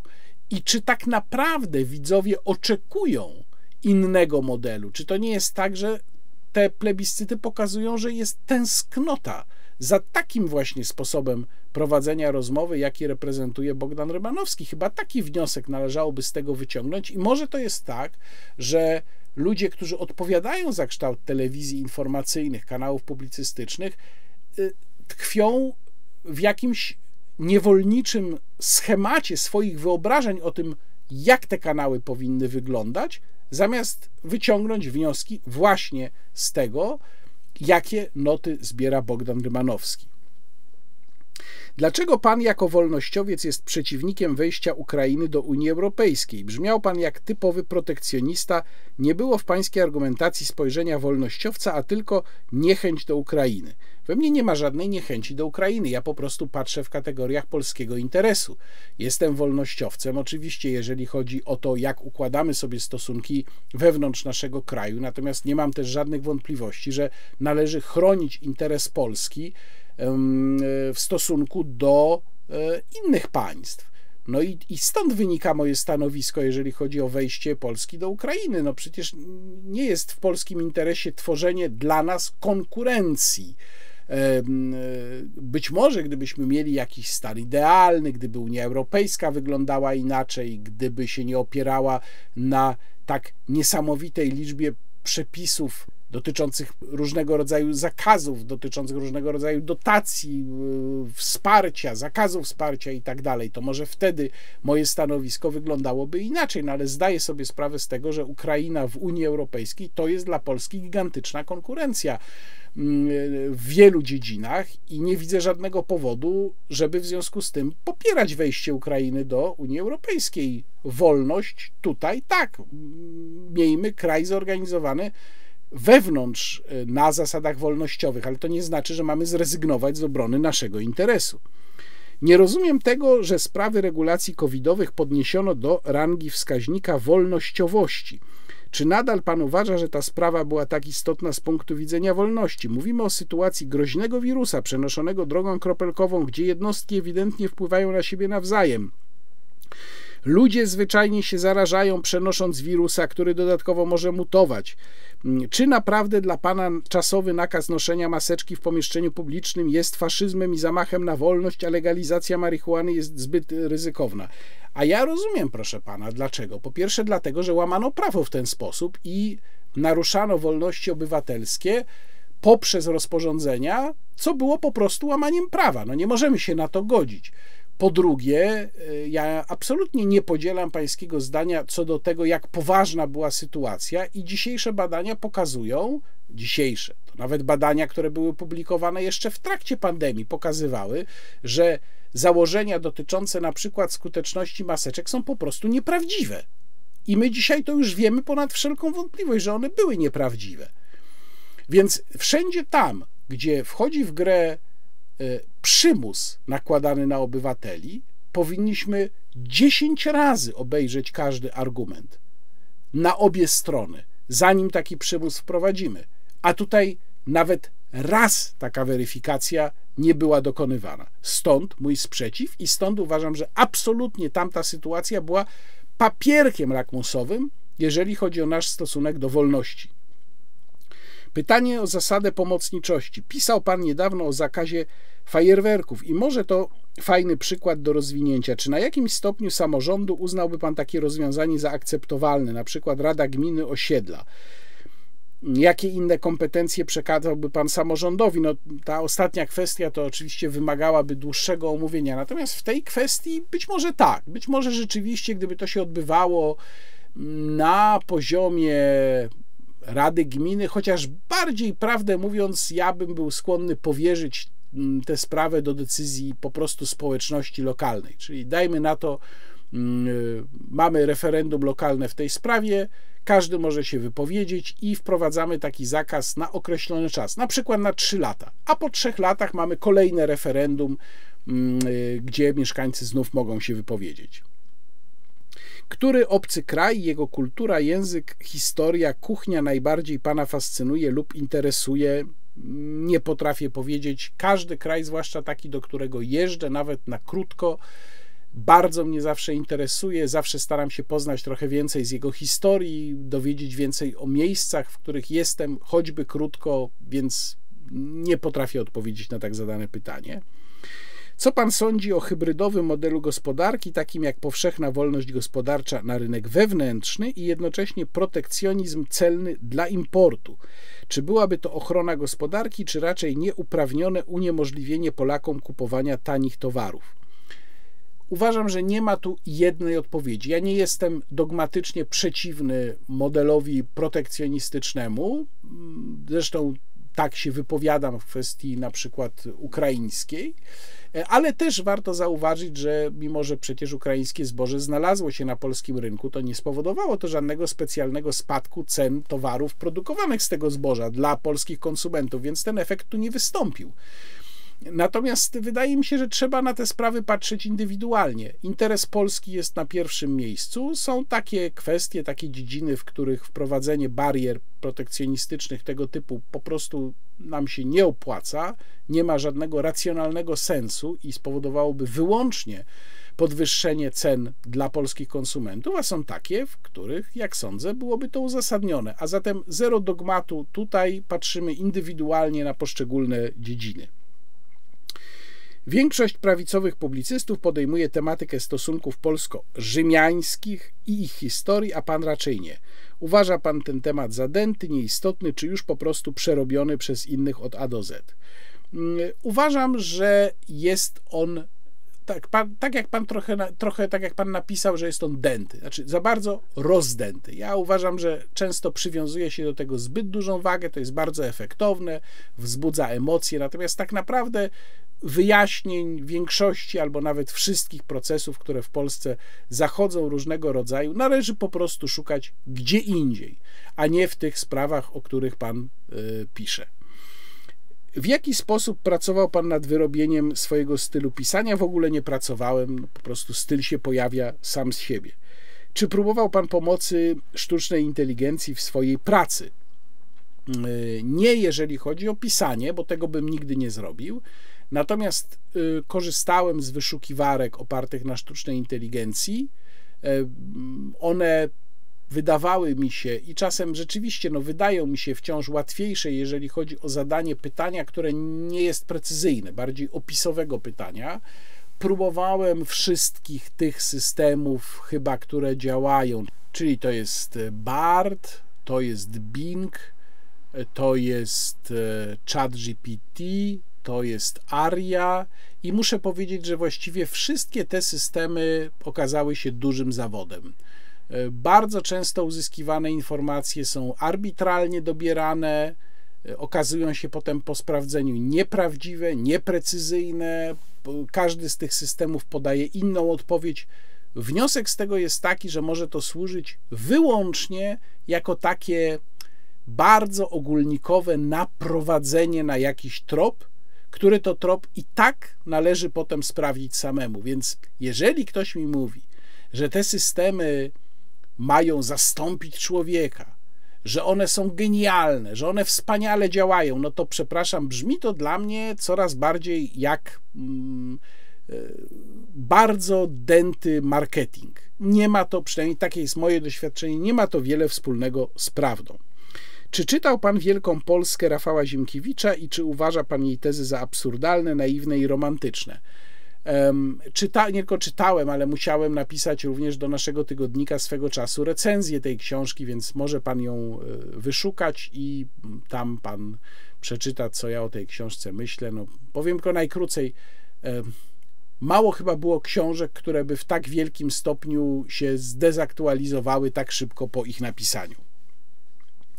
Dużo ostatnio mówi pan i niektórzy inni dziennikarze o scenariuszu. Telewizja tradycyjna tak czy inaczej ulegnie marginalizacji na rzecz internetu, w związku z czym afera o kontrolę nad TVP będzie miała coraz mniejsze znaczenie. Moim zdaniem, jeśli faktycznie będzie miało to miejsce, to automatycznie władza państwowa zacznie rościć sobie prawo do radykalnego ograniczenia swobody prowadzenia kanałów informacyjnych i publicystycznych w internecie. Jak ocenia Pan ryzyko takiego scenariusza i czy ma Pan jakieś propozycje, jak można, można mu zawczasu przeciwdziałać? Tak, myślę, że jest to duże ryzyko, zwłaszcza jeżeli zacznie się konkretyzować plan, który, o którym mówi lewica, czyli karanie mowy nienawiści. To jest niezwykle niebezpieczny pomysł. Stworzenie takich przepisów w Polsce. Będę z, z całą stanowczością mu się przeciwstawiał. No na razie jesteśmy jakoś tam zabezpieczeni wetem pana prezydenta, ale nie wiem w jakim stopniu i nie wiem jak długo. Nie można na to pozwolić, absolutnie. Myślę też, że tak mogą być próby rozciągnięcia takiej kontroli pod pretekstem oczywiście jakichś tam znowu rejestracji, e, formalnego uporządkowania, nic ponadto właśnie nad internetem. Natomiast jaki tu jest sposób? No nie ma tu żadnego świetnego sposobu. E, należy się organizować, należy protestować, należy wysyłać pytania do swoich posłów, należy w internecie również pokazywać, co się o tym myśli nie widzę tu żadnego innego sposobu. Na pewno mogę obiecać, że będę tej sprawy dla państwa i dla siebie również we własnym interesie pilnował. Członkiem nowego Trybunału Stanu została pani mecenas Kamila Ferenc, działaczka skrajnie lewicowej organizacji Federa, reprezentująca słynną panią Joannę i promująca prawa reprodukcyjne prawa osób w ciąży i tak. Czy ugrupowania polityczne nie powinny zgłaszać do Trybunału Stanu ludzi raczej kojarzonych z bardziej umiarkowanymi poglądami, dających chociaż pozór obiektywizmu i bezstronności? Jak mogę tylko powiedzieć, że w ogóle Trybunał Stanu uważam za kompletnie poroniony pomysł. Yy, wiadomo, że on pochodzi właśnie z nominacji politycznych, nie ma żadnych ograniczeń, jeżeli chodzi o to, kogo się nominuje, no więc również taka osoba o radykalnych poglądach może się tam znaleźć, natomiast sam Trybunał Stanu swojej roli po prostu nie spełnia i powinien zniknąć, ale niestety to również wymagałoby zmian w konstytucji. Jakie są pańskie obawy i nadzieje w związku z nowym kierownictwem policji? Jeszcze mu się nie przyglądałem, natomiast nie mam żadnych, ponieważ nie widzę żadnych planów zreformowania, solidnego zreformowania policji, a moim zdaniem bez takiej reformy nic dobrego się w tej formacji nie wydarzy. Czy w Pańskiej ocenie jest konieczne przywrócenie, mm, w jakiej formie to inna sprawa, obowiązkowej służby wojskowej? Czy jest w ogóle taka konieczność? Nie jestem przeciwnikiem obowiązkowej służby wojskowej, natomiast nie jestem przeciwnikiem powszechnego szkolenia w formie jak najmniej uciążliwej dla obywateli, pod warunkiem, że państwo weźmie na siebie wszelkie koszty, które dla obywateli z tego wynikają. Dzisiaj wiemy, że ten system zwracania czy wynagradzania strat, które ponoszą niektóre osoby w związku na przykład z powołaniem na ćwiczenia, jest bardzo, bardzo wadliwy. Mówię tutaj przede wszystkim o przedsiębiorcach, osobach prowadzących choćby jednoosobową działalność gospodarczą. Panie redaktorze, mam pytanie co do kształtu idealnego według Pana kraju, który by Pan zaprojektował, mając pełnię władzy. Mm, domyślam się, że zasiłków dla bezrobotnych pewnie by pan nie utrzymał, ale co z pomocą na przykład dla samotnych matek bez środków do życia, dla niepełnosprawnych? Czy wspierałby pan to w jakimkolwiek wymiarze państwowym, czy też zostawił wszystko w gestii prywatnych przedsięwzięć? Y, temat rzeka oczywiście, nawet myślałem kiedyś o tym, żeby napisać książkę również na ten temat, jak taki kraj mógłby wyglądać, ale powtarzam tylko krótko. Nie jestem tutaj dogmatykiem. Tak jak powiedziałem wcześniej, uważam, że państwo na przykład w sferze kultury powinno działać i powinno na kulturę um, łożyć. Podobnie uważam, że jeżeli chodzi o tych autentycznie najbardziej potrzebujących, państwo ma tutaj rolę do odegrania. To znaczy, na pewno bym tego wszystkiego nie kasował, nie przekazywał um, całkowicie w ręce prywatne, ale też myślę, że mocno bym to ograniczył. E, co do innych kwestii dotyczących takiego idealnego państwa, to tak jak mówię, no jest to temat naprawdę na co najmniej bardzo długi esej. Nigdy nie słyszałem, aby pan lub któryś z pańskich kolegów z prawej strony mocy wspominał o olbrzymiej liczbie pracowników zatrudnionych przez prywatnych przedsiębiorców i o tym, w jakiej oni są sytuacji, jak o nich państwo czy system dba. To jest część dłuższego pytania, bardzo długiego właściwie pytania. Tutaj pan taką wyrażał pretensję w tym pytaniu, mm, y, pisząc o tym, że on jest zatrudniony, czy był zatrudniony przez wiele lat przez prywatnego przedsiębiorcę, który go właśnie zwolnił. Wie pan, no nie bardzo wiem, czego pan tutaj oczekuje. To znaczy, moje zdanie na ten temat jest takie, że powinna panować w systemie, w kodeksie pracy jak największa elastyczność, bo elastyczność powoduje, że przedsiębiorcy, pracodawcy nie obawiają się zatrudniać ludzi. No to jest znany efekt. Im mniejsza elastyczność, im sztywniejszy jest ten system, tym większa jest obawa pracodawców przed zatrudnianiem pracowników. No bo taki pracownik, jeżeli na przykład biznes zacznie iść źle, staje się obciążeniem, którego nie można zrzucić. Więc sposobem na polepszenie sytuacji pracowników, moim zdaniem, jest poluzowanie, uelastycznienie kodeksu pracy, a nie jego dalsze usztywnianie. W związku z planem kolejnych podwyżek dla uprzywilejowanych grup zawodowych, nauczyciele, ogromna rzesza urzędników budżetówki, chciałem poznać Pana zdanie w kwestii tej permanentnej, patologicznej sytuacji. No moje zdanie jest takie, że urzędnicy na przykład rzeczywiście nie dostawali podwyżek od dawna i powinni tę podwyżkę faktycznie dostać, a i tak ona nie obejmie w tym samym stopniu wszystkich. Pytanie jest raczej inne. Czy urzędników powinno być tak wielu, czy generalnie sektor budżetowy powinien być tak wielki? I tutaj moim zdaniem jest klucz do sprawy. On po prostu powinien zostać ograniczony. W wielu przypadkach tylu urzędników, tylu pracowników, bo przecież budżetówka to coś więcej niż tylko urzędnicy, tylu pracowników sektora budżetowego nie jest potrzebnych. I to jest moim zdaniem rzecz, od której powinno się rozpocząć tutaj reformy. Co pan sądzi o zwiększeniu limitów prędkości na autostradach i drogach ekspresowych o 10 do 20 km na godzinę? Po ostatnim podniesieniu w 2011 roku nie zaobserwowano zwiększenia liczby ofiar i wypadków. Co ja sądzę o tym? Myślę, że nie, dlatego że i tak większość osób jeździ szybciej. Myślę, że drogi mają pewne fizyczne parametry, do których są dostosowane, i my jesteśmy w tej chwili w optymalnym obszarze tych prędkości. Mm, i nie ma sensu podnosić ich y, jeszcze wyżej, szczególnie, że mam takie wrażenie, że na autostradzie naprawdę 140 km na godzinę to jest absolutnie wystarczająca prędkość. Ja muszę powiedzieć, że kiedy jadę przez Niemcy, również na tych odcinkach, gdzie ograniczenia prędkości nie ma, no to ja nie jadę szybciej niż 140 km na godzinę i w ogóle niewielu Niemców też jedzie szybciej, raczej nawet jadą na ogół wolniej. E, no, oczywiście część jedzie szybciej, mogą, mają prawo. Natomiast wydaje mi się, że mm, powinniśmy walczyć przede wszystkim z tym, żeby tej prędkości nam nie obniżono. I to są, proszę Państwa, wszystkie pytania. Myślę, że było ich chyba około 200. Przepraszam tych, których pytań nie przeczytałem. Nie przeczytałem pytań, które były bardzo rozbudowane, które wymagałyby bardzo rozbudowanej odpowiedzi. Niektórzy z Państwa pytali tutaj o sprawy, które po prostu e, oznaczałyby rozpoczęcie jakiejś długiej politycznej analizy. Tych pytań nie przeczytałem. E, mam nadzieję, że jak najwięcej z Państwa dostało odpowiedzi na swoje pytania. Oczywiście skrótowe, bo trudno, żebym tutaj bardziej się rozwodził, zwłaszcza, że jak patrzę na licznik nagrania, to mamy już prawie 3 godziny 40 minut. Nie wiem, czy ktoś z Państwa obejrzał ten film do końca. Jeśli tak, to proszę dać znać. No ale w komentarzach, kiedy ostrzegałem, że tak będzie i że to będzie bardzo długi film, pisali Państwo, że tak, że są Państwo gotowi go obejrzeć, nawet jeżeli będzie miał 4 godziny. Do 4 godzin nie dobiliśmy, ale 3,40, no prawie 3,40 tak. Więc ja Państwu bardzo dziękuję. Zapraszam oczywiście do oglądania filmów na moim kanale. Moje spotkania z Jakubem Dymkiem, rozmowa niekontrolowana, e, także okazjonalnie Konstytucja Wolności, no i przede wszystkim wideoblog. We wszystkie te miejsca zapraszam. Zapraszam także tradycyjnie do lektury moich tekstów na mojej oficjalnej stronie facebookowej.